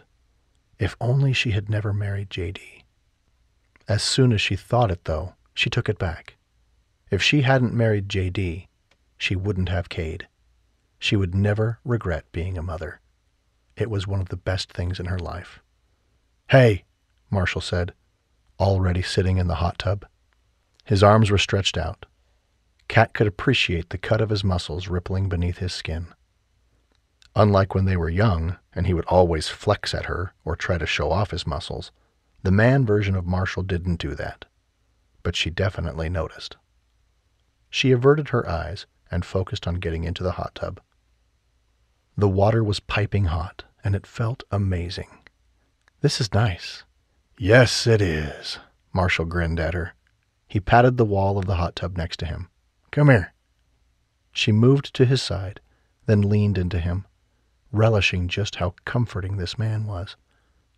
I don't think I told you thank you. She turned her head to face him and was startled to see how close he was. Close enough to kiss. Of course. Gently, he reached up and moved her hair out of her face. Then he trailed his fingers behind her ear and down her shoulder. I'm glad everything worked out. Most importantly, I'm glad that you're okay. Kat stared at his lips. She wanted to kiss them. So many feelings warred inside her. She had told herself that she would talk to Marshall about everything she was feeling when they figured out who was stalking her. But now, as she stared into his blue eyes, the old fear came back. His phone buzzed, and he reached out and picked it up. It's Trey, he told her as he put the phone to his ear. She couldn't hear what Trey was saying. It's all handled. Yep, it was Margie, but they worked out a solution. Yeah, I spoke to Brooks earlier. Marshall took hold of a strand of her hair and twirled it around his finger. The gesture felt so natural. She had fallen for this man, and it felt like the easiest thing in the world. But she was still worried about Cade. Would Cade like him? What? Marshall quit twirling and then laughed. Hold on. I have to put you on speaker. He tapped the phone to do just that. Trey, tell Kat what you just told me. Hey, Kat, Trey said. Hey, she said nervously, giving Marshall a confused look. He had a mischievous smile on his face. So, Kat, uh, Brooks told me and Ava about the pocket watch you all found. The one that has the same type of cross on it that is used in our great grandfather's journals? Oh, she said. All of them had spoken about it. Of course they had. This had to do with their family and the conquistador's gold. Trey laughed. Marshall was shaking his head, biting his lip. What? Kat asked. Uh, well, after everything happened with Kenzie, with Mr. Banks, the billionaire, tearing up the town, and before that, with Mr. Jones going crazy and almost killing Ava? Yeah. We put out some fake clues, just to throw people off.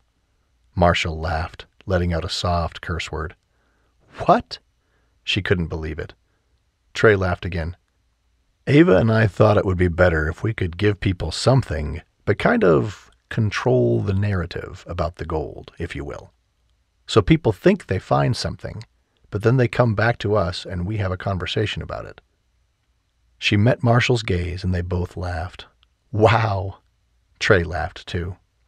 Sorry, Kat, Ava called out from the background. She and Marshall laughed harder. They'd been so excited that they were onto something. Marshall finished talking with Trey and then got off the phone. Well, I guess that's that. She shook her head. the ever elusive conquistador's gold. Yup, he sighed. Okay, just tell me, how much for your thoughts? I'm tired of guessing. It hit her then that she would be leaving tomorrow. She didn't want to lose him again. But did he want an instant family? A smile played at his lips. He stroked his hand down her head again. Come on, Kat. How much am I going to have to pay you for your thoughts? She felt herself melting. The man was irresistible. Not only was she attracted to his personality and to everything from their past, but he definitely was Mr. Delicious. What? He smiled back. What is making you smile? Well, some of the ladies in town, and I'm not going to say who, may call you Mr. Delicious. What? He leaned back, but he kept his hand on her shoulders. You're messing with me.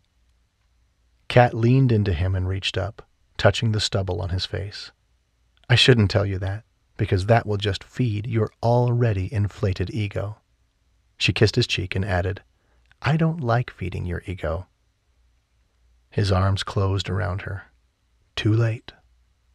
His lips were heading her way, and it was impossible to fight it. Not that she wanted to. She pressed her lips to his and felt herself relax.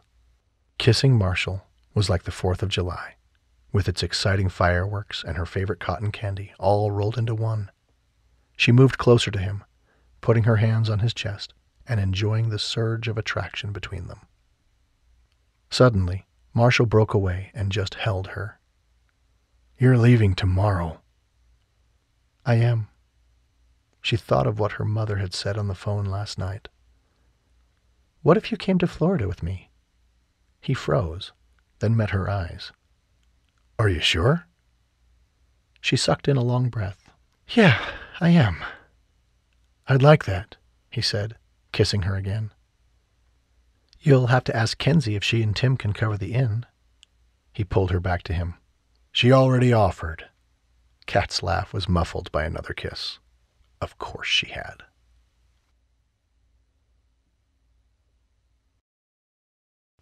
Chapter 34 Kat could hardly believe her eyes as she sat on the beach in Florida next to her mom and dad, watching Marshall and Cade in the sand. It was strange how time worked. At one point in her life, it had been her out there, playing with Marshall. Then, when she'd been in the middle of her marriage with J.D., it had been her out there with Cade. Now, it was surreal to see Marshall and Cade together, getting along so well. They really get along, don't they? Her mother said, giving her a nudge with her shoulder, seeming to read her thoughts. Kat grinned at her mom. I thought they would. Marshall, at his core, is just a big kid. You can say that again, her father said, though he pretended to be reading his book. He was propped on a beach chair, hat pulled down over his face to protect him from the sun, he had been ecstatic when Kat had shown up with Marshall. She could tell by the way he had told Marshall all about Florida and offered to take him on a special tour of the place. Growing up, her parents had loved Marshall.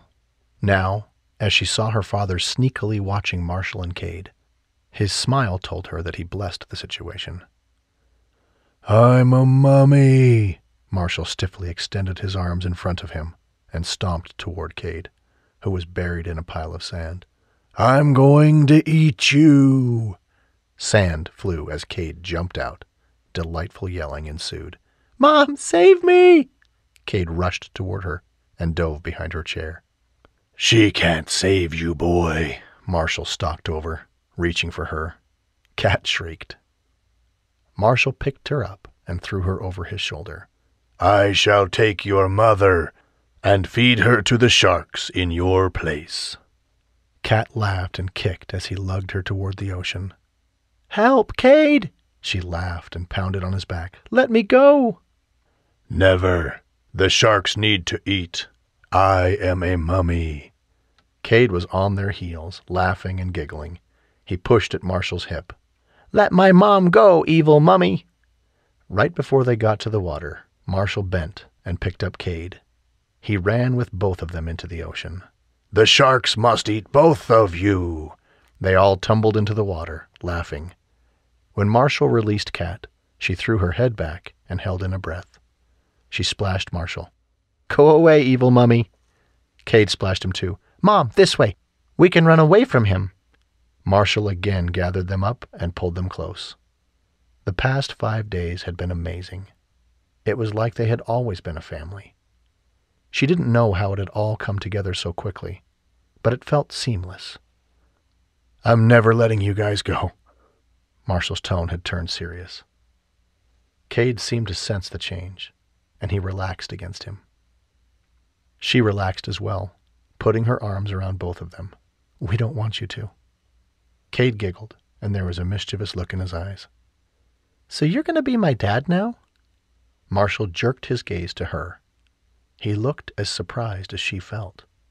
They hadn't said anything like that to Cade. In fact, they had made it a point that Marshall was her friend, and he was there to visit with all of them. Marshall's eyes grew bright with interest. Would you like that? Cade nodded his head and giggled. Yeah, I would like that. He looked at his mother.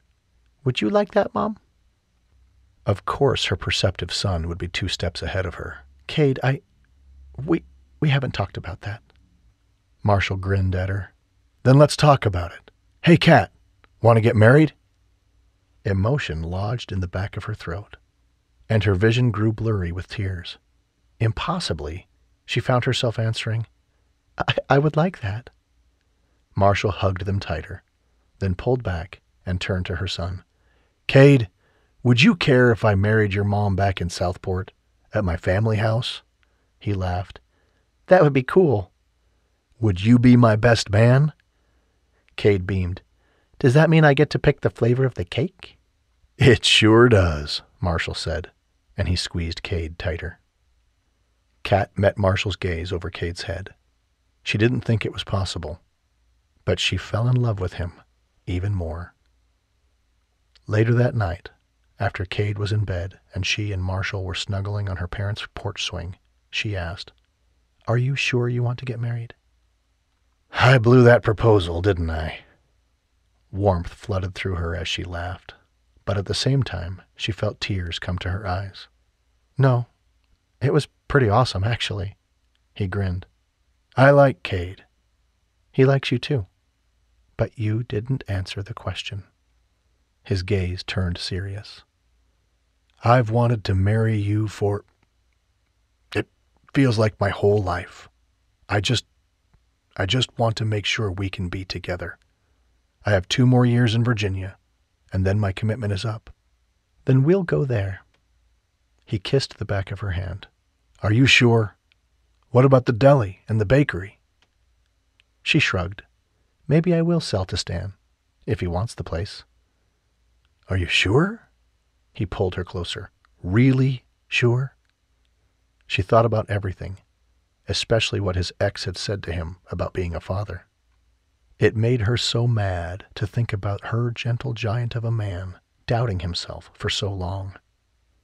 And it made her so mad that she had been part of the reason he doubted himself. I want to be with you.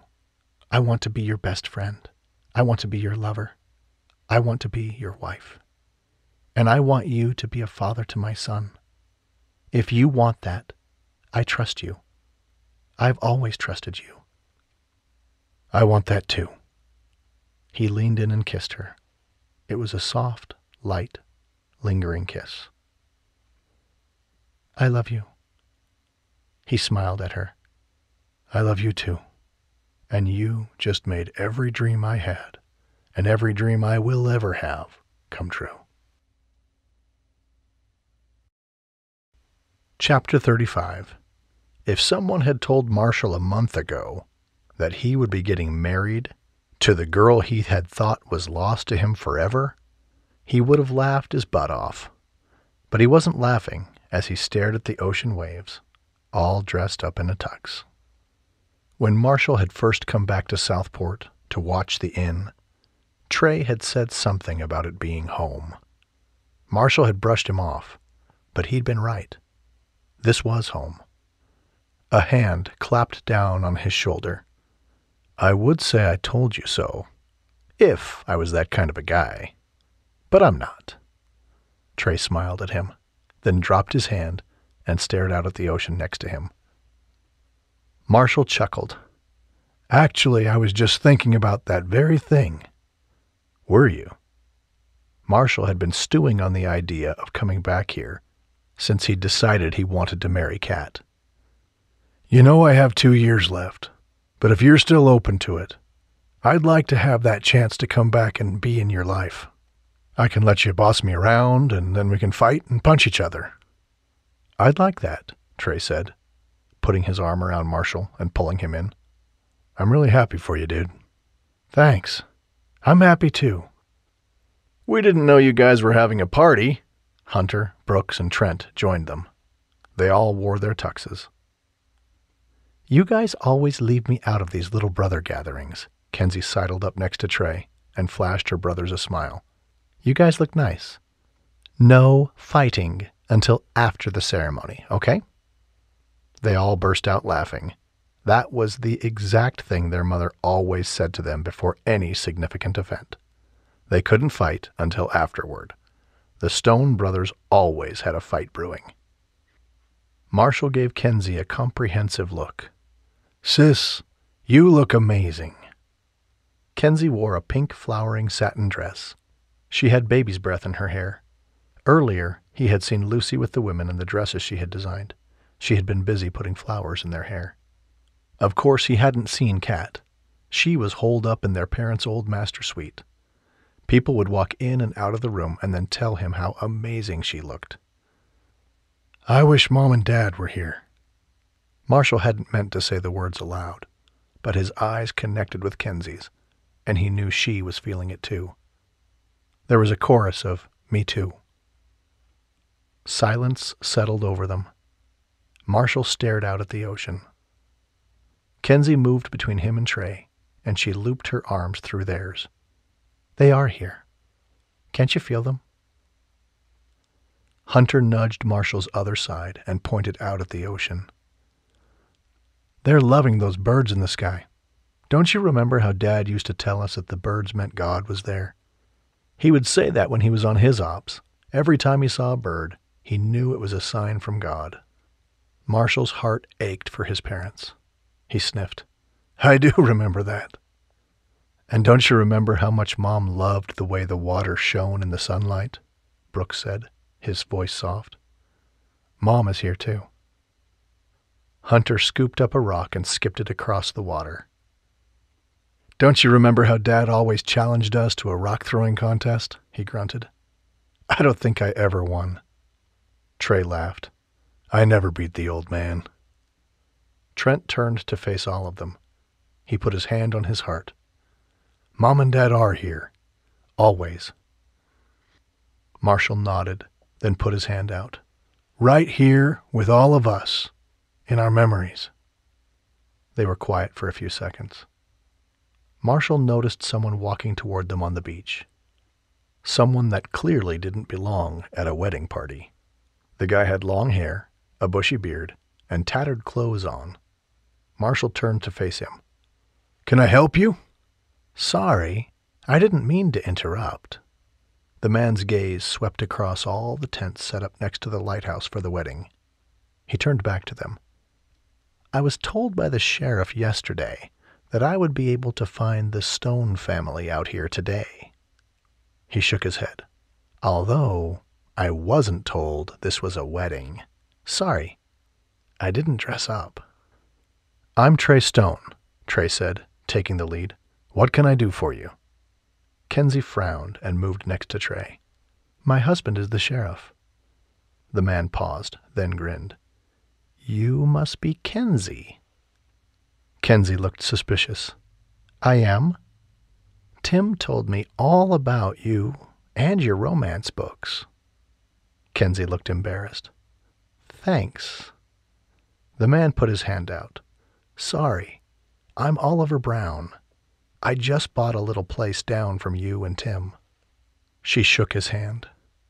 Oliver held out a bottle. Anyway, I found this when I was out sailing around the Frying Pan Shoals last week, and I had this feeling I should keep it. Tim saw it yesterday, and told me that he thought it might belong to your family. Kenzie took the bottle, inspecting it. Why were you out at the frying pan shoals? Most sailors considered it one of the most dangerous areas to cross between Cape Fear and the Atlantic Ocean. I actually just happened upon it. Trey bent to inspect the bottle. Are you helping to restore the tower out there? He looked at Oliver. Oliver shook his head. No, I just like to sail, and I like interesting places on the coast. Marshall noted that there was a strange crest on the bottle. I'd say the shoals are tough to sail in. Can I see it? Brooks asked, holding his hand out. If anyone knew what the crest on the bottle meant, it would be Brooks. Kenzie let Brooks take it. They say that anyone who sails in the shoals is either crazy or looking to find a ghost. Stop, said Hunter, elbowing his side. There's no ghosts out there. All of them laughed. Hunter never liked to talk of ghosts. Their father had always told them ghost stories about the sailors who died in the shoals. Kenzie smiled at Oliver. There are also stories of sailors who are looking for their long-lost loves. Oliver's eyes widened, and he seemed embarrassed. I'm pretty sure she's not in the shoals. Where is she? Hunter asked. Oliver shrugged. I left her at home a long time ago. I doubt she even remembers me. Brooks held the bottle up. I think this skull shape is the same one on the last page of the journal. Kenzie filled in for him, then laughed. Trey laughed too. I'll be darned. Marshall hadn't studied the journals like the others, but he felt like this was something important. Brooks turned to face Oliver. I'm glad you brought this to us, but I wonder why you would even keep a bottle like this. It's not much to look at. Oliver took a deep breath. I don't know. To tell you the truth, I just had a feeling that I should keep it. He shook his head. Then, as I was showing Tim my sailboat yesterday, he saw the bottle and said he thought you all might be interested in it. Kenzie scoffed. Of course he did. Then he didn't even tell me last night. Marshall put his arms around her shoulders. Hey, you are tired at night, sis. She rolled her eyes. True. Oliver cleared his throat. Well, congratulations. He backed up. I'll get out of the way. I'm just glad I could get the bottle into the right hands. Marshall was feeling jovial.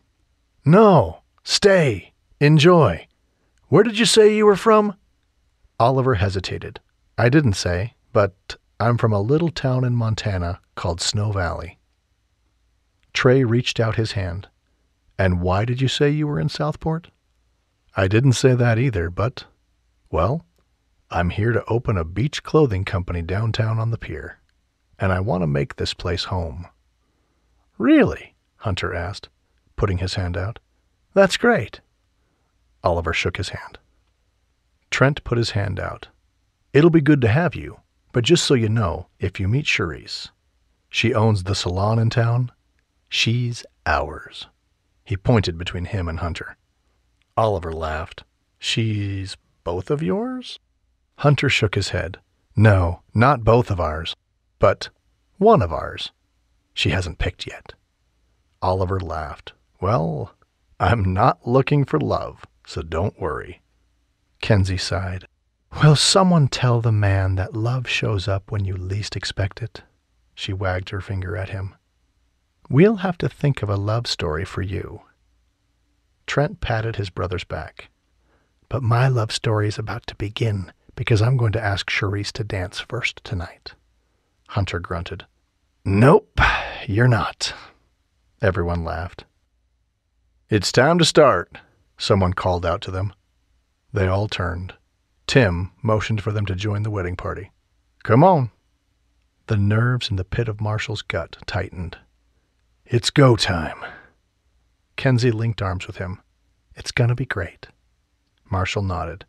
Yes, it will be.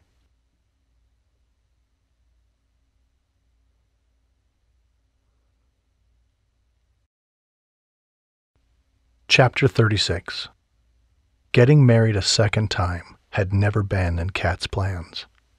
Getting married at the lighthouse felt perfect. The Stone family had all gotten together and cleaned the place up.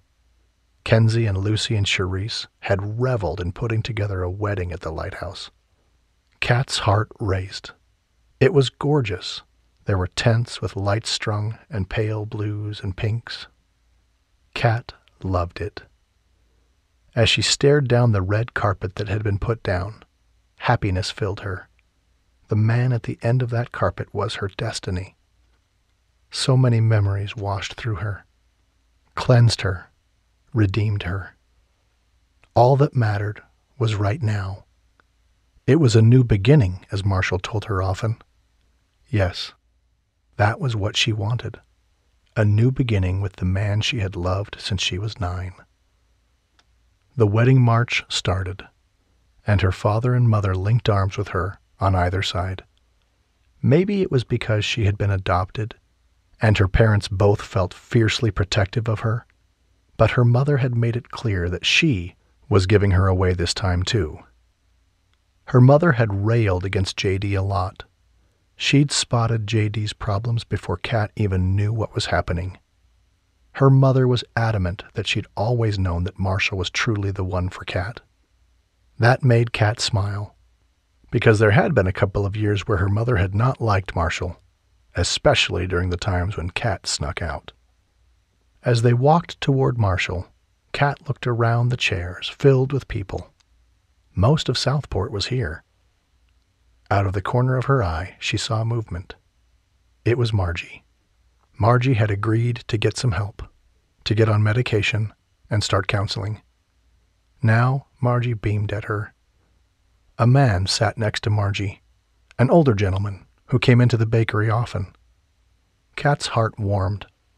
Maybe they were dating. Wasn't there a chance for everyone to be happy? She hoped so. All thoughts of Margie faded as Kat got closer to Marshall. The words, Mr. Delicious, echoed through her mind. She smiled. Her telling him about that nickname had definitely inflated his ego. Her heart fluttered as she thought about their honeymoon. Marshall had a week before he had to report in Virginia Beach. Though she was happy that he wasn't grounded any longer, she was nervous about starting a life with him. Their honeymoon would be three nights, and then they were coming back to South Port and packing up their home before moving to Virginia Beach. She had sold the bakery and the deli to Stan. Stan had plenty of money saved, and he was grateful for the opportunity. Even though Kat wasn't certain about what she would do, she had told Marshall that she did want to start school to get her business degree. Marshall was already looking up online programs, and they were checking into the local college. He was talking about how amazing she would be at school. His simple belief in her abilities made her feel fearless. He had always bolstered her courage. When they reached Marshall, her parents took one of her hands and ceremoniously put it into Marshall's. Her father nodded at him. I trust you. Her mother had tears running down her cheeks. You have been taking care of my baby since that day on the beach when I first saw her giggle and then play with you. Now you will play together for the rest of your lives.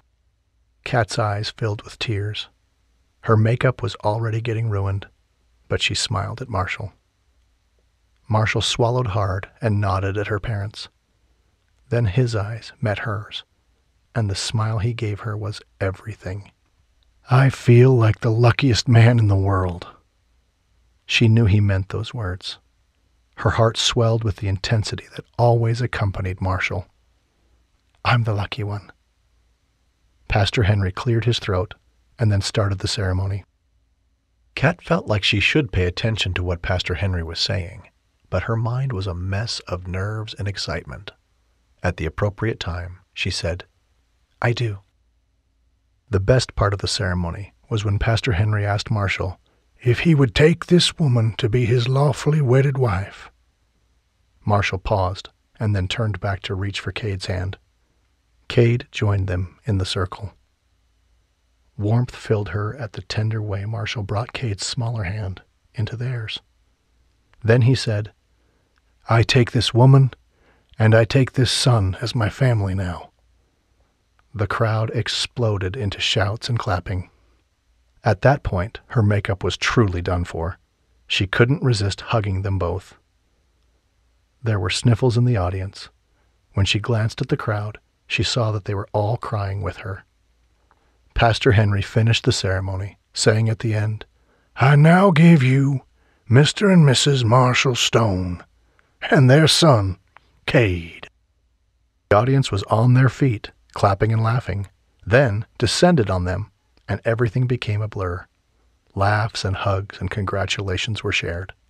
Cade ate up the attention, standing proudly next to Kat and Marshall, and he accepted plenty of hugs himself. When they headed over to the little dance floor that had been laid on a different part of the beach, Marshall took Kat's hand and brought it to his lips.